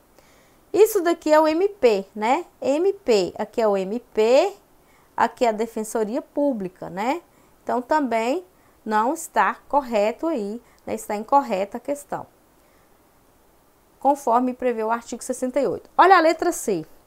Ao Conselho Nacional de Política Criminal e Penitenciária no exercício de suas atividades em âmbito federal e estadual incube representar o juiz da execução ou autoridade administrativa para a instauração de sindicância ou procedimento administrativo em caso de violação das normas referentes à execução penal.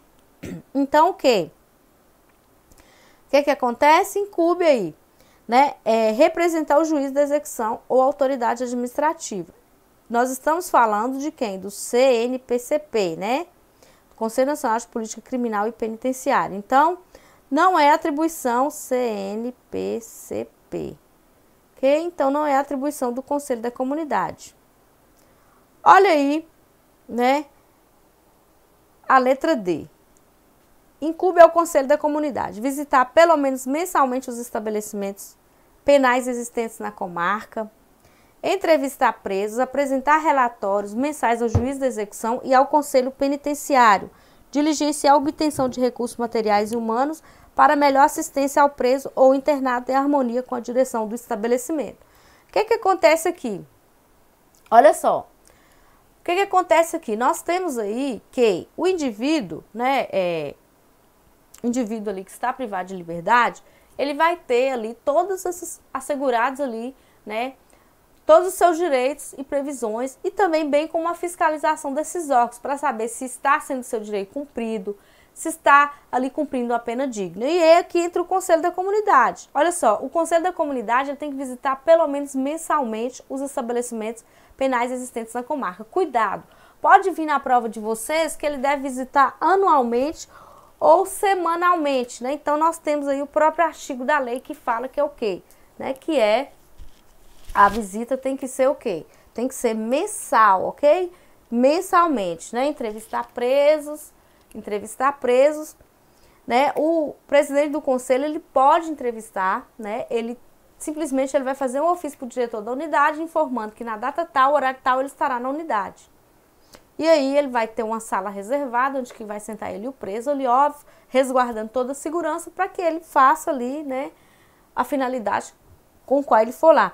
Muitas vezes também o Conselho da Comunidade recebe denúncias né, de familiares falando que tem algum indivíduo que está sendo torturado, que está sendo agredido, pedindo providências. Então, o, o, Conselho da Comunidade ele tem esse papel aí fundamental, que é fazer essas diligências aí, né? Que é estar olhando, apurando para verificar se aquilo ali procede ou não. Então, olha a importância aí desse Conselho da Comunidade. Diligenciar a obtenção de recursos materiais e humanos para melhor assistência ao preso ou internado, em harmonia com a direção do estabelecimento. Como eu falei para vocês, né? Ah, aí antes tem apresentar relatórios mensais ao juiz da execução e ao conselho penitenciário, né? Então nós falamos isso aqui. Apresentar. Então, o presidente do conselho, ele tem que apresentar relatórios mensais e também não só ao juiz como ao conselho penitenciário. Todo mês, né? Temos o presidente do conselho, vai na unidade, ele preenche aquele livro que fica lá, tem um livro de, de autoridades que fica lá com a secretária do gabinete do diretor-geral, e ele vai lá, ele assina, ele roda a unidade, ele verifica, né, se teve, se continua o mesmo quantitativo de servidores, de policiais penais, se diminuiu, se tem medicação, se o preço está tendo atendimento, como que tá, se está tendo roupa, se está tendo, como que tá a alimentação, então ele visualiza isso tudo, né? Então, muitas vezes ele recebe as denúncias e vai até a unidade para apurar, para ver ali, ó, oh, tá tendo um surto ali de, de é, Covid. Então, ele vai, ele pede informação ao diretor para saber se realmente está tendo um surto ali naquela unidade. Muitas vezes tem denúncias infundadas que não tem fundamentação nenhuma. Então, esse é o papel aí do presidente. Diligenciar a obtenção de recursos materiais e humanos para melhor assistência ao preso ou internado em harmonia com a direção do estabelecimento que, que acontece? O, a diligência é a obtenção de recursos materiais e humanos, né? O que, que acontece? O presidente do conselho, ali em parceria com o diretor, ele pode fazer projetos para o juiz com as penas pecuniárias, para quê? Para obter recursos materiais e humanos, né? Para melhor assistência ao preso ou internado. Então, é, e, e sempre ali tem essa interação com o diretor da unidade, né? Porque para verificar o que está acontecendo, o que está precisando. E aí é, o, o, presidente do conselho é uma mão aí, né? Uma mão amiga aí, estendida aos diretores da unidade, aos servidores, que está ali para colaborar para uma maior humanização das penas, né? Para o maior cumprimento da melhor forma possível ali. E ajuda, né? O nosso presidente aí da comarca, da, da nossa comarca, é bastante atuante, atuante. Então, nós temos que ver esses órgãos como parceiros da Polícia Penal como parceiros aí do cumprimento da pena, como parceiro do departamento penitenciário. Bacana, então, nosso gabarito aí, conforme nós já falamos aí, a letra D, né? Tá uma atribuição do Conselho da Comunidade, conforme aí a previsão do artigo, né, 81, inciso 4, né? Artigo 81, aqui, ó, artigo 81, inciso 4. Bacana. Então vamos lá, vamos para a nossa próxima questão. Olha só, de acordo com o Conselho Penitenciário, nós falamos do Conselho, do Conselho da Comunidade, vamos falar um pouquinho do Conselho Penitenciário. De acordo com o Conselho Penitenciário, julgue as afirmativas e marque a correta. Letra A. O Conselho Penitenciário é órgão consequencial e fiscalizador da execução da pena. Conselho Penitenciário, letra B, é órgão consultivo e fiscalizador da execução da pena. Letra C. O Conselho Penitenciário é órgão consultivo e controlador da justificativa da pena. Ou letra D. O Conselho Penitenciário é órgão federativo e legislador da execução da pena. E aí? Então, olha só. Olha o nosso gabarito aí, letra B. O Conselho Penitenciário é órgão consultivo e fiscalizador da execução da pena. O que, que acontece? O Conselho Penitenciário é órgão consultivo e fiscalizador da execução da pena. Na organização penitenciária brasileira, existem os órgãos de execução penal, além dos estabelecimentos prisionais, né? Quais, quais são os órgãos de execução penal, né? Nós temos lá os órgãos de execução penal estão lá no 61 da LEP, né? Vamos lá, são oito, né? Quais são? Vamos lá. Nós temos lá juiz de execução, nós temos juiz de execução, nós temos a Defensoria Pública, nós temos o Ministério Público, nós temos um, dois, três, quatro, nós temos o Conselho da Comunidade,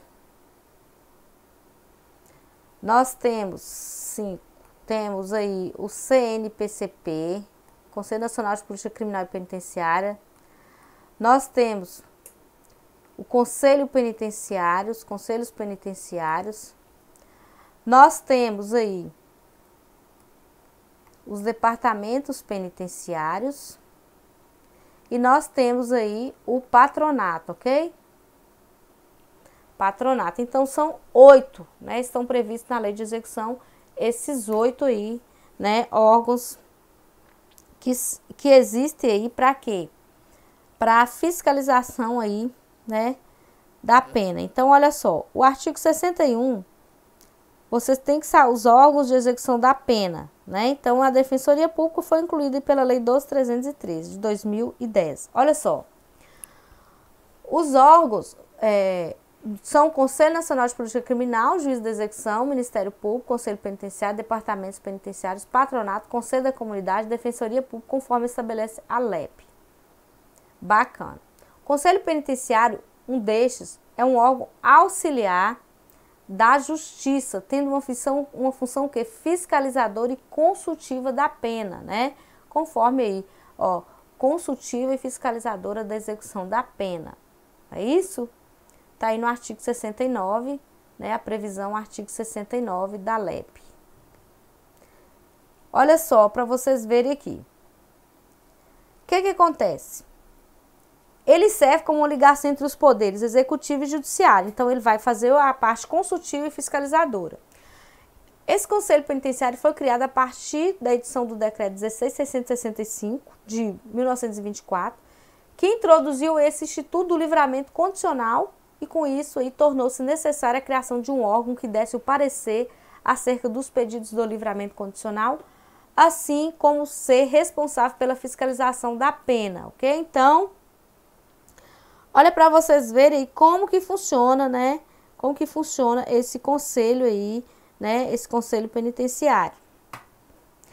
Atualmente, o Conselho Penitenciário está previsto no artigo 69 da LEP e suas atribuições estão arroladas no artigo 70 desta lei, ok? Então, né, é, o Conselho Penitenciário está previsto aí no artigo 69 e suas atribuições arroladas no artigo 70 dessa lei, sendo que a função de emissão de parecer acerca do livramento condicional foi retirada pela alteração sofrida pela LEP, conforme a própria edição da Lei 10.792. Ou seja, o Conselho Penitenciário ele irá atuar para quê? Para que haja um melhor cumprimento da execução das penas, buscando o que? Evitar desvios e injustiça. Cabendo assim a esse conselho zelar pela justiça mas também pelos condenados, né, presos e egressos, né, condenados, os que estão presos ali, presos provisórios, os egressos, aqueles que estão retornando para o convívio social. Então, o, atualmente o conselho tem a competência de quê? De fiscalizar os estabelecimentos prisionais, emitir parecer acerca da concessão de indulto e computação de pena, supervisionar os patronatos de assistência aos regressos, além de apresentar ao Conselho Nacional de Política Criminal e Penitenciária os devidos relatórios. Olha aí a importância aí desse conselho, certo? E esse conselho ele sempre opinará nos casos ele encaminhados, cuidando para que sejam observadas as normas de execução penal, principalmente fiscalizando as condições em que encontram os presos e egressos dos estabelecimentos prisionais. Olha como que esse conselho é importante aí, né? Ele é um órgão multidisciplinar no sentido de que deve ser integrado tanto por professores e profissionais da área do direito penal e penitenciário e ciências correlatas, como também por pessoas da comunidade maiores interessadas no fato de que os presos eles devem ter essa adequada reintegração social após a sua libertação. Então, por isso, né, desse modo, a existência desse órgão por muitos desconhecido, tem aí a finalidade de demonstrar sua importância durante a execução da pena, fiscalizando o cumprimento das penas, desde os ritos procedimentais e as condições dos estabelecimentos prisionais, fiscalizando também a reinserção dos presos à vida social e opinando acerca das concessões de indulto e comutação de pena. Olha para vocês verem como que esse órgão ele tem uma dimensão muito importante aí, não é?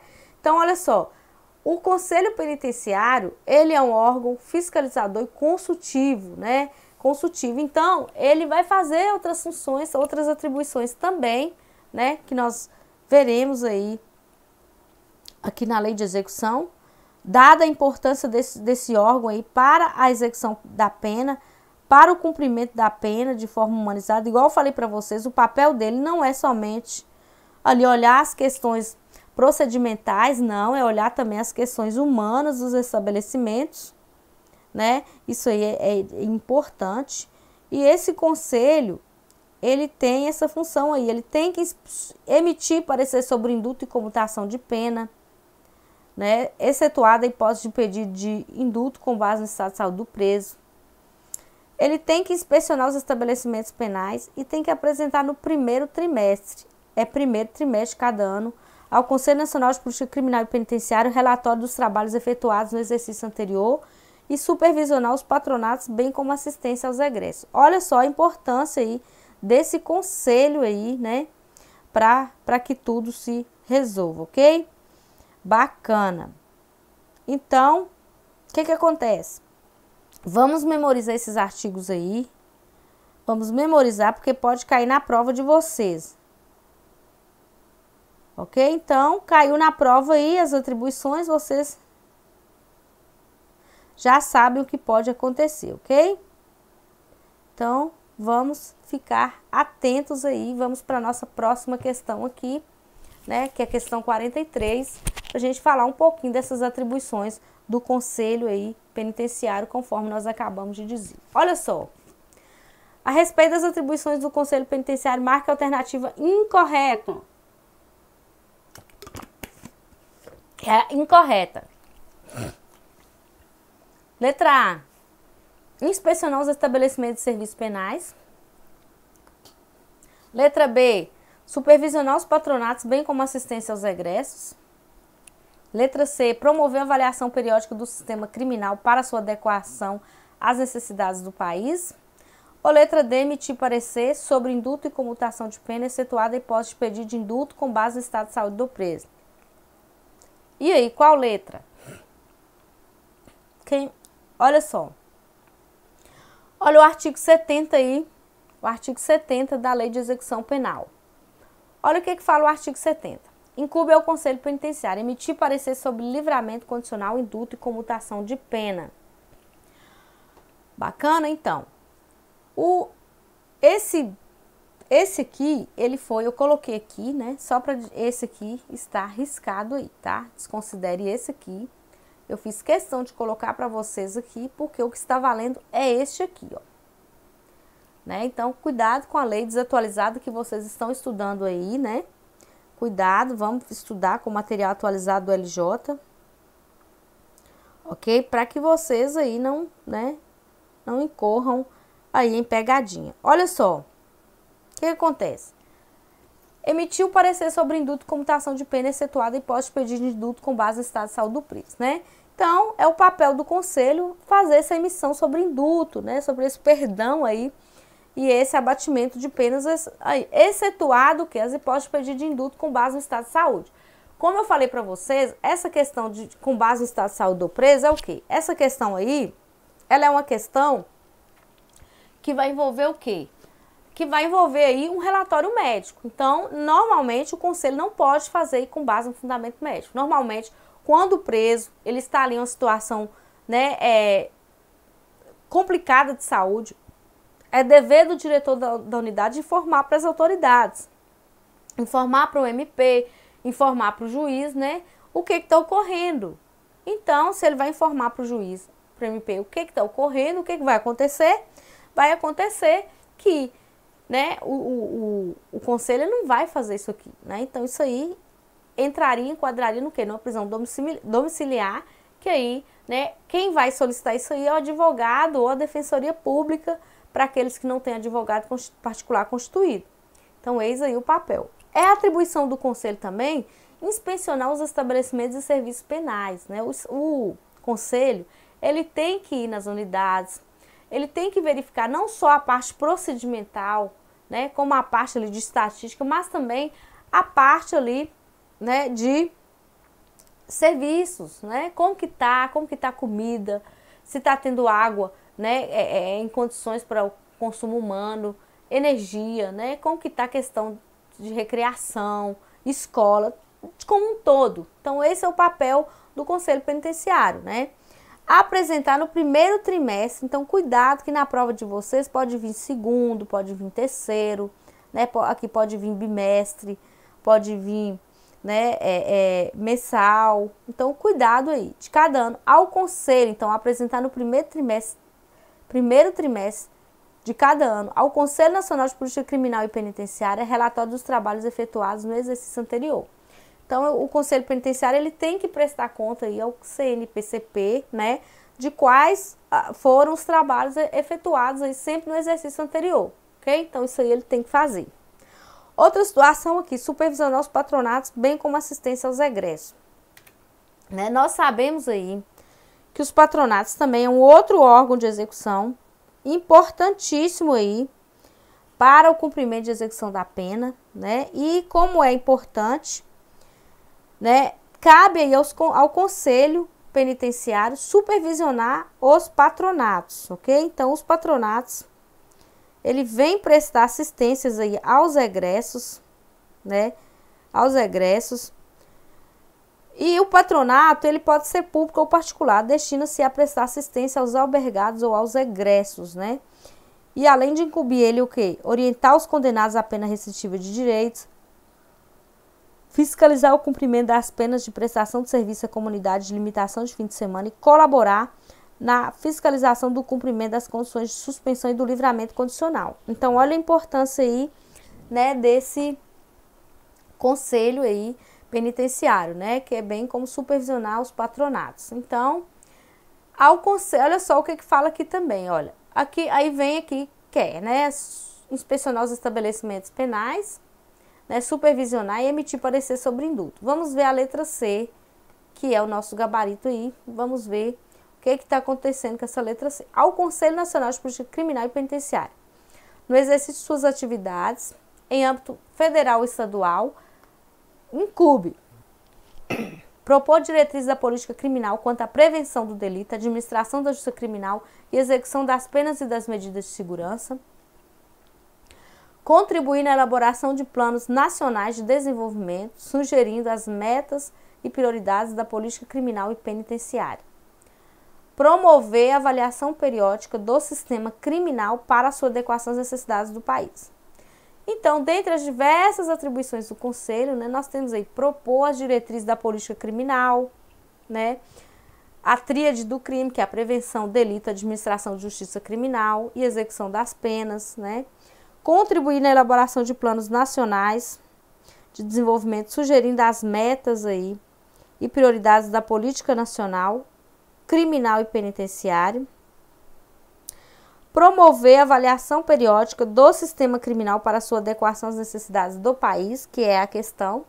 Então, aqui não é atribuição, então está incorreto essa aqui, que não é atribuição do Conselho Penitenciário, e sim do CNCNPCP, que está previsto lá no artigo 64 da Lei de Execução.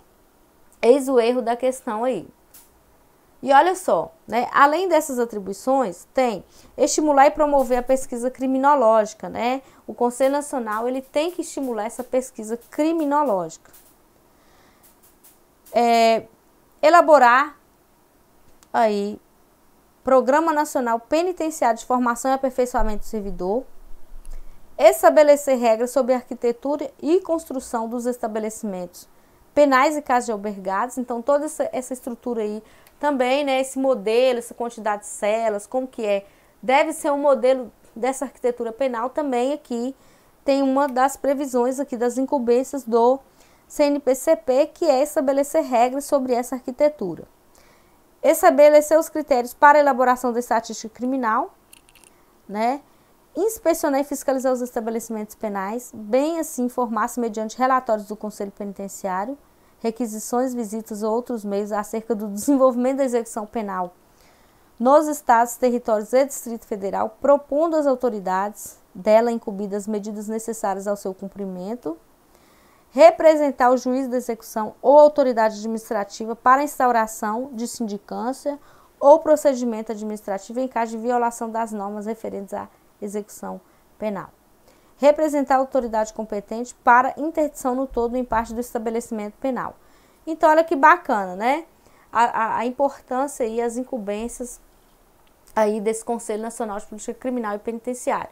Então, na nossa alternativa aí, conforme estimular e promover a pesquisa criminológica, elaborar o Programa Nacional Penitenciário de Formação e Aperfeiçoamento do Servidor, estabelecer regras e construção de estabelecimentos penais e casas de albergados, estabelecer esses critérios aí, conforme nós falamos da estatística, inspecionar e fiscalizar esses estabelecimentos, né, mediante relatórios do Conselho, requisições, visitas ou outros meios acerca do desenvolvimento da execução penal nos estados, territórios e Distrito Federal, propondo que as autoridades dela incumbidas medidas necessárias para seu aprimoramento, representar o juiz da execução ou autoridade administrativa para a instauração do sindicância ou procedimento administrativo em caso de que de violação das normas referentes à execução penal e representar a autoridade competente para a interdição no todo em parte do estabelecimento penal, ok? Bacana. Então, a questão, né, basicamente, vocês têm que saber aí esse, essas atribuições, essas incumbências do Conselho Nacional de Política Criminal e Penitenciária, ok? Então vamos partir agora para a nossa questão 44. O mandado dos membros do Conselho terá duração de dois anos e será renovado de acordo com, a, com qual fração? Letra A, um quinto a cada semestre, um terço a cada semestre, um terço a cada ano e um quinto a cada ano. Então, olha só, olha o nosso gabarito aí. O Conselho Nacional, primeiro, o mandado do Conselho terá duração de dois anos, renovado aí um terço em cada ano, né? Em cada ano e não semestre, ok? Um terço aí em cada ano. Então, aqui a letra C. Olha só. Vamos falar um pouquinho. O Conselho Nacional de Política Criminal e Penitenciária, com sede na capital da República, é subordinado ao Ministério da Justiça. Então, vamos lembrar disso aqui também. Ó. Ele é. A sede dele é na capital da República e é subordinado ao Ministério da Justiça.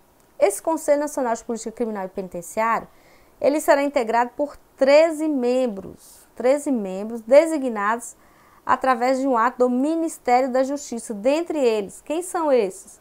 Professores e profissionais das áreas do direito penal, processual penal, penitenciário e ciências correlatas, bem como representantes da comunidade dos ministérios da área social, ok? Então vamos ficar atentos a isso aí. Isso aqui é com certeza questão de prova. Olha só, o mandato dos membros do conselho terá duração de dois anos, renovado um terço em cada ano. Bacana, então, né? Vamos ficar ligados nisso aí, tá? Vamos ficar ligados para vocês não serem pegos aí de surpresa na hora da prova, ok? Então, o que vai ser extraído da prova isso aqui, por exemplo, é informação importantíssima, né? Que é Onde que é a sede na capital da República é subordinada aqui ao Ministério da Justiça. Lembra da sexta-feira 13. A composição são 13 membros, ok? Que o ato, qual o ato que designa o Ministério da Justiça, né? Qual a qualificação que esses, esses profissionais devem ter? Professores, profissionais da área do direito penal, processual penal, penitenciário e ciências correlatas, bem como por representantes da comunidade e dos ministérios da área social. Bacana? Então vamos lá para a questão 45. Olha só. É atribuição do Conselho Nacional de Política Criminal e Penitenciária. Transparência e participação popular no sistema de segurança pública e justiça criminal prevenção da violência e da criminalidade e profissionalização da investigação de atos criminosos. É, representar, letra C, representar a autoridade competente para a interdição todo o parte do estabelecimento penal. Ou letra D, combate à violência institucional com ênfase na erradicação da tortura e na redução da letalidade policial e carcerária. Olha só, o que, que acontece? Né? É importante nosso gabarito aqui, conforme nós falamos para vocês, aí, ó, gabarito letra C. É importante vocês lembrarem que as atribuições, geralmente os verbos, eles vêm sempre começando por um verbo, né? Representar. Então, aqui, tra transparência e participação popular no sistema de segurança pública e justiça criminal. Não é uma atribuição. Prevenção à violência e criminalidade da investigação dos atos criminosos também não é, e nem combate à violência institucional, com ênfase na erradicação da tortura e na redução da letalidade policial e carcerária. Então veja bem, vejam vocês. O Conselho Nacional de Polícia Criminal e Penitenciária, esse órgão importante de fiscalização da pena, né, que é um órgão, conforme nós já falamos aqui das atribuições dele. E vocês têm que memorizar, porque isso vai estar na prova de vocês, vocês saberem as atribuições do Conselho, saber diferenciar a atribuição do Conselho Penitenciário, do Conselho Nacional de Política Criminal e Penitenciária, do Conselho da Comunidade. O Conselho da Comunidade normalmente é o menorzinho que tem deles, né? Agora, um, o maior é esse Conselho Nacional de Política Criminal e Penitenciária. Então, vamos lá falar um pouquinho ali das atribuições. Olha só, artigo 64. Artigo 64 aqui, a previsão legal. Olha o que que fala ao Conselho Nacional de Política Criminal e Penitenciária no exercício de suas atividades em âmbito federal e estadual. Então, pode vir na prova em âmbito federal, somente em âmbito federal, em âmbito federal municipal, em âmbito estadual. Então, vamos tomar cuidado. Olha só, propor diretriz da política criminal quanto à prevenção do delito, administração da justiça criminal e execução das penas e das medidas de segurança. Então, o que, que acontece? O Conselho Nacional ele vai propor algumas diretrizes aí, né, da política criminal com a tríade do com a tríade que nós vimos, que é a prevenção, a administração e execução das penas e das medidas de segurança. Então, o Conselho Nacional de Política Criminal, ele pode propor essas medidas aí da política criminal, né, para ditar ali o que, que vamos fazer para prevenir o delito, o que, que vamos fazer para administrar a justiça criminal. E quando nós falamos de justiça criminal, nós falamos em algo mais amplo, nós falamos em um sistema, né, que é essa justiça criminal, desde o momento em que está lá do processo, do nascimento do processo até o momento, inclusive, ali da própria execução, né? E a execução das penas e das medidas de segurança, né? Nós temos a pena e as medidas de segurança para aqueles indivíduos, né, que possuem algum transtorno ali mental. Então, nós temos aí essas medidas de segurança. Outra coisa, contribuir na colaboração de planos nacionais de desenvolvimento, sugerindo metas e prioridades da política criminal e penitenciária contribuir aí na elaboração de planos nacionais, né? Vão ter esses planos nacionais de desenvolvimento, como nós temos o próprio Plano Nacional de, é, de Segurança Pública, sugerindo aí métricas, metas e políticas criminais e penitenciárias, ou seja, construindo aí esses eixos, essas diretrizes de qual é ali o mais ideal, né? Qual, qual é o mais ideal para que se possa ali chegar, né? Na, no, no modelo ideal que a gente tem né, dentro do exercício ali das unidades. Promover a avaliação periódica do sistema criminal para sua adequação às necessidades do país. Então, o que? Promover essa avaliação periódica do sistema criminal, né? Para que isso seja adequado às necessidades do país, ok? Então, fazer essa promoção aí da melhor forma. Estimular e promover a pesquisa criminológica. Tem essa estimulação aí da pesquisa criminológica, né? Que visa ali levantar estatística, levantar dados, a elaboração do Programa Nacional Penitenciário de Formação e Aperfeiçoamento do Servidor. Né? Nós falamos aí que o próprio Plano Nacional ele tem a matriz curricular nacional, e essa matriz curricular, ela tem que ser única, né? Essa matriz curricular, ela tem que ter, ela tem que seguir ali alguns eixos, né? No qual cada estado deve seguir. Aí fala elaborar o Programa Nacional Penitenciário, que deve ser aí a obrigação do CNPCP, para poder, né, é, se adequar a esse Plano Nacional de Segurança, a esse, essa matriz curricular nacional aí estabelecer regras sobre arquitetura e construção de estabelecimentos penais e casas de albergados, né? Estabelecer essas regras aí sobre essa arquitetura e construção desses estabelecimentos e casas de albergados e estabelecer os critérios para a elaboração da estatística criminal, né? Ou seja, estabelecer esses critérios aí, né, para estabelecer aí esses dados, essas incidências aí qual se vai trabalhar essas ferramentas das estatísticas aí. Outra aqui, inspecionar e fiscalizar os estabelecimentos penais, bem como informar-se mediante relatórios do Conselho Penitenciário. Veja só, além da inspeção e fiscalização dos estabelecimentos, o CNPCP, ela vai ter os relatórios do Conselho Penitenciário. Então, o que, que ela vai fazer? Ela vai ali, né, mediante esses relatórios, ela vai solicitar também, né, alguns outros dados que elas que ele entender necessário ali tanto para o próprio departamento como para os conselhos, né?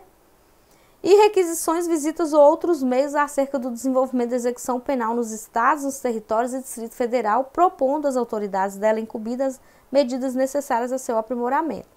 Então, olha o papel aí do, do Conselho Nacional né, de Política Criminal e Penitenciário, que, além disso, ela pode requisitar outros meios que vai auxiliá-la ali ao desenvolvimento da execução penal nos estados e territórios do Distrito Federal, propondo inclusive às autoridades medidas necessárias a seu aprimoramento. Olha aí a importância, né, é, dessa parte aí do CNPCP. Então, representar o juiz também da execução autoridade administrativa para que se instaure a sindicância ou procedimento administrativo, em caso de violação das normas referentes à execução penal. Olha aí, Olha o papel do CNPCP, ele pode até representar o juiz, né? Representar o juiz da execução, que é o juiz corregedor da comarca, né? Para que se instaure ali uma sindicância ou procedimento administrativo se houver uma violação de normas, né, referentes à execução penal, que poderia ser uma agressão física, psicológica, que poderia ser assim, ali maus tratos, que poderia ser ali alimentação de má qualidade, que poderia ser ausência de energia, de água apropriada para o consumo humano. Então poderia ser N situações ali que o CNPCP poderia representar aí ao juiz da execução. Representar a autoridade competente para interdição no todo em paz de estabelecimento penal.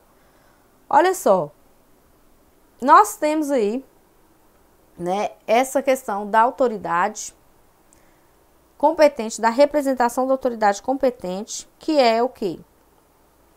A interdição no todo em parte.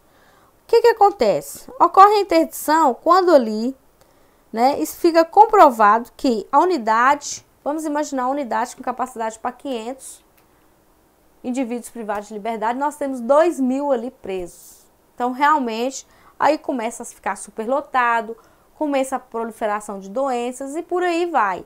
Então, né, o CNPCP ele pode representar a autoridade para a interdição de todo o empate, que no caso seria o juiz. Né? Olha, não temos condições de continuar aí com essa população tão alta, né? Alguma, alguma situação precisa ser tomada. Então, ele pode, ali esse conselho, ele pode fazer essa representação aí, né? Para que a autoridade, para que se interdite essa unidade no todo ou em parte, né? A unidade no qual era diretora era interditada parcialmente. Aí já fala lá. Vamos imaginar que a unidade lá, ela tem lá lá na, no processo de interdição, na decisão falava, se der até 1380 interdito. Então sempre você tinha que controlar a população. verificar a oscilação da população. Diariamente olhava, ó, qual que é a população atual hoje? Tantos, né? O Ministério Público também, quando chegava na unidade, qual que é a população atual hoje? Para verificar se a unidade estava cumprindo o despacho lá da decisão.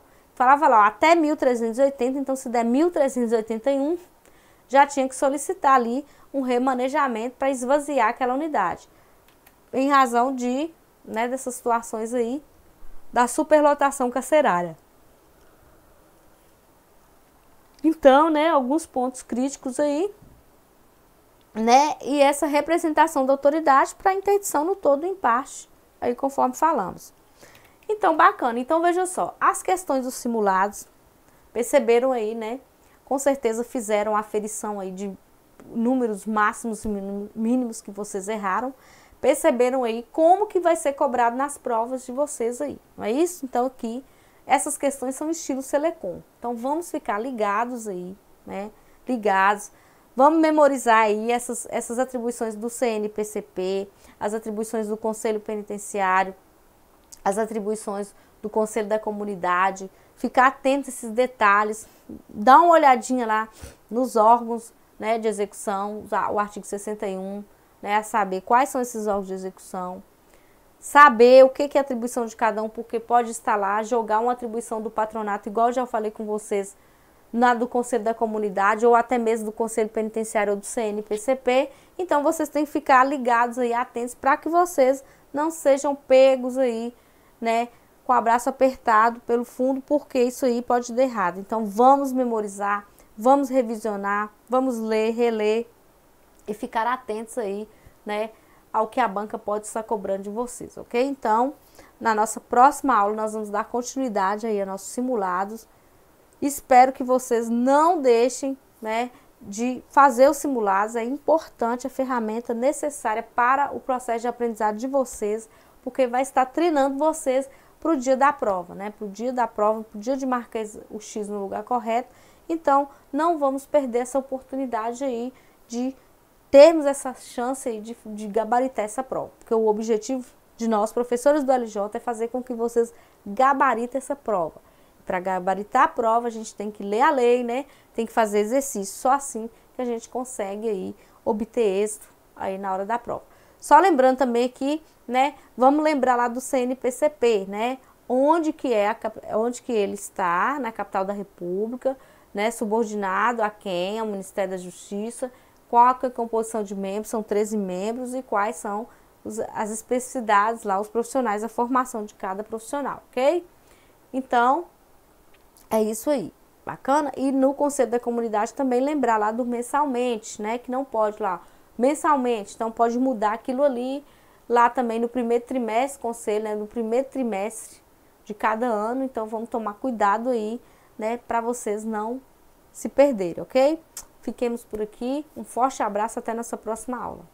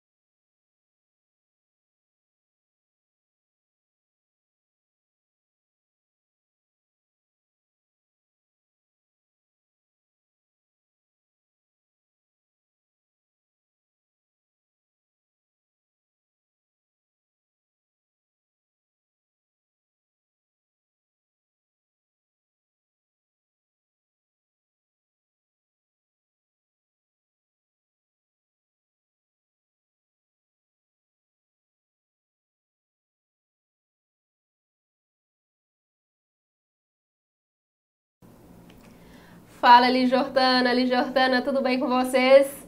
Chegamos ao simulado número 9, nessa trilha aí de simulados, contribuindo para a sua preparação seu concurso da Polícia Penal aqui de Minas Gerais. Então, você que veio durante todo esse tempo aí fazendo simulados, resolvendo simulados, tem certeza que está 100% preparado, que já está acostumado com a dinâmica e vai sentir total diferença lá no dia 16 de janeiro. Então, nosso papel aqui, nesse momento, corrigir, comentar as questões relativas às noções de direito, tanto constitucional quanto penal, que estiveram presentes aí no seu simulado número 9.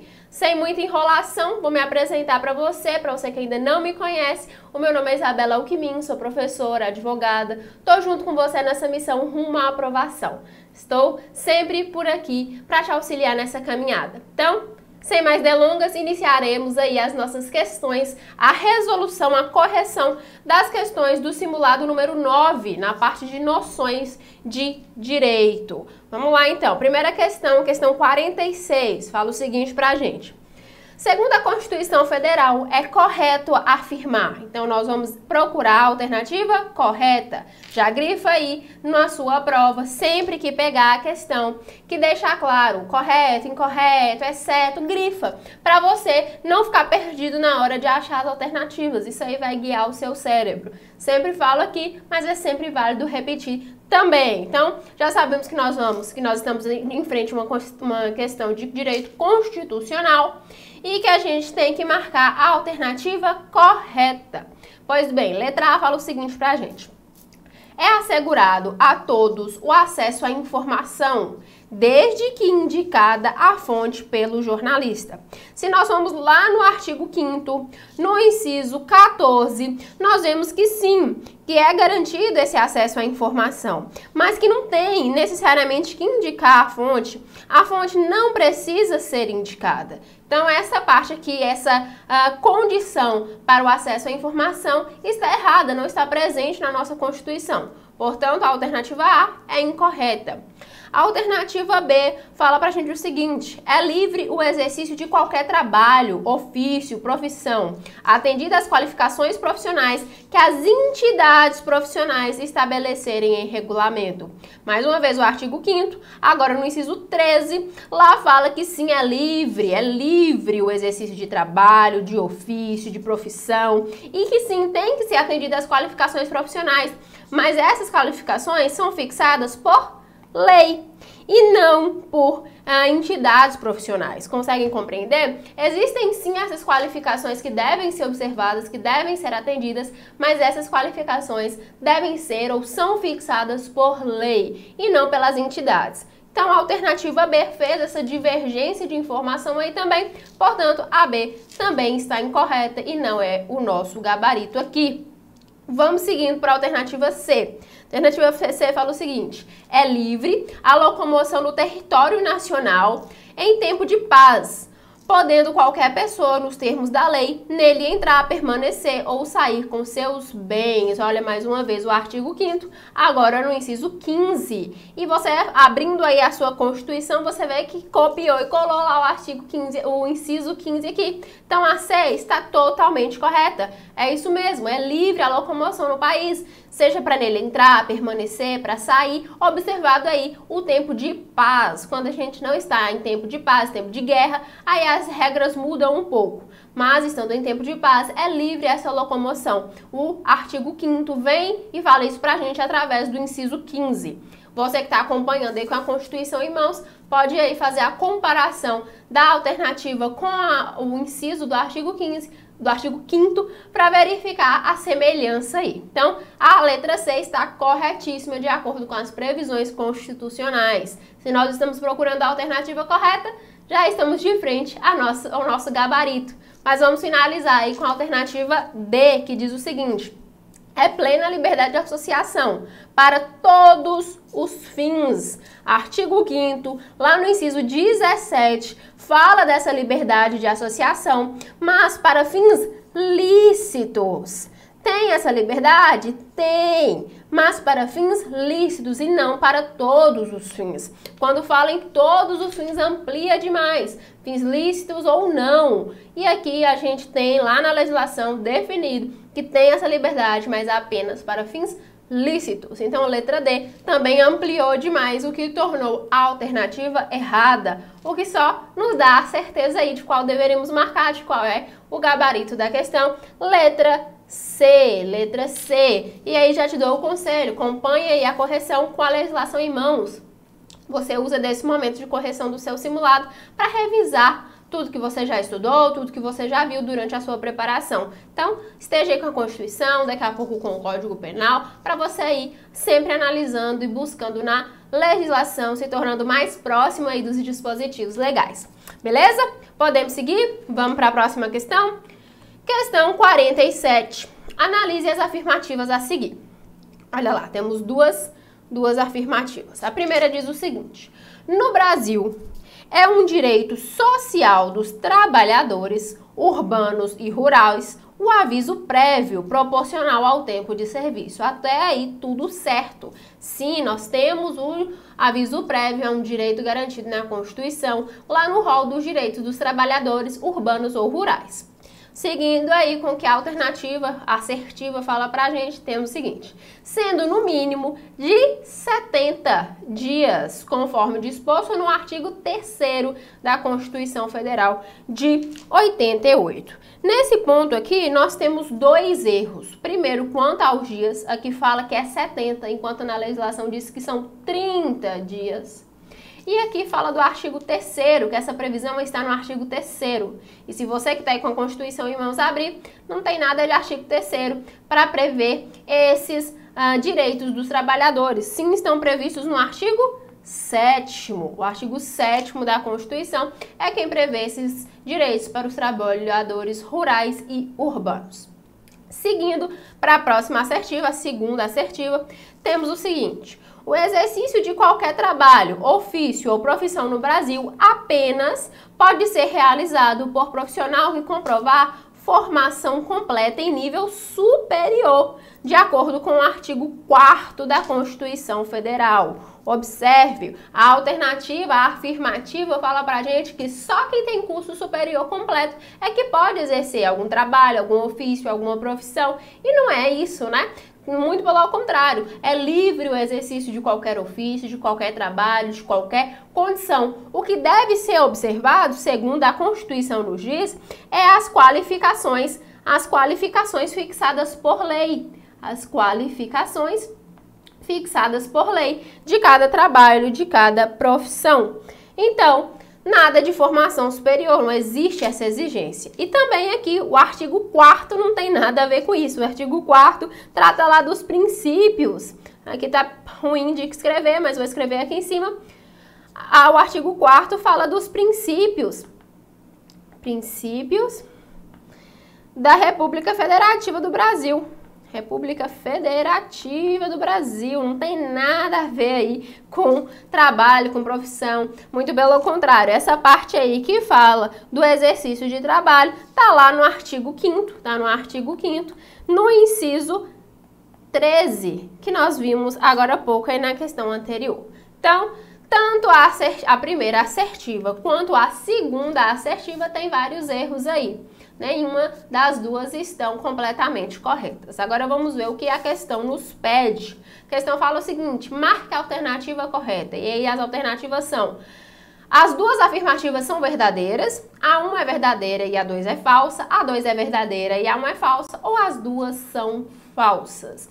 Como nós acabamos de ver, nas duas afirmativas existem erros, então as duas tão, estão erradas, estão falsas. Portanto, nosso gabarito aí, letra D, né? As duas afirmativas estão falsas, as duas contêm erros, comparando com o texto constitucional. Vamos para a próxima? Vamos lá. Questão 48 diz o seguinte: Nenhum cidadão, primeiro, esqueci de analisar o primeiro. Analise as afirmativas a seguir. Ah, agora sim. Nenhum cidadão brasileiro pode ser privado dos próprios direitos por motivo de crença religiosa, de convicção filosófica, de orientação política, de acordo com a Constituição de 88. Aí vem a exceção, salvo se invocar para eximir-se de obrigação legal, a todos impostas e recusar-se a cumprir prestação alternativa fixada em lei. Quem está com a legislação em mãos, abre aí no artigo 5 lá no inciso 8 e você vai ver que é isso mesmo.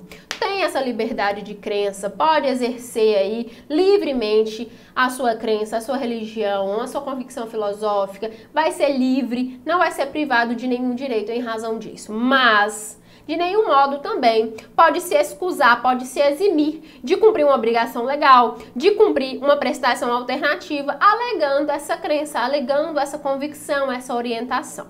Então é isso mesmo que o artigo 5 pelo inciso 8 vem e deixa claro no texto constitucional. Então, a primeira assertiva aí está corretíssima, é exatamente o que está previsto na Constituição. Quem está com a lei já confere aí, já olha os dois textos, tanto na alternativa quanto lá na Constituição, e você vai ver a semelhança. Então, a primeira aqui está correta. Vamos seguindo. Segunda, a segunda assertiva da questão diz o seguinte: no Brasil, a liberdade de reunião, segundo a Constituição, está condicionada a certos fatores, como pagamento de taxa e tributo situação política e administrativa da entidade representativa e categoria profissional e a autorização especial da autoridade competente, que determinará hora e local para reunião. Abre aí, artigo 5 inciso 15.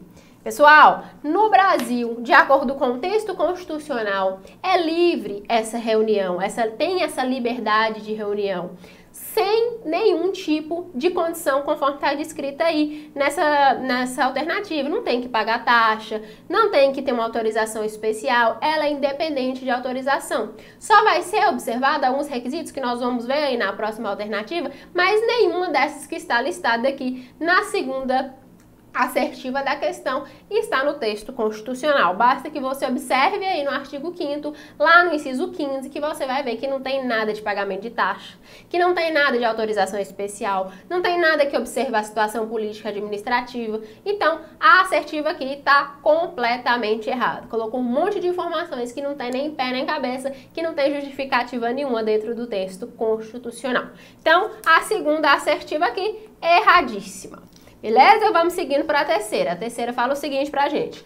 Todos os brasileiros podem se reunir pacificamente, sem armas, em locais abertos ao público, independentemente de autorização, desde que não frustre outra reunião anteriormente convocada no mesmo local, sendo apenas exigido aviso prévio à autoridade competente, de acordo com o disposto no artigo 5 da Constituição. Opa, agora sim! Agora sim é a previsão do inciso 15. Agora sim está seguindo o que o texto constitucional fala. É livre, tem essa liberdade de reunião, desde que seja uma reunião pacífica, obviamente, e sem uso de armas. Então, tem, uh, não tem as condições que foram faladas lá no, na alternativa anterior, na assertiva anterior. Aqui a exigência é que seja pacífico, isso é claro. O Estado vai permitir reunir para um fim que não seja pacífico, para causar tumulto? É óbvio que não. Vai é, em desacordo todas as nossas leis. Mas para fins pacíficos tem essa liberdade tem que ter um aviso prévio para a autoridade competente, mas é só um aviso, não é pedir uma autorização é, especial, é um aviso prévio para a autoridade competente e só vai, a única condição aí para poder ter a reunião livremente é não ter outra reunião marcada para o mesmo local, no mesmo horário. Então, a única condição aí prevista na Constituição é essa de não ter outra reunião para o mesmo local marcado anteriormente. Então, tem essa liberdade sim, independe de autorização, precisa só de um aviso prévio e tem que observar se não tem outra reunião já marcada para aquele local. É isso no que se fala a liberdade de reunião, é isso que a Constituição prevê para a gente lá no artigo 5 inciso 15 nada além disso, nada, nenhuma condição a mais, nenhum requisito a mais, além desses que estão listados aqui. Então, a terceira assertiva aí, perfeita, corretíssima. Vamos às alternativas. Fala o seguinte: marque a correta. Nenhuma está correta, apenas uma está correta, apenas duas estão corretas e todas estão corretas. Nós vimos que das três alternativas da, segunda, da primeira, segunda e terceira. Nós tínhamos a primeira correta, a segunda errada e a terceira correta, né? Então, das três, duas, duas estão corretas, o que nos leva a marcar aqui o gabarito letra C. Duas, duas das alternativas estão corretas. Beleza? Vamos seguindo? Questão 49. Questão 49 fala o seguinte pra gente. O Conselho de Defesa Nacional é um órgão de consulta do presidente da República nos assuntos relacionados à soberania nacional e à defesa do Estado Democrático. Desse modo, são alguns dos membros membros natos do referido conselho. Olha lá. Primeiro a questão vem e explica o que é esse conselho e fala, olha, dentro desse conselho tem alguns membros classificados como membros natos, que são fixados pelo texto constitucional. Quem são esses membros? Você que está com a legislação em mãos, abre aí no artigo 91 no artigo 91 da Constituição vem a listinha lá de quem são esses membros considerados os membros natos do Conselho de Defesa Nacional. E aí, nós estamos de frente às alternativas. Antes de passar as alternativas, uh, abrindo aí no artigo 91, nós vamos ter lá a listinha de quem são esses membros considerados natos. Dentre esses membros vão estar vice-presidente da República, vão estar o presidente da Câmara e do Senado, aqui está sem espaço para escrever, mas vou colocar nas siglas, vice-presidente, o presidente da Câmara, o presidente do Senado, também o ministro da Justiça, o ministro das Relações Exteriores, o ministro do Planejamento e os comandantes os comandantes de Marinha, Exército, Aeronáutica. Acho que esqueci de falar do ministro do Estado de Defesa, né? Ministro do Estado de Defesa. Pronto, são esses aí. Vão ser esses os considerados os membros natos, os membros natos que pertencem a esse Conselho de Defesa Nacional. Então, dentre as alternativas, a gente tem que marcar aquela onde tem esses membros aí descritos. Esteja com a legislação em mãos para a gente ir conferindo juntos aí alternativa por alternativa. Combinado? Vamos lá. Letra A, vice-presidente da República, tá certo? Tá certo? Tá lá no rol do 91. Presidente da Câmara, da Câmara dos Deputados, certo também, tá lá presente na no hall lá do 91. O presidente do Senado Federal também está perfeito. Líderes de maioria e minoria da Câmara dos Deputados? Opa, isso aqui não. Isso aqui não está aqui no hall do 91 que a gente acabou de falar. Letra B, ministro da Justiça? Perfeito, está lá presente. Ministro do Planejamento? Também. O ministro do Estado de Defesa? Perfeito, lá também presente. Ministro das Relações Exteriores? certo? Lá também no 91. E vice-presidente da República? Sim. Pronto, então a alternativa B aí traz o rol com todos, ah, o, todos que estão descritos aí na alternativa B estão lá no rol do 91. Então, letra B está corretíssima. Todos aqui descritos estão lá no artigo 91. Mas vamos finalizar a alternativa, a questão, vendo as outras alternativas. Alternativa C fala de líderes de maioria e minoria da Câmara, já está errado, a gente viu que não está. Líder de maioria e minoria do Senado também. Ministro da Justiça dá certo, ministro do Estado de Defesa dá certo e presidente da República está errado, é o vice-presidente. O vice que está lá. Então, aí temos alguns errados também. E a alternativa D fala dos líderes, mais uma vez, de maioria e minoria da Câmara, líderes de maioria e minoria do Senado, os dois errados. Ministro da Fazenda também não está lá. E ministro das Relações Exteriores está correto. E presidente do Congresso, presidente do Congresso também está errado. Então, a alternativa D também está cheia de erros aí. O que nos leva, o que nos dá a certeza de qual é o nosso gabarito aqui? Letra B porque todos aqui listados estão presentes lá no rol do 91 dos membros natos do Conselho de Defesa Nacional. Então, letra B, o gabarito aí da questão 49. Vamos seguindo? Questão 50? Vamos lá. Em se tratando da previsão constitucional acerca do Poder Executivo, assinale a alternativa incorreta. Grifa, marca, deixa aí bem claro para o seu cérebro que você está procurando a errada, a incorreta.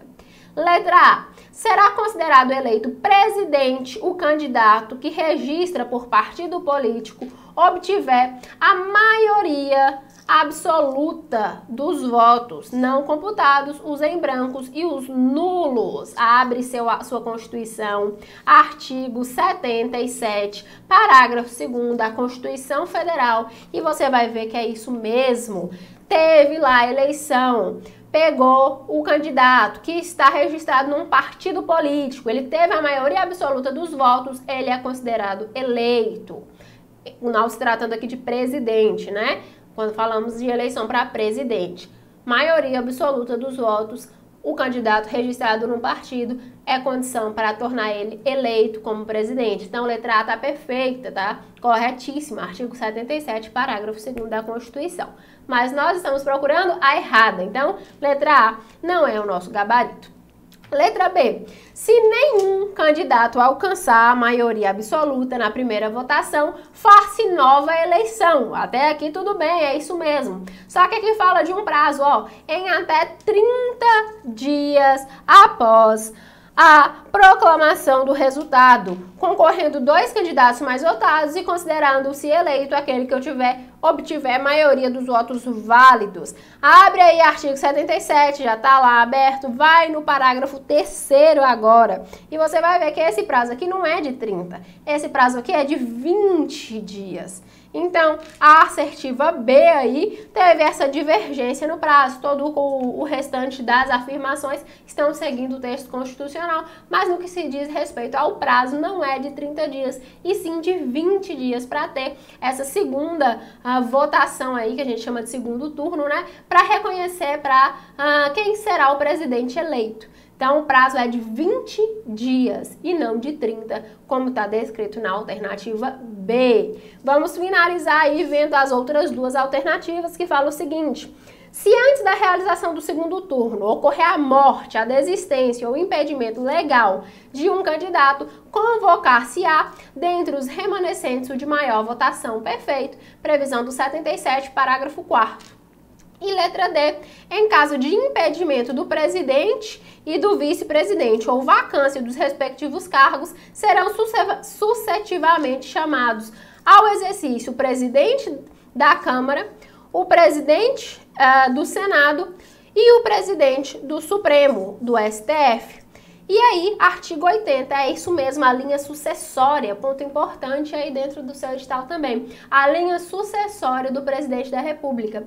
O presidente nem o vice podem mais ocupar o cargo, estão impedidos, estão em vacância, não podem mais ocupar aquele cargo. Qual é a linha sucessória? Presidente da Câmara dos Deputados, presidente do Senado Federal, presidente do Supremo Tribunal de Justiça, do STF. Então, essa linha sucessória aí, prevista no artigo 80, a assertiva B, a alternativa B, está corretíssima de acordo com o texto constitucional. Então, gabarito aqui, Letra B, né? A divergência de prazos aí que a alternativa fez. Trocou o que é real 20 dias, colocando 30, deixando a alternativa com um erro aí no que se diz respeito ao prazo para esse segundo turno. Letra B, então, é a nossa alternativa aqui na questão 50.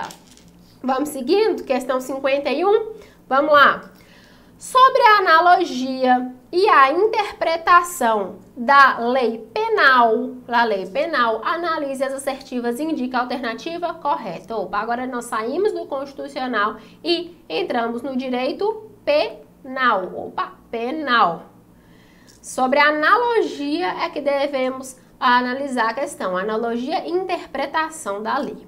A primeira assertiva fala o seguinte: a analogia consiste em aplicar uma hipótese já regulada por lei, já regulada por lei, em uma disposição mais benéfica relativa, relativa a um caso semelhante. Observe. A analogia, ela é utilizada, ela é aplicada quando falta lei.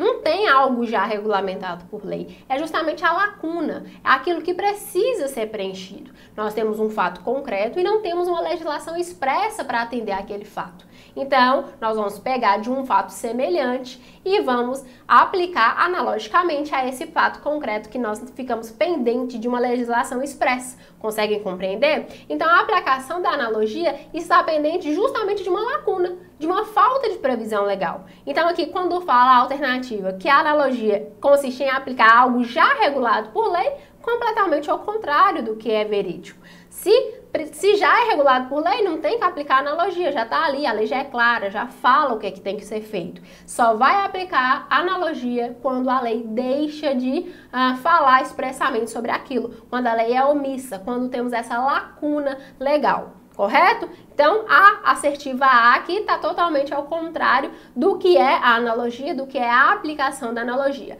Lembrou de analogia, lembra de lacuna de falta de previsão, de uma brecha, de algo que não está previsto uh, expressamente pela lei.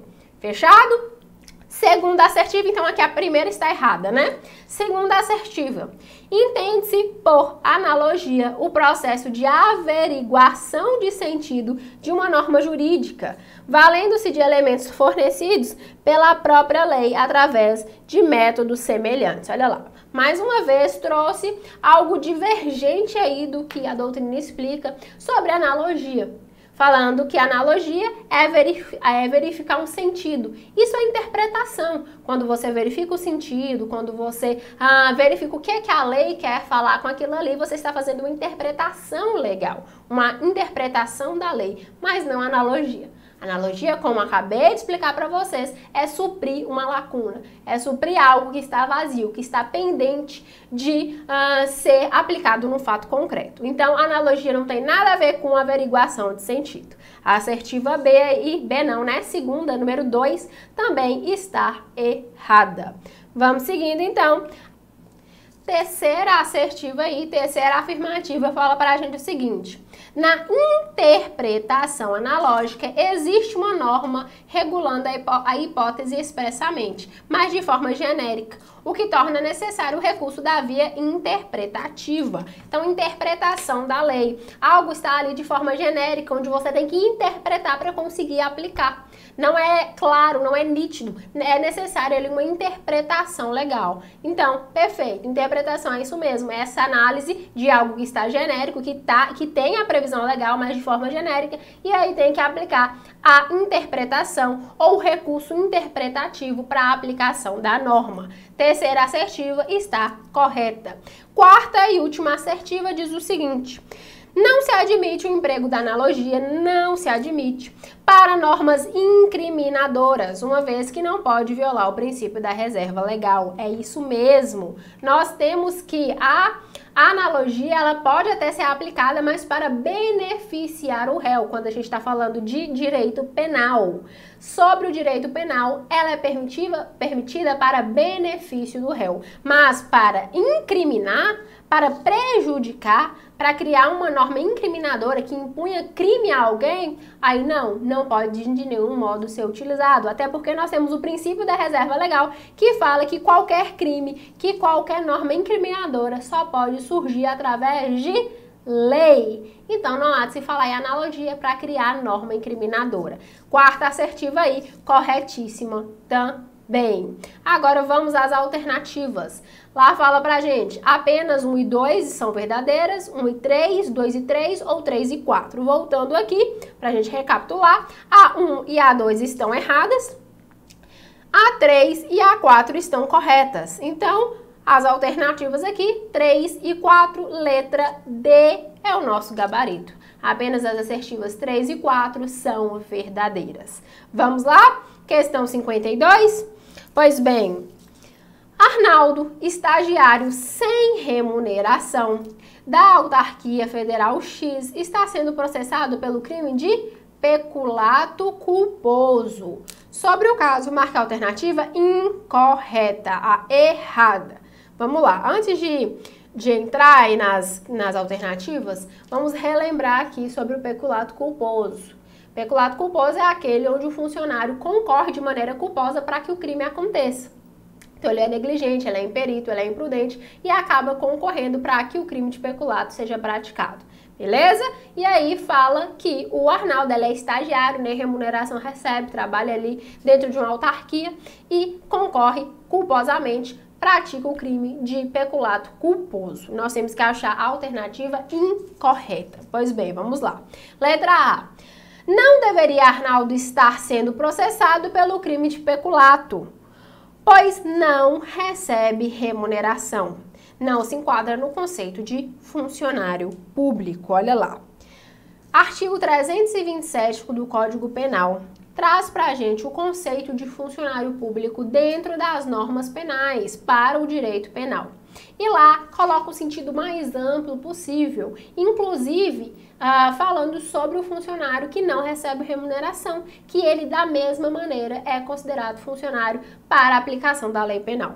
Então, independente de receber ou não remuneração, é sim considerado funcionário público para o Código Penal e terá sobre ele aplicadas as normas do Código prevista no Código Penal. Beleza? Então, letra A, nada a ver. Não é só porque ele não recebe remuneração que ele não pode ser processado e até punido pelo crime.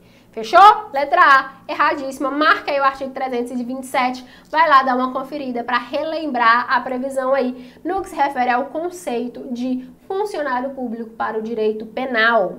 Letra B fala: se reparar o dano até a sentença irrecorrível, será extinta a punibilidade. É isso mesmo. 312, parágrafo 3 fala que no caso do peculato culposo e apenas no culposo se o funcionário vai lá e repara o dano antes da sentença, nós temos o devido processo e ao final do processo será uma sentença. Essa sentença, após publicada ali, ela tem um prazo de recurso e tudo quanto. Passado esse prazo ou então esgotado todos os recursos, essa sentença transita essa sentença torna-se irrecorrível, não tem como mais modificar.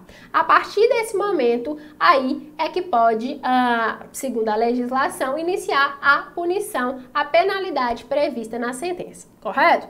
Aí a lei fala o seguinte pra gente, olha, no caso do peculato culposo, se o agente que praticou o crime vai lá e repara o dano antes dessa sentença irrecorrível, antes da sentença se tornar ali transitada em julgado, não poder mais fazer nada contra aquela decisão, se essa reparação é anterior a essa sentença, extingue a punibilidade ele não vai ser punido. Ele reparou o dano, é extinta a punibilidade. Corretíssimo. Artigo 312, lá no parágrafo 3 traz essa previsão expressa sobre o peculato culposo. Cuidado para não fazer confusão e achar que é qualquer tipo de peculato. É apenas no caso do peculato culposo. Então, letra B está corretíssima, segundo as previsões do Código Penal. Letra C. Se reparar o dano após, após a sentença irrecorrível, será reduzida de metade a pena imposta. Lá no mesmo artigo 312, no mesmo parágrafo terceiro, também fala da hipótese de reparação do dano após a sentença. Se for antes da sentença, extingue a punibilidade. E se for depois? Se for depois, reduz pela metade a pena imposta. Então, pode reparar mesmo depois da sentença? Pode. Vai ter benefício? Vai. Qual é esse benefício? Redução de metade da pena imposta. Então, corretíssimo também aí a letra C da questão 52.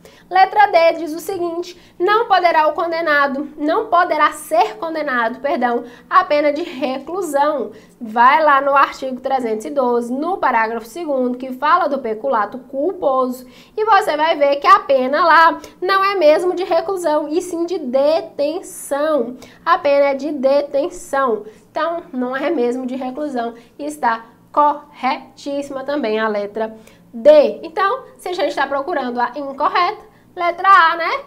Letra A é a nossa alternativa aqui, porque diz sobre a definição de funcionário público para o direito penal, que não abrange os funcionários sem remuneração, enquanto sim abrange, está lá no artigo 327. Então, letra A está incorreta e é o nosso gabarito aqui na questão 52. Vamos seguindo? Questão, opa, questão 53, vamos lá. Questão 53, vamos lá, diz o seguinte: quanto ao excesso punível em direito penal, é correto afirmar que, olha lá, excesso punível. Antes da gente ir para as alternativas, vamos relembrar que o que é esse excesso punível. Nós temos lá no artigo 23 do Código Penal as quatro excludentes de licitude: legítima defesa, estágio de necessidade, estrito cumprimento de dever legal e exercício regulado do direito. Lembrados? Pois bem, no próprio artigo 23, nós temos o parágrafo único que fala do excesso, que em qualquer dessas modalidades aí das excludentes, em qualquer das excludentes, o agente que agir com excesso, que agir com mais do que necessário, que extrapolar os limites, vai ser, ah, vai responder, vai ser punido pelo excesso, seja esse excesso doloso ou culposo. É o que o parágrafo do artigo 23 fala pra gente. Então, lembrado isso aí, revisado isso aí, vamos às alternativas. Olha lá. Letra A diz: só existe na figura culposa. O excesso punível, segundo a assertiva A, só existe na figura culposa. Aqui está escrito 312, mas não tem nada a ver 312. Todos os casos aqui é parágrafo único do 23. Na hora da edição aí houve um equívoco, mas a gente faz a correção aqui ao vivo, não tem problema nenhum. Artigo 23, parágrafo único. Acabei de falar com vocês. Lá fala, agiu com excesso, agiu demais da, demais da conta, foi além do que necessário, vai ser punido, vai responder pelo excesso. Pouco importa se esse excesso foi doloso ou se foi culposo, vai responder da mesma maneira. Então, letra A e letra B aí também fala que só, só existe culposo, só existe doloso. As duas erradas, já mata as duas de uma vez só, porque lá no artigo, no artigo 23, parágrafo único, fala que vai ser punido o excesso, o excesso é punível, seja praticado de forma dolosa ou culposa, nas duas modalidades. Então, nem tem nada de só uma nem só a outra. Letra A e letra B estão incorretas. Letra C. Não existe excesso em caso de amparo da conduta pela excludente de legítima defesa. Olha, Parágrafo único de novo do artigo fala que independente de qual for a excludente de licitude, se for legítima defesa, se for estado de necessidade, estrito cumprimento de dever legal, exercício regulado do direito, em qualquer uma das hipóteses, vai punir pelo excesso. Então não tem nada que tirar a legítima defesa aí do bolo. Ela também vai estar junto. Existe sim excesso no caso de legítima defesa, assim como das outras três. Então a alternativa C também está errada. D, é, quarta e última alternativa, fala o seguinte: existe na figura culposa e na figura dolosa. Ah, agora sim, hein? Independentemente da modalidade de excludente. Perfeito. É o que nós repetimos aqui algumas vezes. Culposo ou doloso em qualquer uma das quatro excludentes de licitude. O excesso vai ser punível. Parágrafo único do artigo 23. Então, letra B está corretíssima, letra D está perfeita, é o nosso gabarito aí na questão 53. Vamos seguindo? Questão 54 diz o seguinte: O funcionário público autorizado que exclui indevidamente dados corretos dos bancos de dados da administração pública com o fim de obter vantagem indevida para si. Comete qual crime? Qual crime o funcionário público que é autorizado, mas vai lá e exclui dados corretos, dados certos dos bancos de dados da administração pública a fim de obter uma vantagem para si. Qual é o crime? Antes mesmo de ir nas alternativas, vamos procurar essa conduta no Código Penal. Pega aí seu Código Penal e abre no artigo 313-A Vamos aí juntos, acompanhe aqui para a gente criar essa ligação, tornar íntimo aí da legislação. Então, abra seu Código Penal no artigo 313A para a gente encontrar a resposta juntos. Olha lá. 313A fala o seguinte: inserir, facilitar ou facilitar o funcionário autorizado, olha, conforme está descrito na nossa alternativa, na nossa questão, perdão, a inserção de dados falsos, alterar ou excluir indevidamente dados corretos nos sistemas automatizados ou nos bancos de dados da administração pública, com o fim de obter vantagem devida para si ou para outrem ou causar dano. Daí a peninha de reclusão de 2 a 12 anos, além da multa. Mas que crime é esse? Olha aí o título, olha o nome do crime aí. Inserção, inserção de dados falsos ou em sistema de informação. Então, pratica o crime do 313, que é denominado como inserção de dados falsos em sistema de informações. Aquele funcionário autorizado que exclui ou que ah, insere ou que ainda altera dados e aqui no caso da inserção são de dados falsos, de alteração ou de exclusão de dados corretos, nos sistemas informatizados ou nos bancos de dados da administração pública. E observe, ele tem que ter uma finalidade, ele tem que ter um fim, que é obter uma vantagem devida, seja para ele mesmo, seja para si, ou seja para outra pessoa, ou ainda causar dano. Crime do 313-A. Crime de inserção de dados falsos em sistema de informação. Crime punido com reclusão de 2 a 12 anos. E multa. Então, Visto isso aí, relembrado esse crime que não é muito falado, mas que é importante para a sua formação aqui enquanto concurseiro, para a sua prova do dia 16, relembrado esse crime aí, voltemos às alternativas. Olha lá, vamos reler esse caput aqui. Funcionário público autorizado, ó lá, igual ao nosso, ao nosso artigo, que exclui indevidamente também está em conformidade. Dados corretos de bancos de dados da administração pública tudo perfeito, bate lá com o nosso artigo 313A. E ainda traz a finalidade, ó, obter vantagem devida para si. Então, perfeito. Excluiu dados corretos com o fim de obter vantagem indevida. Perfeito, bateu lá com 313A. Agora vamos para as alternativas. Letra A fala de crime de modificação ou alteração não autorizada de sistema de informação, 313B do Código Penal.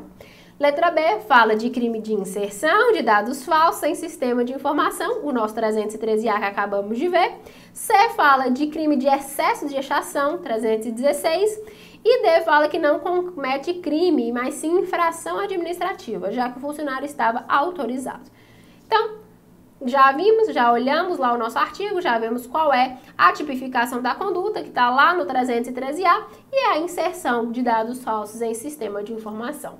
Então, 54 aqui, letra B. Só ir lá no 313A, conferir a tipificação da conduta, bateu com a tipificação aqui com a tipificação não, é com o caso aqui que foi ilustrado na 54, as duas coisas semelhantes ah, para não dizer idênticas, né? As duas coisas idênticas. Então, aplica a pena, aplica a tipificação do 313A. Inserção de dados falsos em sistema de informações. Beleza? Alternativa B, gabarito B na questão 54. Última questão, questão 55. Fala o seguinte pra gente. Acerca do emprego da analogia no âmbito do direito penal brasileiro, assinale a alternativa correta. Olha lá, vamos procurar a alternativa certa. Letra A. A regra é a proibição do emprego da analogia no, direito, no âmbito penal, por força do princípio da reserva legal. Todavia, a doutrina remansosa em admitir esse recurso quando apresentar in bonam partem. Olha, perfeito. Uma definição perfeita aí, ó, para vocês guardarem bem quando se tratar do emprego da analogia no direito penal.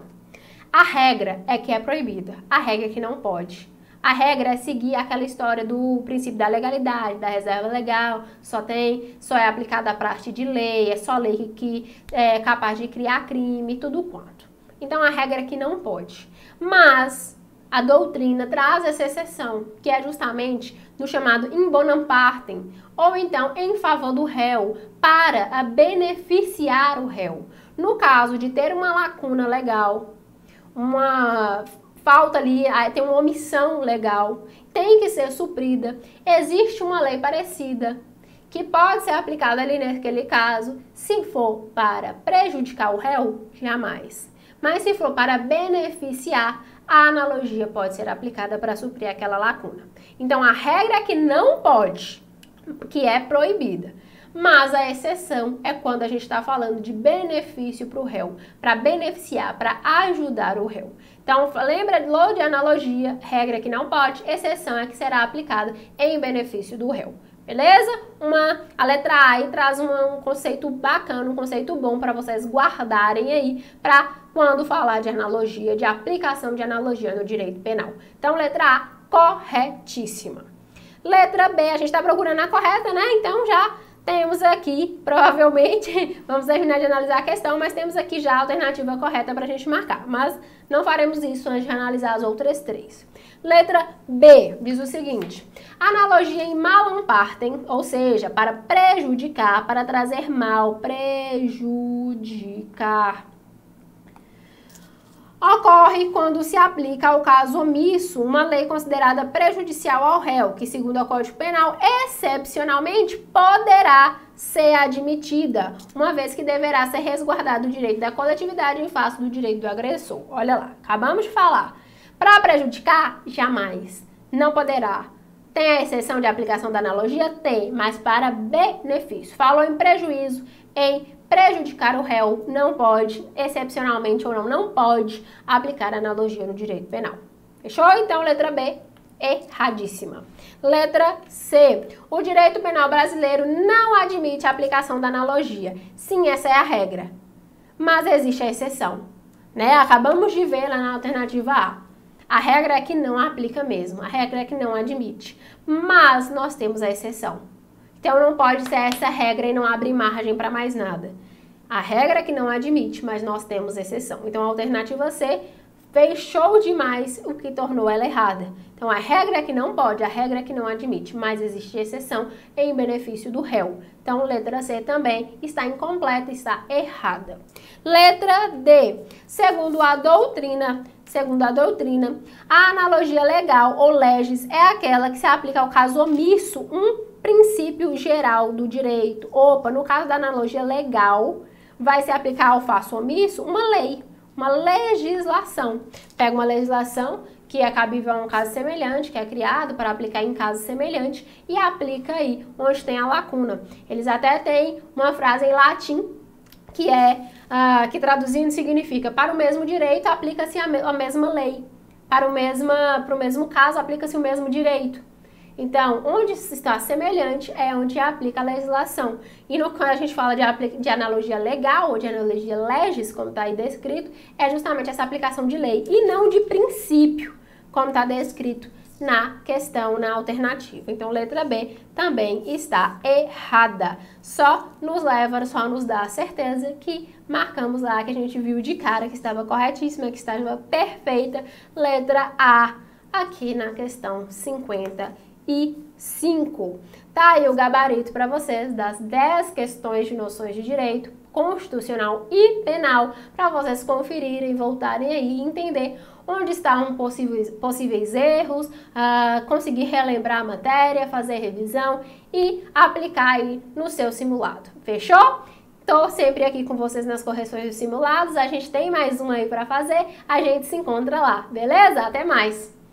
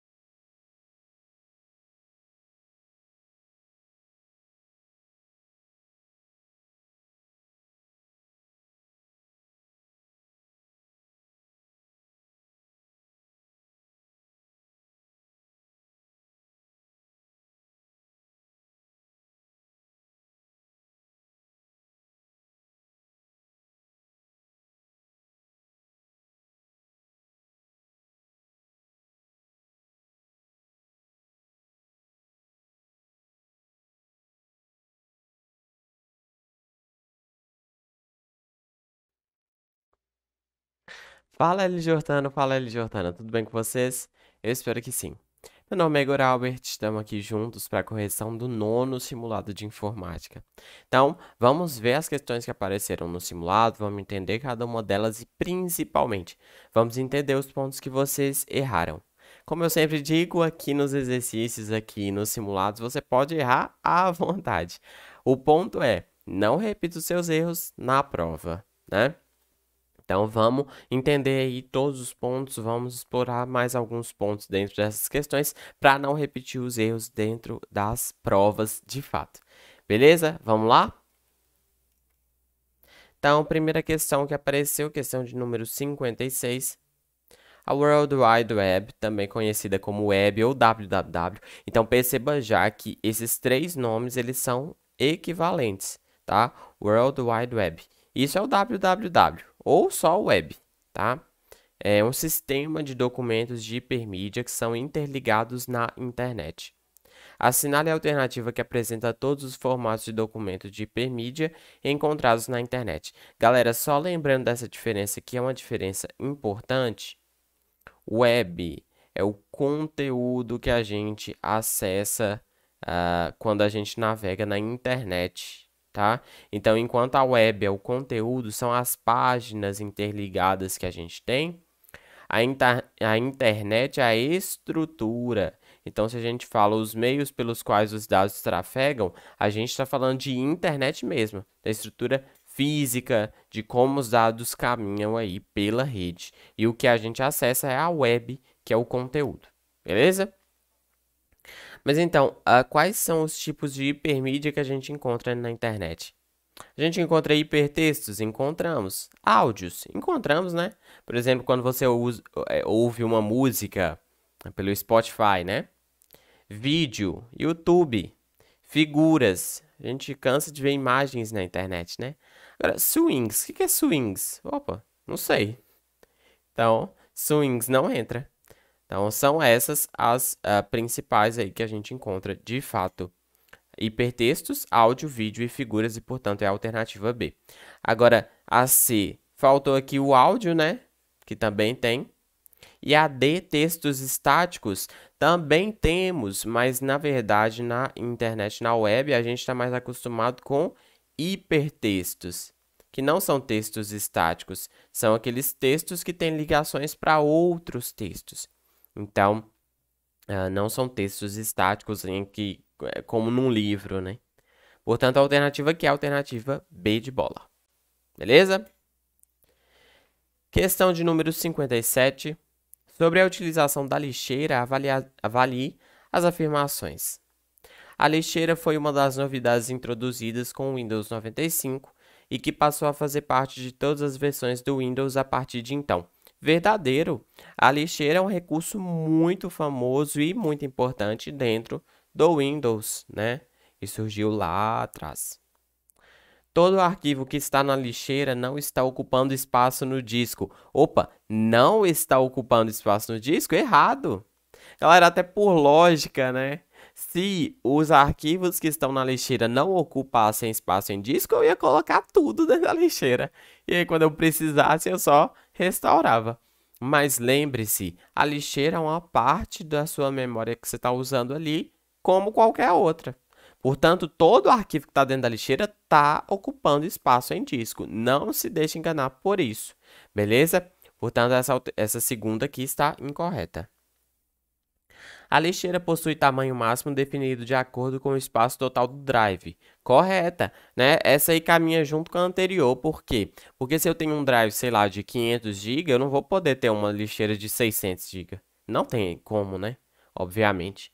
Então, Uh, de fato, a lixeira, o, tamanho da lixeira, o espaço em disco disponível para a lixeira depende do espaço que você tem no seu disco rígido, no seu SSD, beleza? Então essa aí está correta.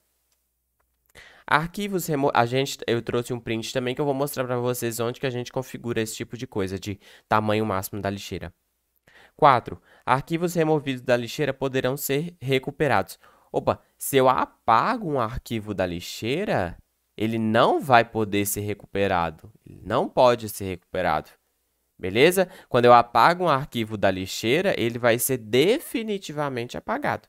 Então, não vai ter como eu recuperar, pelo menos pelos meios mortais, né? Ah, existem alguns outros meios, que talvez consigam recuperar esses dados ainda, mas não pelo sistema operacional ali padrão Windows, beleza? Na opção Restaurar todos os itens, a ação associada é que os arquivos da lixeira serão restaurados. Opa, até aqui tudo bem, né? Vamos ver o restante. Restaurados para a área de trabalho? Não, né? Quando eu restauro um item que está na lixeira, ele volta para sua pasta de origem. Ele não volta para uma pasta específica como a área de trabalho. Então, cada item vai ser restaurado para o seu local de origem. Portanto, essa aqui também está incorreta. E as corretas são só a 1 e a 3.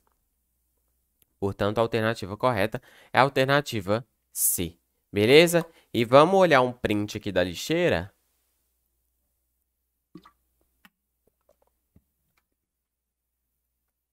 Quando eu venho aqui, galera, em propriedades da lixeira, o que, que eu encontro?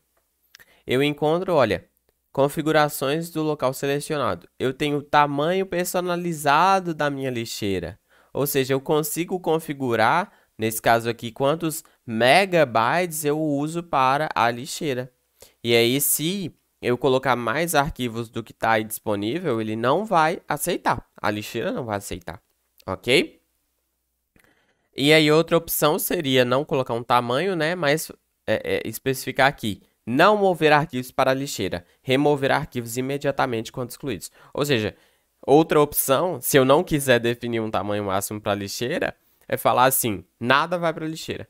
Sempre que eu apagar alguma coisa, vai direto para o beleléu, não, não passa pela lixeira, beleza? Então, ou eu especifico o tamanho máximo da lixeira, ou não uso lixeira. Tudo é apagado direto, beleza? Definitivamente. Tranquilo? Então, isso aí é tudo em propriedades da lixeira. Vamos para a próxima questão de número 58. O departamento em que você trabalha irá fazer uma reunião que necessita ser à distância. Diante de uma gama de softwares para essa reunião, você ficou de apontar dois, que possibilitem o tráfego de som, imagem e chat, né? Chat, que é o bate-papo. Ou seja, é, essas ferramentas, é, é padrão delas, né, as ferramentas de videoconferência, que você consiga tanto fazer a chamada em si, né, com imagem e som, quanto tem ali um chat que você consegue digitar mensagens. Nesse sentido, você sugeriu corretamente as duas seguintes opções de softwares que, via internet, possibilitam a execução de reuniões à distância. Então, quais softwares aqui permitem a execução de reuniões à distância com vídeo, som e texto e chat?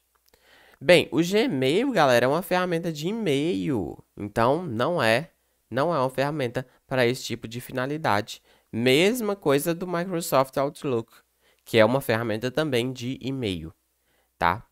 Facebook, a rede social, né? É uma rede social mais voltada para postagem de fotos, imagens, textos, uh, para a venda de itens, criação de grupos. Eu falo que Facebook é um, é uma, é, faz de tudo, né? É um bom brilzão porque tem como fazer quase tudo dentro do Facebook. É, é uma rede que acabou absorvendo características de muitas outras redes e virou um, um trem gigante que dá para você fazer muita coisa.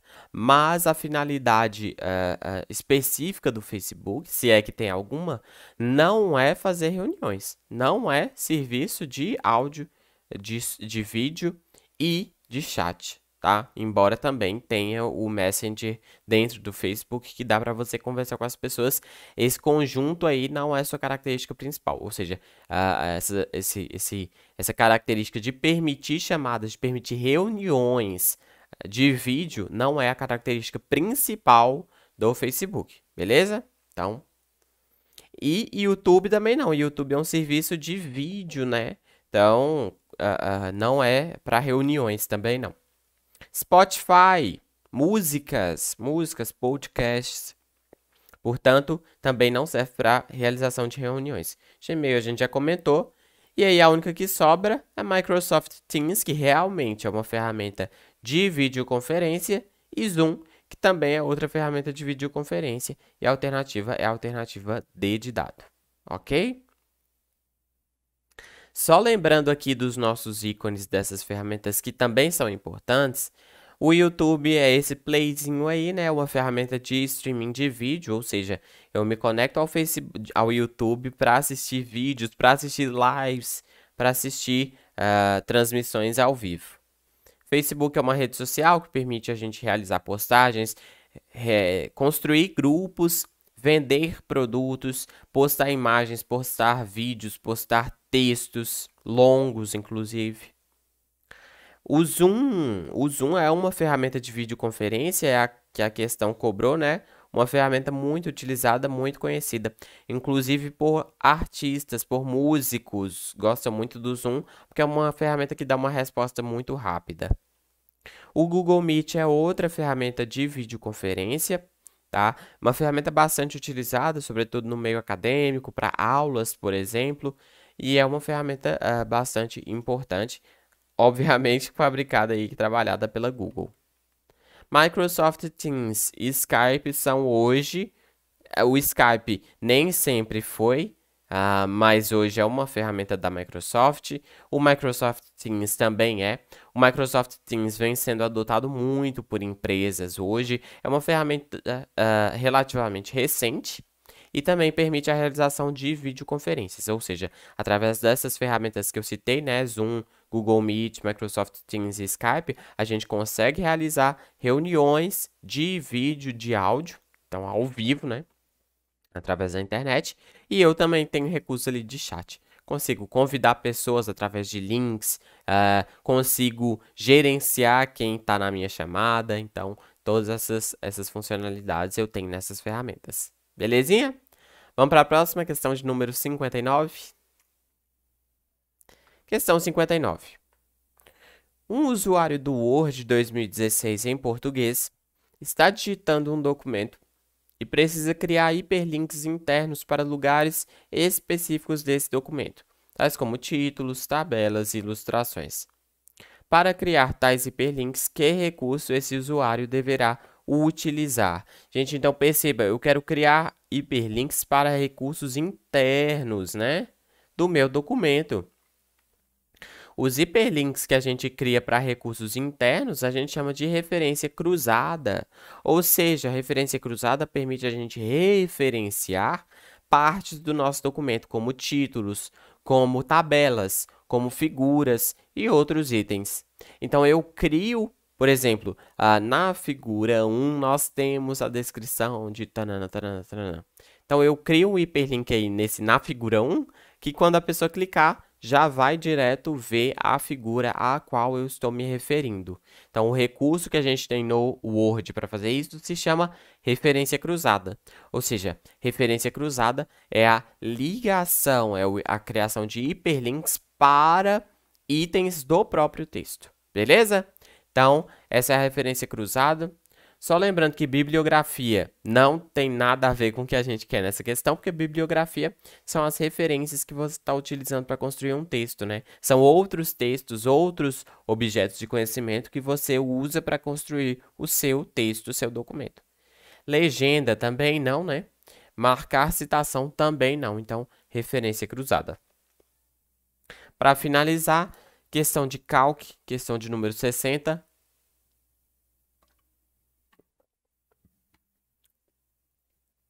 Considere a seguinte planilha editada no LibreOffice Calc versão 6.2. Então, a gente tem essa planilha que a gente já vai voltar nela. Caso a fórmula maior A1, 2 pontos C4, ponto e vírgula 3, seja inserida na célula D5, o resultado produzido nela será. Galera, eu gosto muito dessa função, dessa função maior, por quê? Porque ela, é, é, ela tem uma irmã, uma prima dela, que tem um nome muito parecido e faz uma coisa muito próxima e tende a fazer as pessoas se confundirem. Então a gente tem duas funções muito importantes, uma delas é a maior e a segunda é máximo. Qual a diferença dessas duas funções? A função máximo, ela me retorna o maior valor de um intervalo. Então, coloquei máximo, coloquei o intervalo de interesse, vai me retornar o maior valor. Ponto final. A função maior, não. A função maior, ela recebe um intervalo e recebe um número. Então, perceba, eu recebi um intervalo e recebi um número. O que, que esse número quer dizer? Esse número quer dizer não que eu quero o maior, é que eu quero o terceiro maior aqui nesse caso. Então perceba que esse número, é, esse número que vem aqui como segundo parâmetro, ou seja, depois do ponto e vírgula vem esse número, né? Então, como segundo parâmetro, esse número indica qual é o enésimo valor que eu quero da minha lista de maiores valores. Então, por exemplo, se esse valor aqui fosse 4, eu queria o quarto maior valor desse intervalo aqui.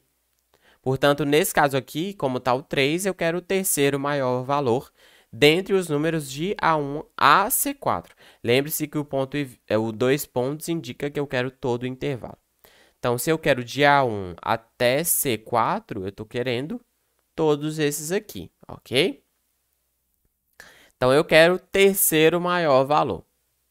Qual que é o maior valor? Aqui esses números, inclusive, já estão ordenados. Poderia não estar, mas o maior é o 9. O segundo maior, o 8. O terceiro maior, 7. Opa, então o terceiro maior valor é o 7. Repare que o quarto maior, quarto maior valor também é o 7. Portanto, se tivesse 3 ou 4 lá, a resposta seria exatamente a mesma, ok? Então, o terceiro maior valor, terceiro maior valor, é o número 7. Beleza? E aí a resposta é letra B. Mas só recapitulando para vocês, porque essa diferença é muito importante, e além das funções maior e máximo, a gente também tem a menor e a mínimo. A função menor também vai receber os dados aqui como primeiro parâmetro e como segundo parâmetro vai receber um k. Por quê? Porque eu vou querer o késimo menor valor.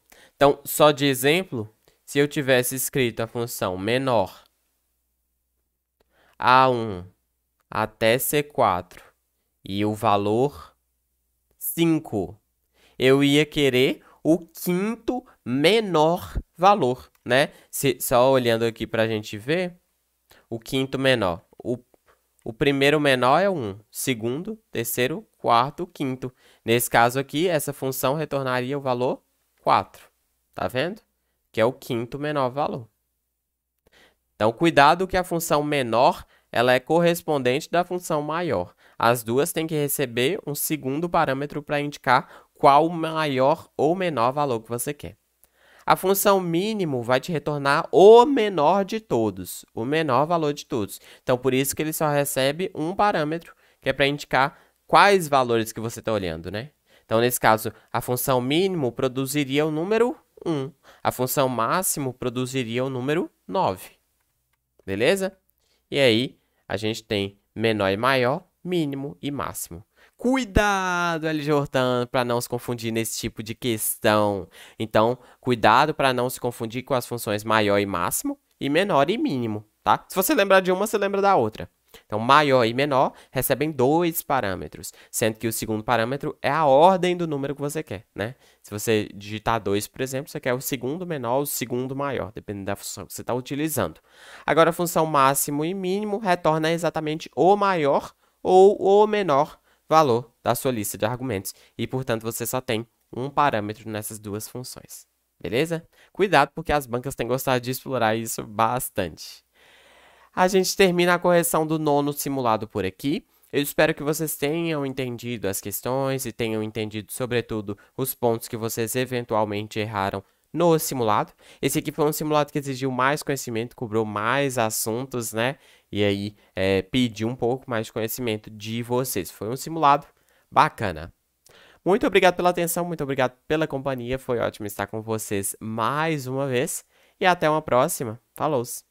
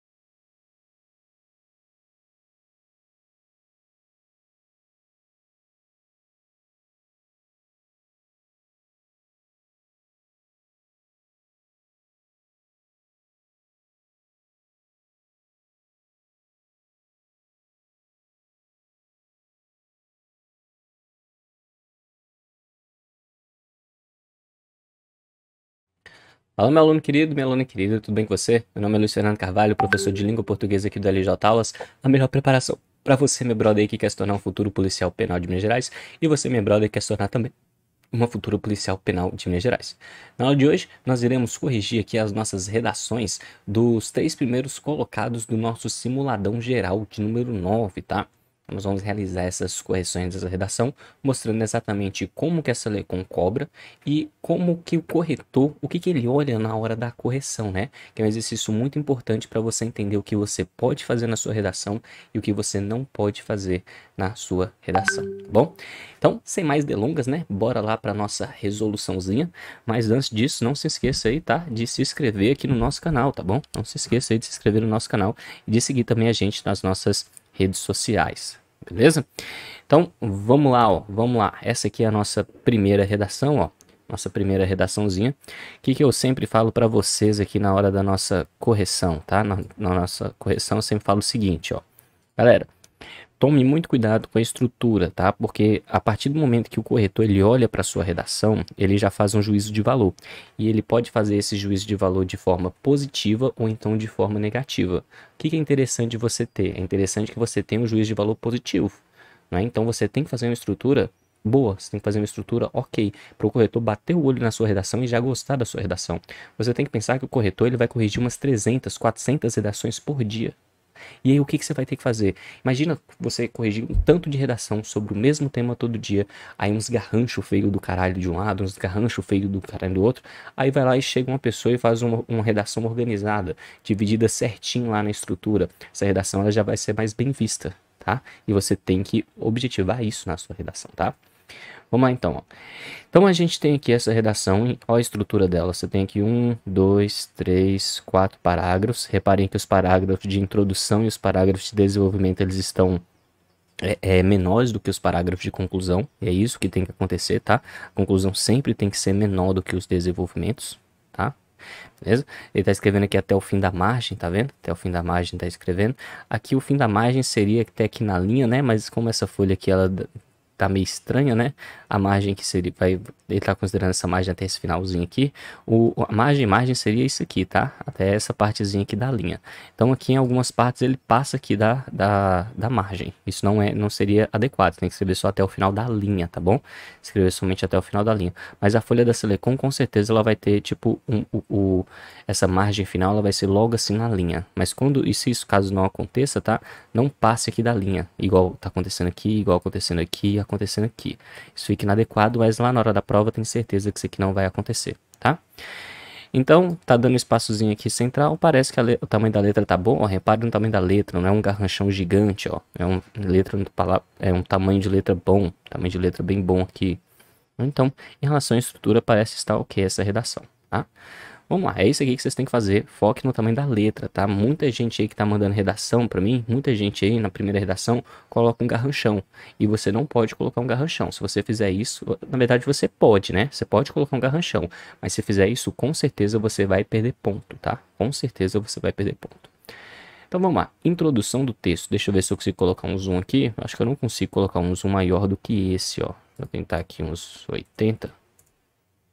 Esse aqui é o maior zoom que eu consigo dar, ó. Esse aqui. Tá? Então a gente vai ter que fazer nesse aqui. E eu vou lendo aqui. Qualquer dúvida que vocês tiverem, vocês podem me mandar lá no nosso Instagram, arroba. Vamos lá então.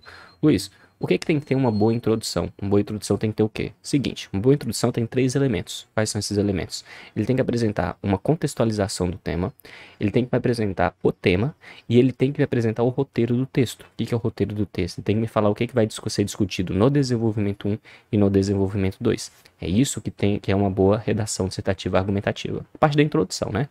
Vamos ver se esse aqui está certinho.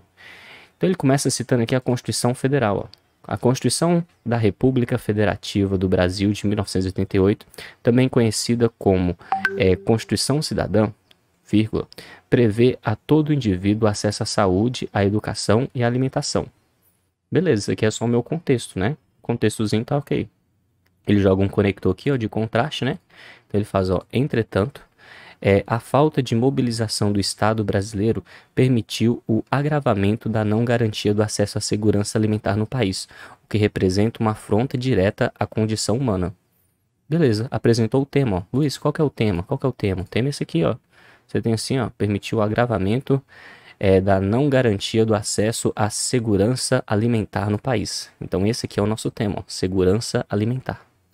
E ele faz o terceiro, terceiro ponto, né? Sob tal perspectiva, faz-se necessário analisar os fatores que envolvem esse cenário de inequidade social. Perfeitíssimo aqui, ó. Então nós temos três períodos aqui finais, três períodos aqui nessa introdução, um contexto com a Constituição, a apresentação do tema e depois o roteiro do texto. Repare que o roteiro do texto ele pode ser feito dessa maneira mais básica, tá? Faz-se necessário analisar os fatores que favorecem esse cenário.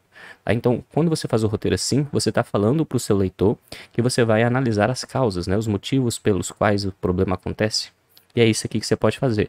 Se você quiser já citar o que você vai falar no D1 e no D2, pode também, não tem problema, mas dessa forma aqui também é correta, tá? Beleza. Então, introdução tá ok. Isso aqui é uma boa introdução. Boa introdução, nenhum probleminha aqui na nossa introdução. Vamos aqui na, na, na segunda desenvolvimento, ó. Luiz, o que, que é olhado aqui no desenvolvimento? O que, que o corretor espera de mim lá na hora da prova, para eu regaçar? Ó, o desenvolvimento, gente, o que a galera tem mais, erra, erra, tem mais errado aqui nos últimos redações que eu estou corrigindo é a questão da informatividade das ideias e da não defesa dos argumentos. O que, que é isso? Vamos lá por partes. Informatividade. O, repare só, olha o tamanho desse parágrafo aqui. Ó. Esse parágrafo tem uma, duas, três, quatro, cinco, seis, sete, oito, oito linhas e meia, mais ou menos. Vamos colocar nove linhas, digamos assim. Olha o tamanho da letra que eu tenho aqui. Ó. Tá vendo que a letra tá bem pequenininha? Vendo? Então, ver, eu tenho oito linhas, oito linhas e meia com a letra bem pequenininha. Isso mostra que esse parágrafo ele tem alto índice de informatividade. O que mais eu vejo aqui é a galera que chega com garranchão, sabe aqueles garranchos lá gigante de letra, chega com garranchão e faz lá cinco linhas no desenvolvimento, faz seis linhas no desenvolvimento, faz até as oito linhas, que é o que tem que ser feito mesmo, tem que ser feito entre oito e dez linhas. Só que se você fizer oito linhas de desenvolvimento com garranchão gigante, você não vai ter o tanto de ideias possíveis porque não cabe no texto. Então é como se fosse assim, é como se fosse lá na, na quinta série, quarta série, quando a professora de redação passava uma tarefa para você, você estava chegando às férias, ela passava a tarefa assim, ó, faça uma redação sobre como foi suas férias. Você vai lá e coloca tipo assim, as minhas férias foram muito boas, eu fui para casa do meu pai, ponto. Só. Aí a professora, você entrega a professora, a professora vai lá e falava assim pra você, ah não, fulano, tem que ter aqui, ó, no mínimo 10 linhas Aí você fala, putz, velho, tinha que ter 10 linhas. Só que aí você é esperto, você é brasileiro. O que, que você faz? Você vai lá, em vez de você escrever mais informações, você simplesmente aumentava o garrancho do texto. Então você colocava a mesma informação, só que antes tinha lá 3 linhas, você vai colocar ela em 10 linhas porque você aumentou o tamanho do texto, da letra. Né? E, é, e, é, isso que você tem que tomar cuidado. Porque se você colocar letra muito grande, não vai caber um alto índice de informatividade no seu texto. E aí você vai perder ponto em argumentação e pertinência ao tema, tá? Então o que, que, você tem que ter em mente? Ó? Qual que é o padrão? O padrão é esse aqui, ó, 8, 8 linhas mais ou menos, entre 8 e 10 linhas, e com a letrinha pequena, ó, tá? E tem que colocar também, gente, sempre quatro períodos por parágrafo, tá? Sempre quatro períodos por parágrafo. E aqui na no, a segunda parte que eu falei para vocês tomarem cuidado é a seguinte: vocês têm que tomar muito cuidado mesmo com a defesa das ideias. Muita gente está fazendo apenas redação expositiva. Então, no desenvolvimento 1, eu tenho que apenas apresentar um tema, eu tenho que ap apresentar a minha opinião, que eu acho que causa o problema, e eu não, tenho que simplesmente apresentar essa opinião. Eu tenho que apresentar e comprovar essa opinião. Tá? Então não basta eu falar assim, eu acho que a insegurança alimentar no país é causada por X. Então não basta isso. Aí depois a galera fala assim: eu acho que a segurança alimentar é causada por X, tal, tal, tal. Ponto final. Como consequência e tal coisa. Só. Aí ele faz dois períodos só. Não é assim que faz parágrafo de desenvolvimento, tá? A ideia pode até estar tá correta, mas você precisa sempre convencer o leitor. Então tem que ter um alto índice de informatividade, tá? Vamos analisar essa daqui, ó. A gente tem assim. Em primeiro lugar, ó, esse conector aqui, ó, eu não gosto desse conector, tá? Eu não gosto desse conector. Por que não? Porque esse conector ele não é um conector de tópico frasal ele é um conector muito amplo, muito aberto. Tá? Então, quando você fala em primeiro lugar, você pode falar qualquer coisa. Eu prefiro colocar é, uma das justificativas para a, é, a insegurança alimentar tem relação com X. Eu gosto sempre de começar assim o meu desenvolvimento, tá? Mas é que desde que ele faça um tópico frasal aqui na frente, não tem problema começar assim. O problema é quando você começa em primeiro lugar e não faz um tópico frasal. Então ele fala assim, ó, em primeiro lugar, sabes que a desigualdade social no Brasil é, emerge como uma das mais recorrentes entre as circunstâncias da tímida garantia do acesso à segurança alimentar brasileira. Então ele fez aqui ó, o tópico frasal dele. né? apesar de ter começado com o primeiro lugar, ele falou que, ó, então a questão da desigualdade social é a principal causa do problema. Desigualdade social. Ele citou, tá vendo? Ele citou e agora o que ele tem que fazer? Ele tem que comprovar. Não basta ele jogar aqui uma consequência a partir de agora. Ele tem que comprovar essa ideia, ele tem que me convencer. Sempre pense no seguinte forma, gente. Ó, imagina que nós estejamos aí num boteco tomando uma cervejinha, né? Cervejinha gelada, daquela no grau lá. E aí, uma glacial, litrão, né? Aquela, que vem trincando assim, ó, com aquela bem branquinha assim. E porque glacial só é assim que dá, né? Porque senão, fi, você tá fudido. E aí, a gente está discutindo sobre segurança alimentar no país e você fala, ó, eu acho que a causa da insegurança alimentar é X. Aí eu viro para você e falo, eu não concordo com você não. Aí você vai lá e fala o quê? Você vai me comprovar que isso é verdade. Você fala, não, isso acontece por causa disso, disso e disso. É justamente essa comprovação que você tem que fazer na sua redação e que muita gente está deixando de fazer. Então tome cuidado com isso, tá? Bom, então, tem que comprovar aqui então a questão da desigualdade social. Fala, ele fala assim, ó. Para comprovar tal aspecto, segundo dados da Rede Brasileira de Pesquisa em Soberania e Segurança Alimentar e Nutricional, de dezembro de 2020 é, disponíveis, no, disponíveis no portal de notícias G1, atualmente cerca de 19,1 milhões de brasileiros passam fome, o que reforça a indispensável necessidade de políticas públicas eficazes e de maior ampliação de programas sociais de transferência de renda. Aqui faltou uma vírgula. Visando, e quem visa, visa a alguma coisa, então a gente tem que ter uma asinha aqui, ó, ao direito na prática quanto à segurança alimentar destes indivíduos vulneráveis. Ponto final. Aqui a gente tem problemas, ó que a gente tem problemas. O que, que eu falei para vocês? Falei para vocês que tem que comprovar a ideia. Então ele falou aqui que a desigualdade social do Brasil causa o problema.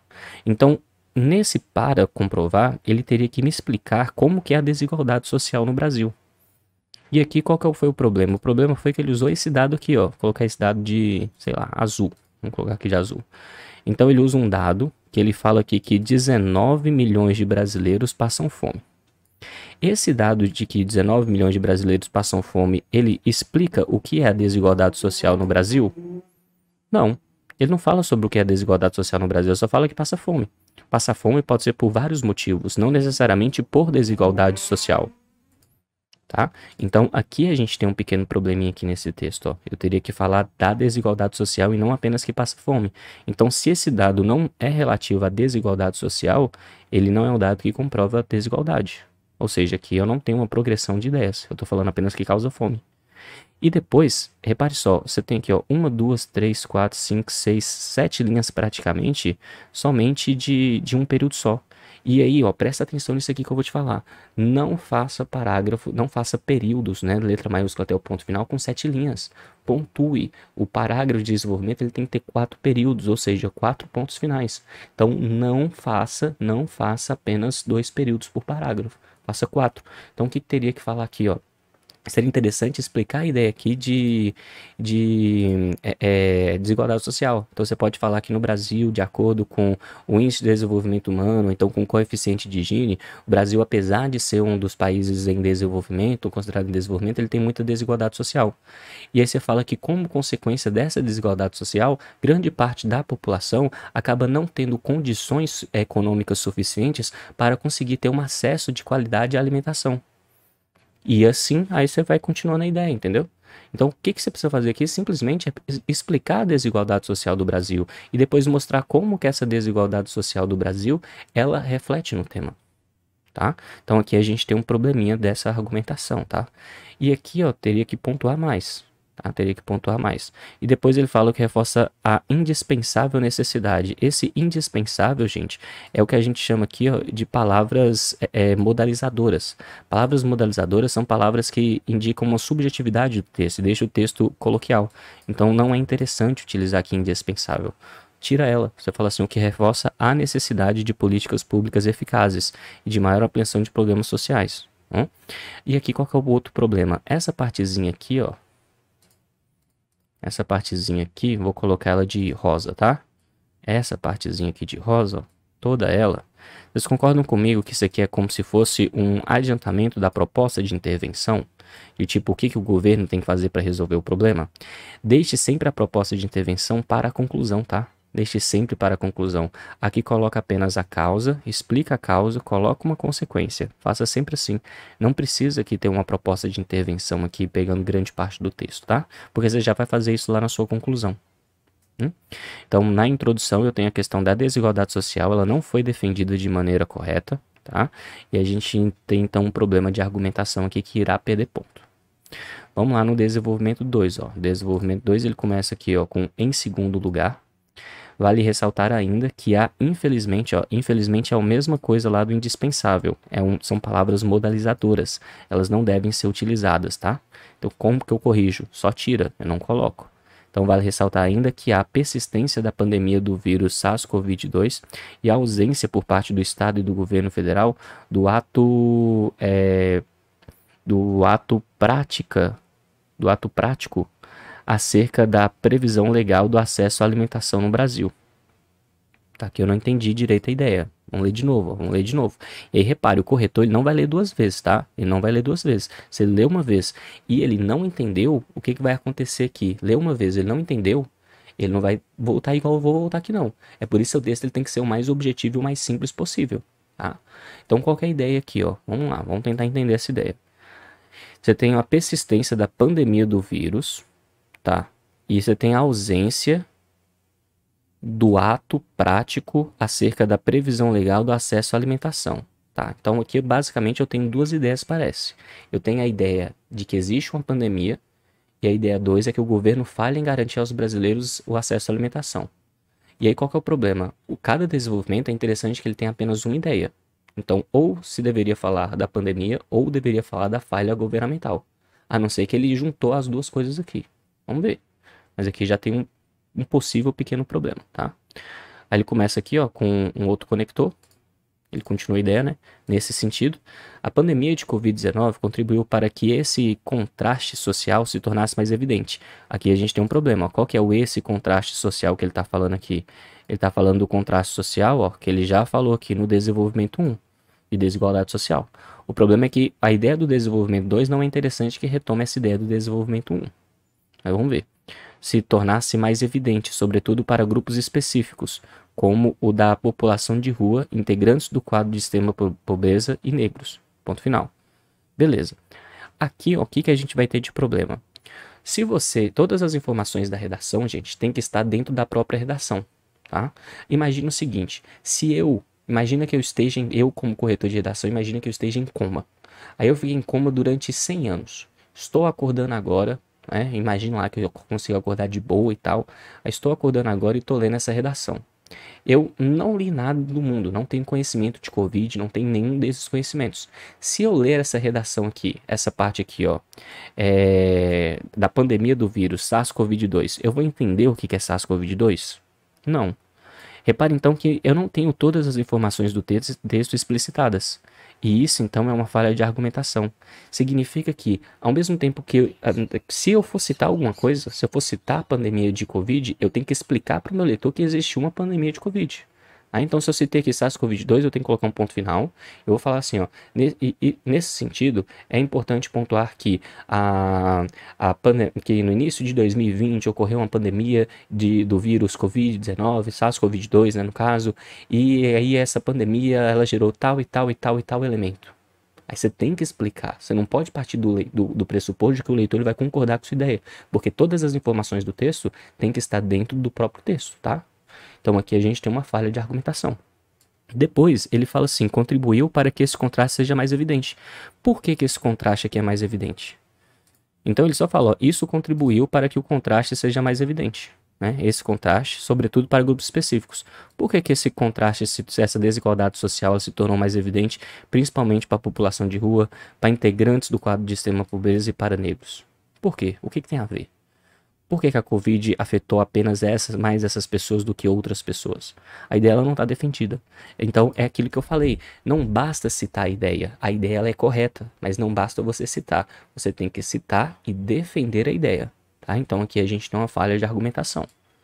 Depois, ó, além disso, embora haja leis que visem a garantia, que faltou a crase, ó, que visem a garantia do acesso à segurança alimentar no Brasil, como a Lei tal, que criou o Sistema Nacional de Segurança Alimentar, o cumprimento dessas, em sua maioria, não são executadas como deveria, o que explica é, a falta de alimentação de milhões de brasileiros em, em um país já reconhecido internacionalmente por ter saído do mapa da fome. Aqui é aquela ideia que eu falei para vocês. Ó. Nessa parte aqui, ele tem uma ideia 2. Nessa parte aqui, ele tem uma ideia 1. Um. Ele está misturando duas ideias aqui no mesmo parágrafo. Isso não deve acontecer. Então, ou eu falo apenas da questão da pandemia de Covid, ou eu falo então apenas da ineficácia do Estado. Eu não posso ter no mesmo parágrafo de desenvolvimento duas ideias diferentes. Eu tenho que ter uma e depois outra. Por quê? Porque eu vou ter um negócio chamado de baixa informatividade. Aqui ele falou sobre da pandemia, mas ele não me explicou como que essa, por que, que essa pandemia afetou a população mais pobre, por que, que essa pandemia afetou os negros, por que, que essa pandemia afetou os moradores de rua. Ele não me explicou isso. Então tem baixa informatividade. Por outro lado, ele também citou o governo, sem me explicar por que, que o governo não consegue garantir é, a segurança alimentar, mesmo havendo leis para isso. Então ele cita e não defende nenhuma das duas ideias. É o que a gente chama de desenvolvimento embrionário. E aí você tem que tomar cuidado com isso, tá? Passa só apenas uma ideia por parágrafo, tá? Apenas uma ideia por parágrafo. E aqui você tem a conclusão, ó. Logo, é dever do Ministério da Cidadania e do Ministério e do Governo Federal, em parceria com os governos estaduais e municipais, identificar os eixos pertencentes ao quadro de insegurança alimentar no Brasil e, aqui não teria essa vírgula, atribuir a estes, não teria essa vírgulazinha aqui também, políticas e amparo social, respeitando assim o texto constitucional de 88 e a lei 11.304 de, de 2006.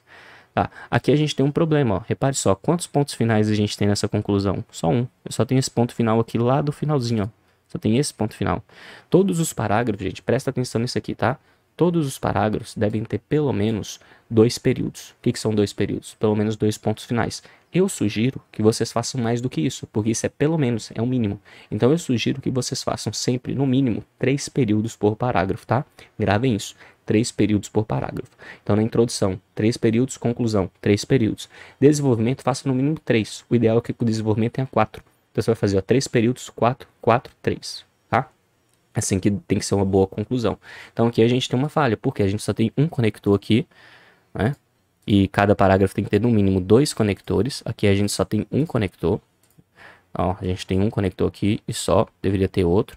No desenvolvimento 2 eu tenho ó, um, dois, depois eu tenho três, três, tá, tá, tá, e três só, tá vendo? Aqui a gente tem um período muito grande aqui também depois do além disso, ó. Eu não, não posso ter um período grande assim. No desenvolvimento do 1, um, eu tenho um, eu tenho para comprovar tal aspecto e só. Ó. Aqui eu tenho, na introdução, eu tenho um, e depois eu tenho sobre tal perspectiva eu tenho dois. A introdução está certa, o desenvolvimento 1 um tem só dois períodos, então não está adequado. Desenvolvimento 2 eu tenho três, então está adequado. E conclusão só tem um, então já está um pouquinho é, ruim também. Vamos lá então. Nota dessa redação, ó. que nota que a gente daria para essa redação? Vamos lá, a gente tem aqui ó, aspectos gramaticais. Tem um, dois, três, quatro, cinco problemas de aspectos gramaticais, né? Vamos colocar a nota aqui, ó, 5 problemas de aspectos gramaticais. A gente tem então 60 menos 5 erros, né? Cada erro é um ponto. Tá aqui, ó, 55 pontos em é, 60, tá? Então você tem aqui 55 pontos na sua redação, já é bom, já são poucos desvios gramaticais, né? Então já fica bacana isso aqui. Vamos ver então agora a questão do tema, ó, questão do tema, tema da argumentação. Deixa eu tirar aqui um pouquinho desse zoom para a gente ler melhor. Deixa eu chegar aqui esse negócio um pouquinho pro lado, ó. Jogar pra cá. Jogar pra cá. Jogar pra cá. Só tampar o nome aqui do nosso brother. Isso, ó. Vamos lá. Questão dos parágrafos. Os parágrafos estão organizados certinhos? Não. Por que não? Porque a conclusão só tem um período. Todos os outros têm pelo menos dois, mas a conclusão não tá. Então aqui já se perde ponto, ó. Já colocarei aqui, ó, 8 em 10, tá? Opa, aqui eu voltei para mim sem querer. 8 em 10. Aqui, ó, na questão dos conectores, ó, o que que acontece aqui? Conectores, a gente tem aqui, ó, é, na conclusão falta um conector. E aqui a gente tira ponto aqui também dessas palavras que são subjetivas, que não devem ser utilizadas, ó, um, dois pontos. Então nós temos três problemas de conectores aqui, tá? Três problemas de conectores. Então três problemas de conectores dá 10 menos 3, vai dar aqui 7, né? 7 pontos em 10. Aqui, né? Porque eu coloquei meu atalho aqui no número 1, tem que até tirar esse atalho, sempre volta para mim. Aqui em relação à argumentação das ideias, ó, o que, que a gente vai ter aqui em argumentação? Ó, existem ideias. Na introdução, no desenvolvimento 1, eu tenho uma ideia de desigualdade social, mas ela não é defendida corretamente. Né? E os dois desenvolvimentos também têm duas ideias diferentes, porém elas não são desenvolvidas detalhadamente também. Então a gente tem problemas. Aqui, ó, eu colocaria cerca aqui de entre 5 e 6, tá? Vou colocar aqui 6. E aqui 10, voltando aqui para mim de novo sem querer. Voltando para cá, e de tema eu colocaria mais ou menos pertinência ao tema aqui entre 6 e 10 também, tá? E aí a gente teria aqui a nota final, ó. Vamos somar esse treco aqui. Vamos ver quanto é que dá, ó. Vamos ver. Ó, 6 mais 6 já vai dar 12, né? Mais 7 dá 6, 12 mais 7, 19, mais 8, que daria 27, né? Então a nota final aqui, ó, dessa parte seria 27, né? Teríamos aqui 27 Opa, voltei aqui sem querer pro negócio. Aqui, ó. Aqui. Ué, agora lascou, agora lascou. É isso, voltou, voltou. Seria aqui 27, né? 27 em 40. Então a nota final dessa redação seria esses 27 de, de parte de conteúdo, né? Adicionados aqui à nota de 55. Então daria aqui 82 pontos, tá? Repare então que essa redação, mesmo que ela tenha alguns probleminhas, gente, mesmo que ela tenha alguns probleminhas em relação à argumentação, a nota ainda é relativamente alta. Por que, que isso acontece? Porque aqui você tem um, um baixo índice de desvios gramaticais e uma boa estrutura. E é isso que é a maior parte dos pontos da Selecon. Se você tiver poucos desvios gramaticais, quase tirei o microfone aqui, se você tiver poucos desvios gramaticais e uma estrutura ok, com os conectores ok, você com certeza vai tirar uma nota acima de 85 pontos, tá? Então é isso que você tem que buscar. A nota de conteúdo é a, é a nota mais baixa em relação a Selecon. Então dá para fazer uma boa redação, mesmo sem muito conhecimento do tema, desde que você mantenha a estrutura correta e com poucos desvios gramaticais. Qual é a minha dica então? Poucos desvios. Não faça desvios gramaticais. Bora para nossa próxima redação. Nossa próxima redação é essa daqui, ó. Tá? Essa redaçãozinha aqui. A letra também, ó. Uma letra tamanho pequena, tá vendo? Letra pequena aqui, essa daqui e dividida em quatro parágrafos também, ó, quatro parágrafos, mas repare só, a introdução aqui, ó, já dá 10 linhas. Aqui o corretor já olha e fala que, opa, aqui tá errado, filho, aqui tá errado, ó. Porque a introdução, gente, ela nunca pode ter 10 linhas, ela tem que ter aproximadamente 5 linhas, tá? Presta atenção nisso aqui. A introdução tem que ter aproximadamente 5 linhas. A introdução, aproximadamente 5 linhas tá bom? A conclusão também é aproximadamente cinco linhas. Luiz, o que é aproximadamente? Aproximadamente significa que pode passar um pouquinho, você pode fazer seis, até sete dá para ir. Agora, dez linhas não, brother, dez linhas é muita coisa. Então aqui, ó, se você fez a introdução de dez linhas, o corretor ele sabe que você perdeu espaço aqui nos desenvolvimentos. Olha o desenvolvimento, ó, um, dois, três, quatro, cinco, seis, sete, sete linhas e um pouquinho. Como é que a introdução tem sete, tem dez linhas e o desenvolvimento só tem sete? E o desenvolvimento 2, ó, um, dois, três, quatro, cinco linhas. Isso não faz sentido. Tá? Por quê? Porque o desenvolvimento é a principal parte do seu texto. Não tem como a sua introdução ser maior do que o seu desenvolvimento. Introdução, gente, é só introduzir o argumento. No desenvolvimento é que você deve desenvolver as ideias. Então, olha, no desenvolvimento desenvolva as ideias. A introdução apenas apresente. Então, a introdução ela tem que ser obrigatoriamente menor do que o desenvolvimento. Tem que ser menor, tá? Então, aqui, ó, já vai perder ponto em estrutura, com certeza aqui, ó, já vai perder ponto em estrutura, tá? Vamos dar uma analisada então, ó. Vamos dar uma analisada, ó. ó é, desde o período colonial, vírgula, o Brasil, vírgula, com vasta extensão territorial e ambiente fértil para o cultivo, voltou-se para a produção de especiarias destinadas à exportação, como a cana-de-açúcar, né, cana-de-açúcar que não tem hífen. A gente tem um pequeno probleminha aqui de fotografia. E tempos depois o café. Ponto final. Então jogou uma contextualização histórica. Tá. Beleza. Até que é ok. Atualmente, o país é um dos grandes exportadores é, hortifrutigranjeiros do mundo, especialmente no que se refere à comercialização de carnes e frutas, que são, em sua maior, maior parte, para a para a para a tria e, e Europa, não, Europa, aqui é Europa para a Ásia e para a Europa, ah, tá, aqui é a Ásia. Aqui, ó, esse para a Ásia, ó, deixa eu ver se dá para vocês verem aqui.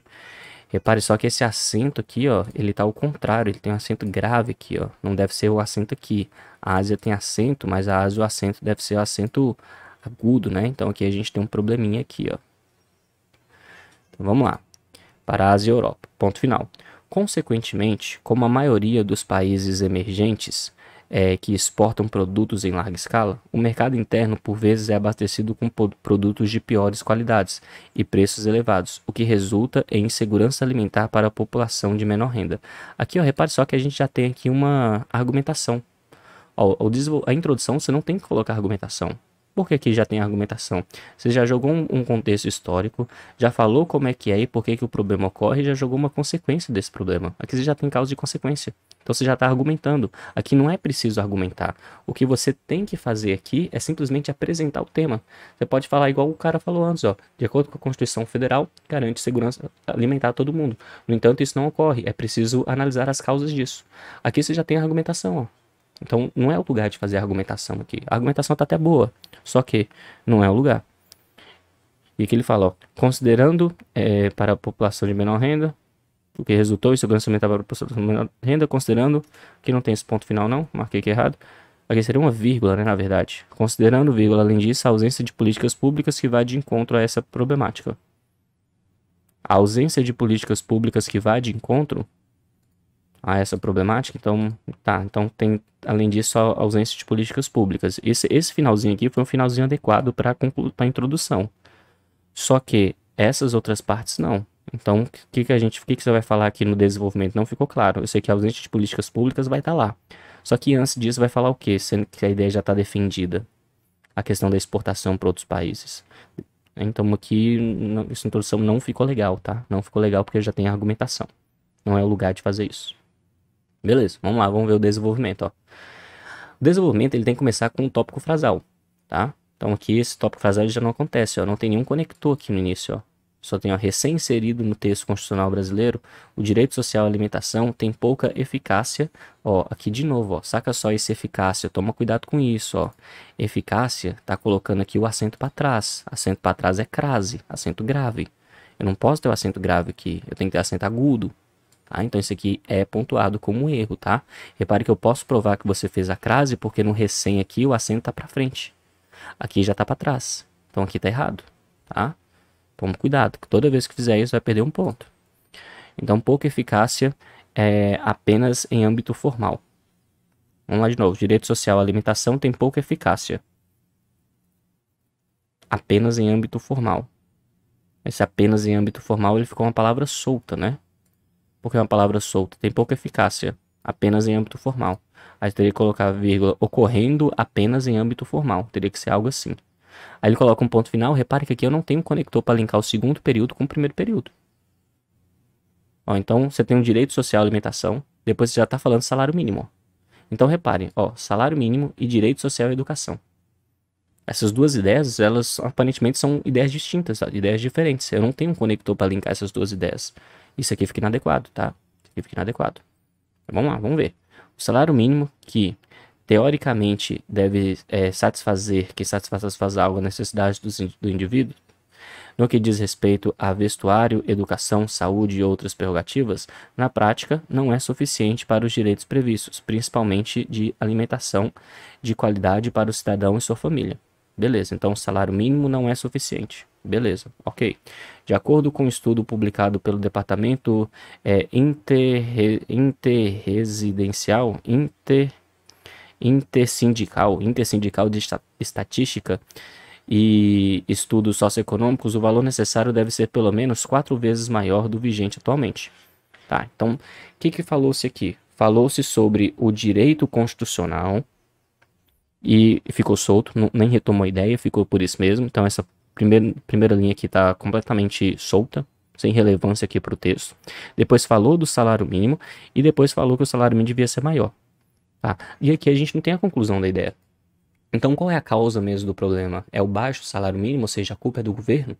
Então teria que falar aqui sobre o governo. Então comece com o tópico frasal. Fala assim, ó, uma das justificativas para a insegurança alimentar no Brasil tem relação com a, a, uma dissonância do papel do Estado com a realidade.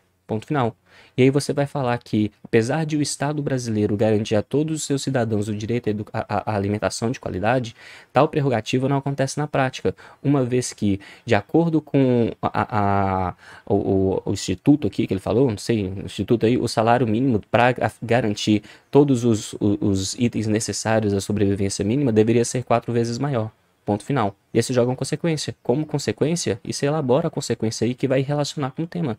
É isso que tem que fazer, ó. Tópico frasal, explicitando a causa do problema. Depois você vai jogar uma ideia explicando essa causa do problema, convencendo o leitor de que de fato essa causa do problema é verdadeira. E depois você vai jogar uma consequência. É isso que tem que fazer em todas as redações, simplesmente isso. E aí faça aí dois ou quatro períodos em todos os parágrafos de desenvolvimento, tá? Então aqui você tem um período solto, você não tem nenhum conector aqui nem no início do período e nem no meio do período, não tem nenhum, tá? Aí depois você tem um de acordo com, esse de acordo com é um conector, só que você nunca deve utilizar uma citação, presta atenção nisso aqui, tá? Vem para cá. Aqui, ó, presta atenção nisso aqui. Você nunca deve colocar a citação como último elemento do seu parágrafo. A citação ela tem que vir no segundo período do parágrafo ou no primeiro. Nunca no último, porque não basta você citar algo, você citar uma pesquisa, você tem que citar e depois você tem que relacionar essa pesquisa com seu posicionamento. É isso que você tem que fazer. Se você não fizer essa relação, tá errado, tá? Então nós temos aqui apenas um conector dentro desse parágrafo, que é o de acordo com, ó, de acordo com, tá? Beleza. Então aqui a gente tem falhas nesse parágrafo aqui. Tem falhas. A ideia não foi defendida corretamente aqui. Eu entendi o que, que ele quis dizer, né? entendi sim o que ele quis dizer, porém eu teria que fazer o tópico frasal, depois eu teria que explicar o direito à alimentação, dizer que o governo não, não faz isso corretamente, provar o governo faz e depois jogar uma consequência. Era isso que teria que ter sido feito. E aqui, ó, outra coisa que eu verifiquei só agora, ó, só agora. Aqui, ó, ah não, aqui tá, tá é socioeconômicos aqui, eu achei que tava letra maiúscula, mas que tava só socioeconômicos, mas aqui é porque é da, do, do departamento, então tem que ser maiúsculo mesmo. Eu ia falar que isso aqui tá errado, ó, só que na verdade ele tá certo. Vamos lá. Desenvolvimento 2, ó. Esse desenvolvimento 2, só de estar tá pequeno aqui, eu já sei que ele tá errado. Ele vai ter baixa informatividade. Mesmo que ele esteja de ideias corretas, tá com baixa informatividade. Aí ele começa, ó. Ademais, atrelado ao fator supramencionado, ó, você nunca tem que. Isso aqui não é interessante que você fale isso aqui, ó. Atrelado ao fator supramencionado. Não é assim que você fazer tomada parte do texto, tá? Então você tem que apenas falando, ó. Ademais, a insuficiência, a ineficácia do poder público em implementar a fiscalização de projetos efetivos que visem a prestação alimentar e o aumento do poder de compra da população carente. Tá, vamos analisar isso aqui, ó. Vamos analisar isso aqui. Então, ó, teria que retirar essa parte aqui. Você vai colocar, ademais, a ineficácia do poder público em implementar a fiscalização de projetos efetivos que visem a prestação alimentar e faltou o aqui, ó, e visem ao ao aumento do poder de compra da população carente. Então, aumento de compra da população carente né? Seria mais ou menos a mesma coisa do, da, daquilo que fala na, no desenvolvimento 1. Que no desenvolvimento 1 fala-se de, de, de salário mínimo, né? Fala que o salário mínimo é abaixo. Então, se você tem que melhorar o salário mínimo, se você tem que aumentar a, a, o aumento do poder de compra, você está aumentando o salário mínimo. Então, essa ideia do D2, ela é como se fosse uma proposta de intervenção do desenvolvimento 1. Então aqui você teria que jogar outra ideia. Então você tem que falar outro fator que contribui para a insegurança alimentar no Brasil tem relação com Y. Tem que citar uma outra ideia. Tá? Não é continuar a ideia do parágrafo anterior. E aí vamos, vamos ver o que o resto. Ó. Muitas vezes ó, não tem nenhum conector aqui também. Ó.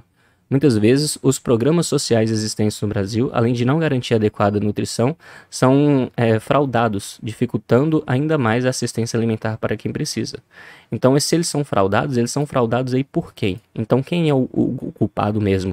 O culpado mesmo é o governo ou o culpado mesmo são as pessoas que fraudam?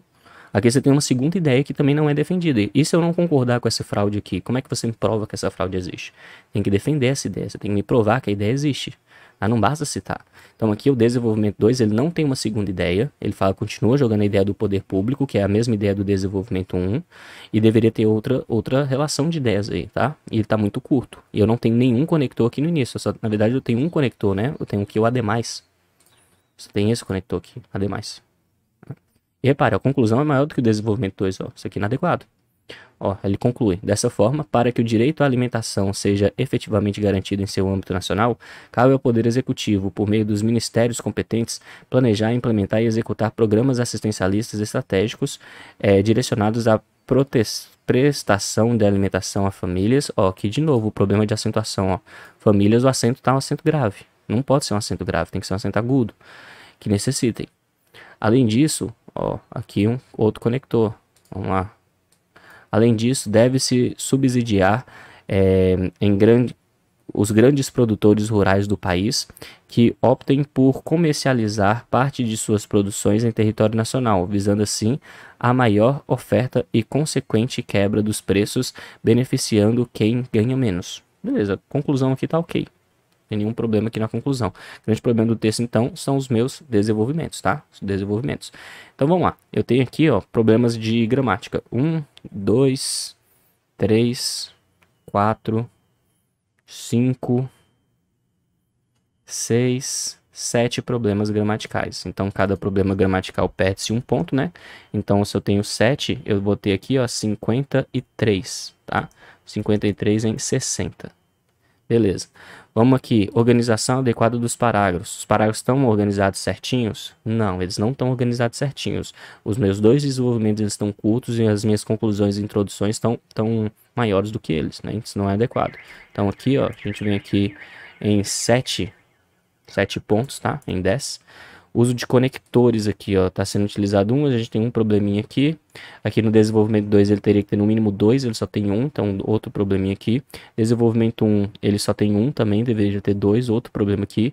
E na introdução, ó, você tem aqui o consequentemente aqui e poucos conectores também. Então aqui a gente tem problema de conectores. Eu colocaria aqui, ó, 6 barra 10 de conectores.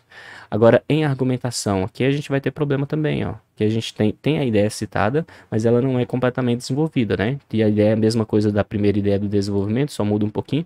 Então eu colocaria mais ou menos aqui, ó, 5, 5, tá? Então 5, 6, digamos assim. Então vamos lá, somando esses pontos aqui, ó, a gente tem 12, né?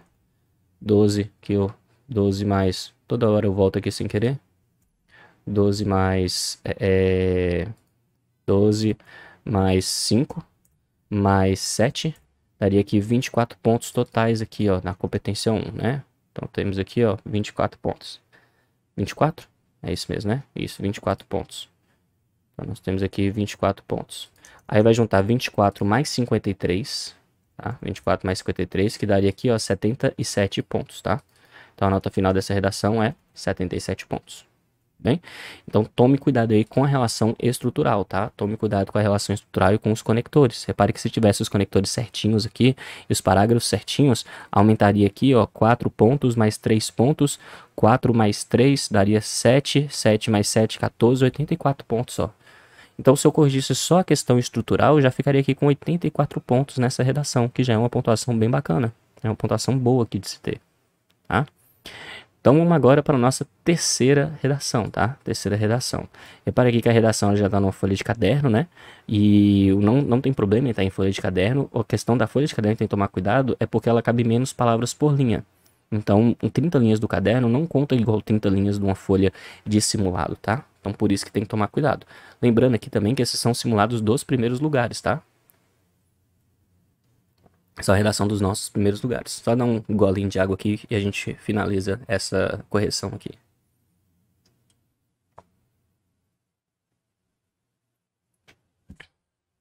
Então vamos lá, ó, vamos lá. Ó, a gente tem aqui introdução. Deixa eu aumentar um pouquinho o zoom. Deixa eu ver se cabe aqui. Cabe, né? Vamos lá. O direito à alimentação está previsto no rol de assistências é, sociais da Constituição Federal vírgula, no entanto, grande parte da população brasileira não tem esse direito constitucional garantido de forma plena. Aqui eu teria que colocar um ponto final aqui, uma letra maiúscula aqui, né, e uma vírgula aqui. Tá, então se direito à alimentação faltou a crase, a crase também.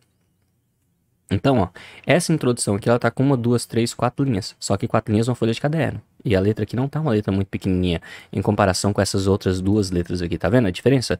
Ó, o tanto de palavra por linha que cabe aqui e o pouquinho de palavra por linha que cabe aqui, nessas aqui. Vendo?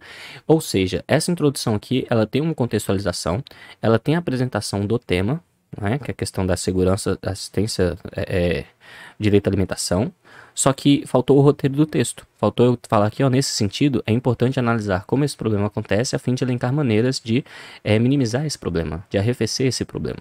Tá? Então, aqui faltou o roteiro do texto na minha introdução, e a introdução está com baixa informatividade, tá? Faltou roteiro e baixa informatividade. Beleza. Vamos lá, desenvolvimento 1. Ó, não começa com tópico frasal. Não começa com tópico frasal. Ó, tem que falar, ó, um dos motivos da, da falha de, em garantir o direito à educação à população brasileira tem relação com X. E não começa com isso. Eu só tenho aqui, ó, muitas famílias. Faltou o acento aqui, ó. Muitas famílias dependem de doação para sobreviver. Que chega, aqui seria uma vírgula, que chegam de vários lugares diferentes. Ponto final. Eu não entendi aqui como que é a causa do problema. Né? Então, que como não começa com tópico frasal, a gente tem aqui uma informação aleatória. Ó. Essa informação aqui vai ser uma informação aleatória aqui pra gente, ó. Não, o corretor, eu como corretor, não consigo entender o motivo aqui dessa, dessa partezinha, tá? Então aqui fica, acaba sendo inadequada essa parte, ó. Então vamos continuar para ver. Aí, ó. É, o problema é que, vírgula, quando o Estado se omite diante de sua obrigação para com a sociedade, ele gera inúmeros danos, começando por uma população doente e com uma expectativa de vida inferior à de outras classes sociais, gerando uma desigualdade que não deveria existir. Tá, então peraí. Então ele está falando aqui de doação. Depois de falar de doação, ele fala do Estado. Então aqui tem uma quebra das ideias, ó. Ele não continua a ideia de doação e fala da omissão do Estado. Como que é essa omissão do Estado? Ele se omite de que forma? Por que, que ele se omite? Não, não fica claro aqui. Então, significa como que deveria começar aqui? A causa central não é então a questão da doação. A causa central aqui seria do Estado. Então, teria que falar, ó, uma das justificativas da ocorrência da, da, da, da, da falha no direito à alimentação tem relação com uma falha do papel do Estado. E aí você vai falar que é o Estado garante isso aqui, porém isso aqui não ocorre. Só que você tem que falar por que, que o Estado não consegue garantir isso. Tá? Então, mas aqui está tudo confuso essa ideia. Né? Então teria que começar aqui com o Estado se omite. E depois ele fala, ó, é, diante de, para com a sociedade, ele gera invencíveis danos. Então aqui, ó, repare só que essa parte aqui de azul, ele já está falando como se fosse uma consequência. Só que ele joga uma consequência sem falar antes da causa. Ah, isso aqui seria a consequência. Qual é a consequência dessa omissão do Estado? É inúmeros danos, né? E que quando você fala inúmeros danos, é, é muito, muito vago, né? Que danos são esses? Aí depois ele começa. Ele gera, aqui eu posso cortar isso aqui, ó. Uma população doente e com expectativa de vida inferior à de outras classes sociais. Que outras classes sociais são essas? Você não seria de outros países? Seria de outras classes sociais? Né? Que população é essa que fica doente? Que população é essa que tem qualidade de vida inferior? Então seria um, uma população específica. Ele fala que gera uma desigualdade que não deveria existir. Por que, que não deveria existir essa desigualdade? É que a gente tem 10 vagas. Você não tem a causa do problema, você só tem uma consequência e você tem esse termo aqui que é vago, que é um termo solto, né, de doação que não tem nenhuma relação com as outras ideias do parágrafo. Então aqui a gente tem grandes problemas de argumentação, tá? Tem que tomar cuidado. E é o que eu falo, gente. Tente manter sempre a mesma estrutura, estrutura básica. Você coloca lá, ó, tópico frasal, explica o tópico frasal e uma consequência. Tópico frasal explica o tópico frasal e consequência. Se você começar seu desenvolvimento 1 assim, ó, uma das justificativas para a ocorrência do tema é X, você vai desenvolver a ideia muito melhor do que se você desenvolver a ideia desse jeito aqui. Repare aqui ó, que eu não tenho nem, nenhum conector nesse parágrafo eu teria que ter no mínimo quatro períodos e eu teria que ter no mínimo aqui ó, dois conectores. O interessante é que tivesse no mínimo três ainda. Ah, então aqui eu tenho falha de conector, falha de parágrafo. Até agora eu só tenho um conector no meu texto. Ó. Até agora eu só tenho um conector no meu texto. Eu deveria ter quantos conectores nesse momento? Eu deveria ter quatro. Só tenho um. Tá? Vamos lá, continuar. Desenvolvimento 2. Também, vírgula, é necessário se atentar a outro ponto importante. A dificilmente há, há, saneamento básico para essas pessoas. Quais pessoas são essas? Para essas pessoas, essas pessoas quais? Tem que explicitar que pessoas que são essas. É bem como água potável, vírgula, o que torna tudo ainda pior. Esse tudo ainda pior, ele é um coloquialismo. Né? Não, é, não é uma linguagem formal. E depois você não tem essa vírgula aqui. E aí depois sim a vírgula. Embora a, a a participação popular esteja cada vez mais presente na, na cobrança de medidas que solucionem os problemas, o caminho a ser percorrido ainda é longo. Então aqui o caminho a ser percorrido ainda é longo, isso aqui também é uma linguagem coloquial. Né? Que caminho que é esse que eu vou percorrer? Eu não posso usar a linguagem figurada aqui nesses textos, tá? Tem que utilizar a linguagem formal e linguagem objetiva. Então isso aqui tá erradíssimo, erradíssimo. E aqui ó, você não tem uma causa do problema. Qual é a causa do problema? Então você tem saneamento básico. Como é que saneamento básico se relaciona com alimento? Não foi explicado. Como é que é a questão de água potável e alimentação? Tem que explicar a relação entre os dois. E por que, que não existe essa água potável? Mas aí você tem ainda a questão da participação popular. E qual, se, se, a participação popular está relevante é, e o caminho é longo, então e aí, qual é o problema que eu tenho? Então tem que ter mais participação popular, tem que ter outras formas de participação popular. As ideias aqui elas não são claras, tá? Elas não são claras e elas não são também pertinentes ao tema porque elas não constroem uma argumentação de qualidade. Então aqui a gente tem problemas de argumentação, tá? Repare aqui, ó, que eu não tenho conectores, ó. Não tenho conectores. E aqui é a conclusão. Portanto, uma das medidas a serem tomadas é a criação de um cadastro nacional para as famílias que necessitam de uma assistência alimentar contínua, bem como uma atenção maior aos bairros que mais precisam, que usando parte de, dos recursos financeiros para melhorar nessas localidades, para melhorar, para melhorias nessas localidades, aumentando a qualidade de vida das pessoas. É, repare aqui que esse parágrafo aqui de conclusão ele só tem um período, uma letra maiúscula até o ponto final. Não tem mais de um ponto final. E quantos que tem que ter? Tem que ter no mínimo dois. O ideal é que tenha três. Né? Então aqui a gente só tem um conector. Ó, o texto tem um conector. Dois conectores. Eu tenho dois conectores no texto. Que eu teria que ter, ó, dois, dois, dois, dois. Eu teria que ter pelo menos dois vezes quatro. Eu teria que ter oito conectores. Eu só tenho dois. Então eu tenho grandes problemas aqui nesse texto, tá? Vamos lá. Nota final. Ó, você tem um, dois, três, quatro, cinco, seis, sete, oito, 9 lá em cima, 10 e 11. Então, nós temos 11 desvios gramaticais, tá? 11 desvios gramaticais. A gente vai ter aqui, então, ó, 11. Vai voltar aqui para mim, sem querer. Voltou? Isso. Esses 11 desvios gramaticais. Então, 11 menos é, 60, né? 60 menos 11. 60 menos 11. Vai dar igual aqui, ó. É, 49 pontos, né? Acho que é isso, 49. Isso, né? Daria 50 se fosse 10. Isso, exatamente. Então aqui, ó, vamos lá. A, os parágrafos estão sendo desenvolvidos certinhos. Ó, a, intro, a, conclusão não, né? Mas os outros estão relativamente... e você tem a diferença do tamanho da dos desenvolvimentos, que estão pequenos também, né? A introdução também tem baixa informatividade. Então eu colocaria aqui 6 pontos em 10, tá? Uso de conectores. Aqui a gente tem grande problema do texto, né? Então você só tem dois conectores, sendo que devia ter oito. Aí você ainda tem duas utilizações de palavras vagas. Aqui eu colocaria ó, cerca de 3 a 4 pontos, tá? Cerca de 3 a 4 pontos. A argumentação das ideias, a gente tem outro grande problema do texto, porque o desenvolvimento 2 ele não tem outra causa. No desenvolvimento 1, um, a causa apresentada ela é confusa e ela não desenvolve as ideias. Então eu colocaria aqui ó, entre 3 e 4, tá? Vou colocar aqui 3 em tema e argumentação das ideias. Vamos colocar 4 em, em tema, tá? Porque ele falou do tema em todos. Mas mesmo assim a gente tem vários problemas. Então você vai, ó, 4 mais 4, 4 mais 4 não, né? 4 mais 3 tem 6, mais 6 dá 12, mais 4 vai dar 16. Aqui você tem, ó, 16 pontos. Aqui voltou para mim sem querer de novo. 16 pontos em 40, tá? E aqui você vai pegar esses 16 mais os 49 pontos, que vai dar 65 pontos totais, tá? 65 pontos totais essa última redação.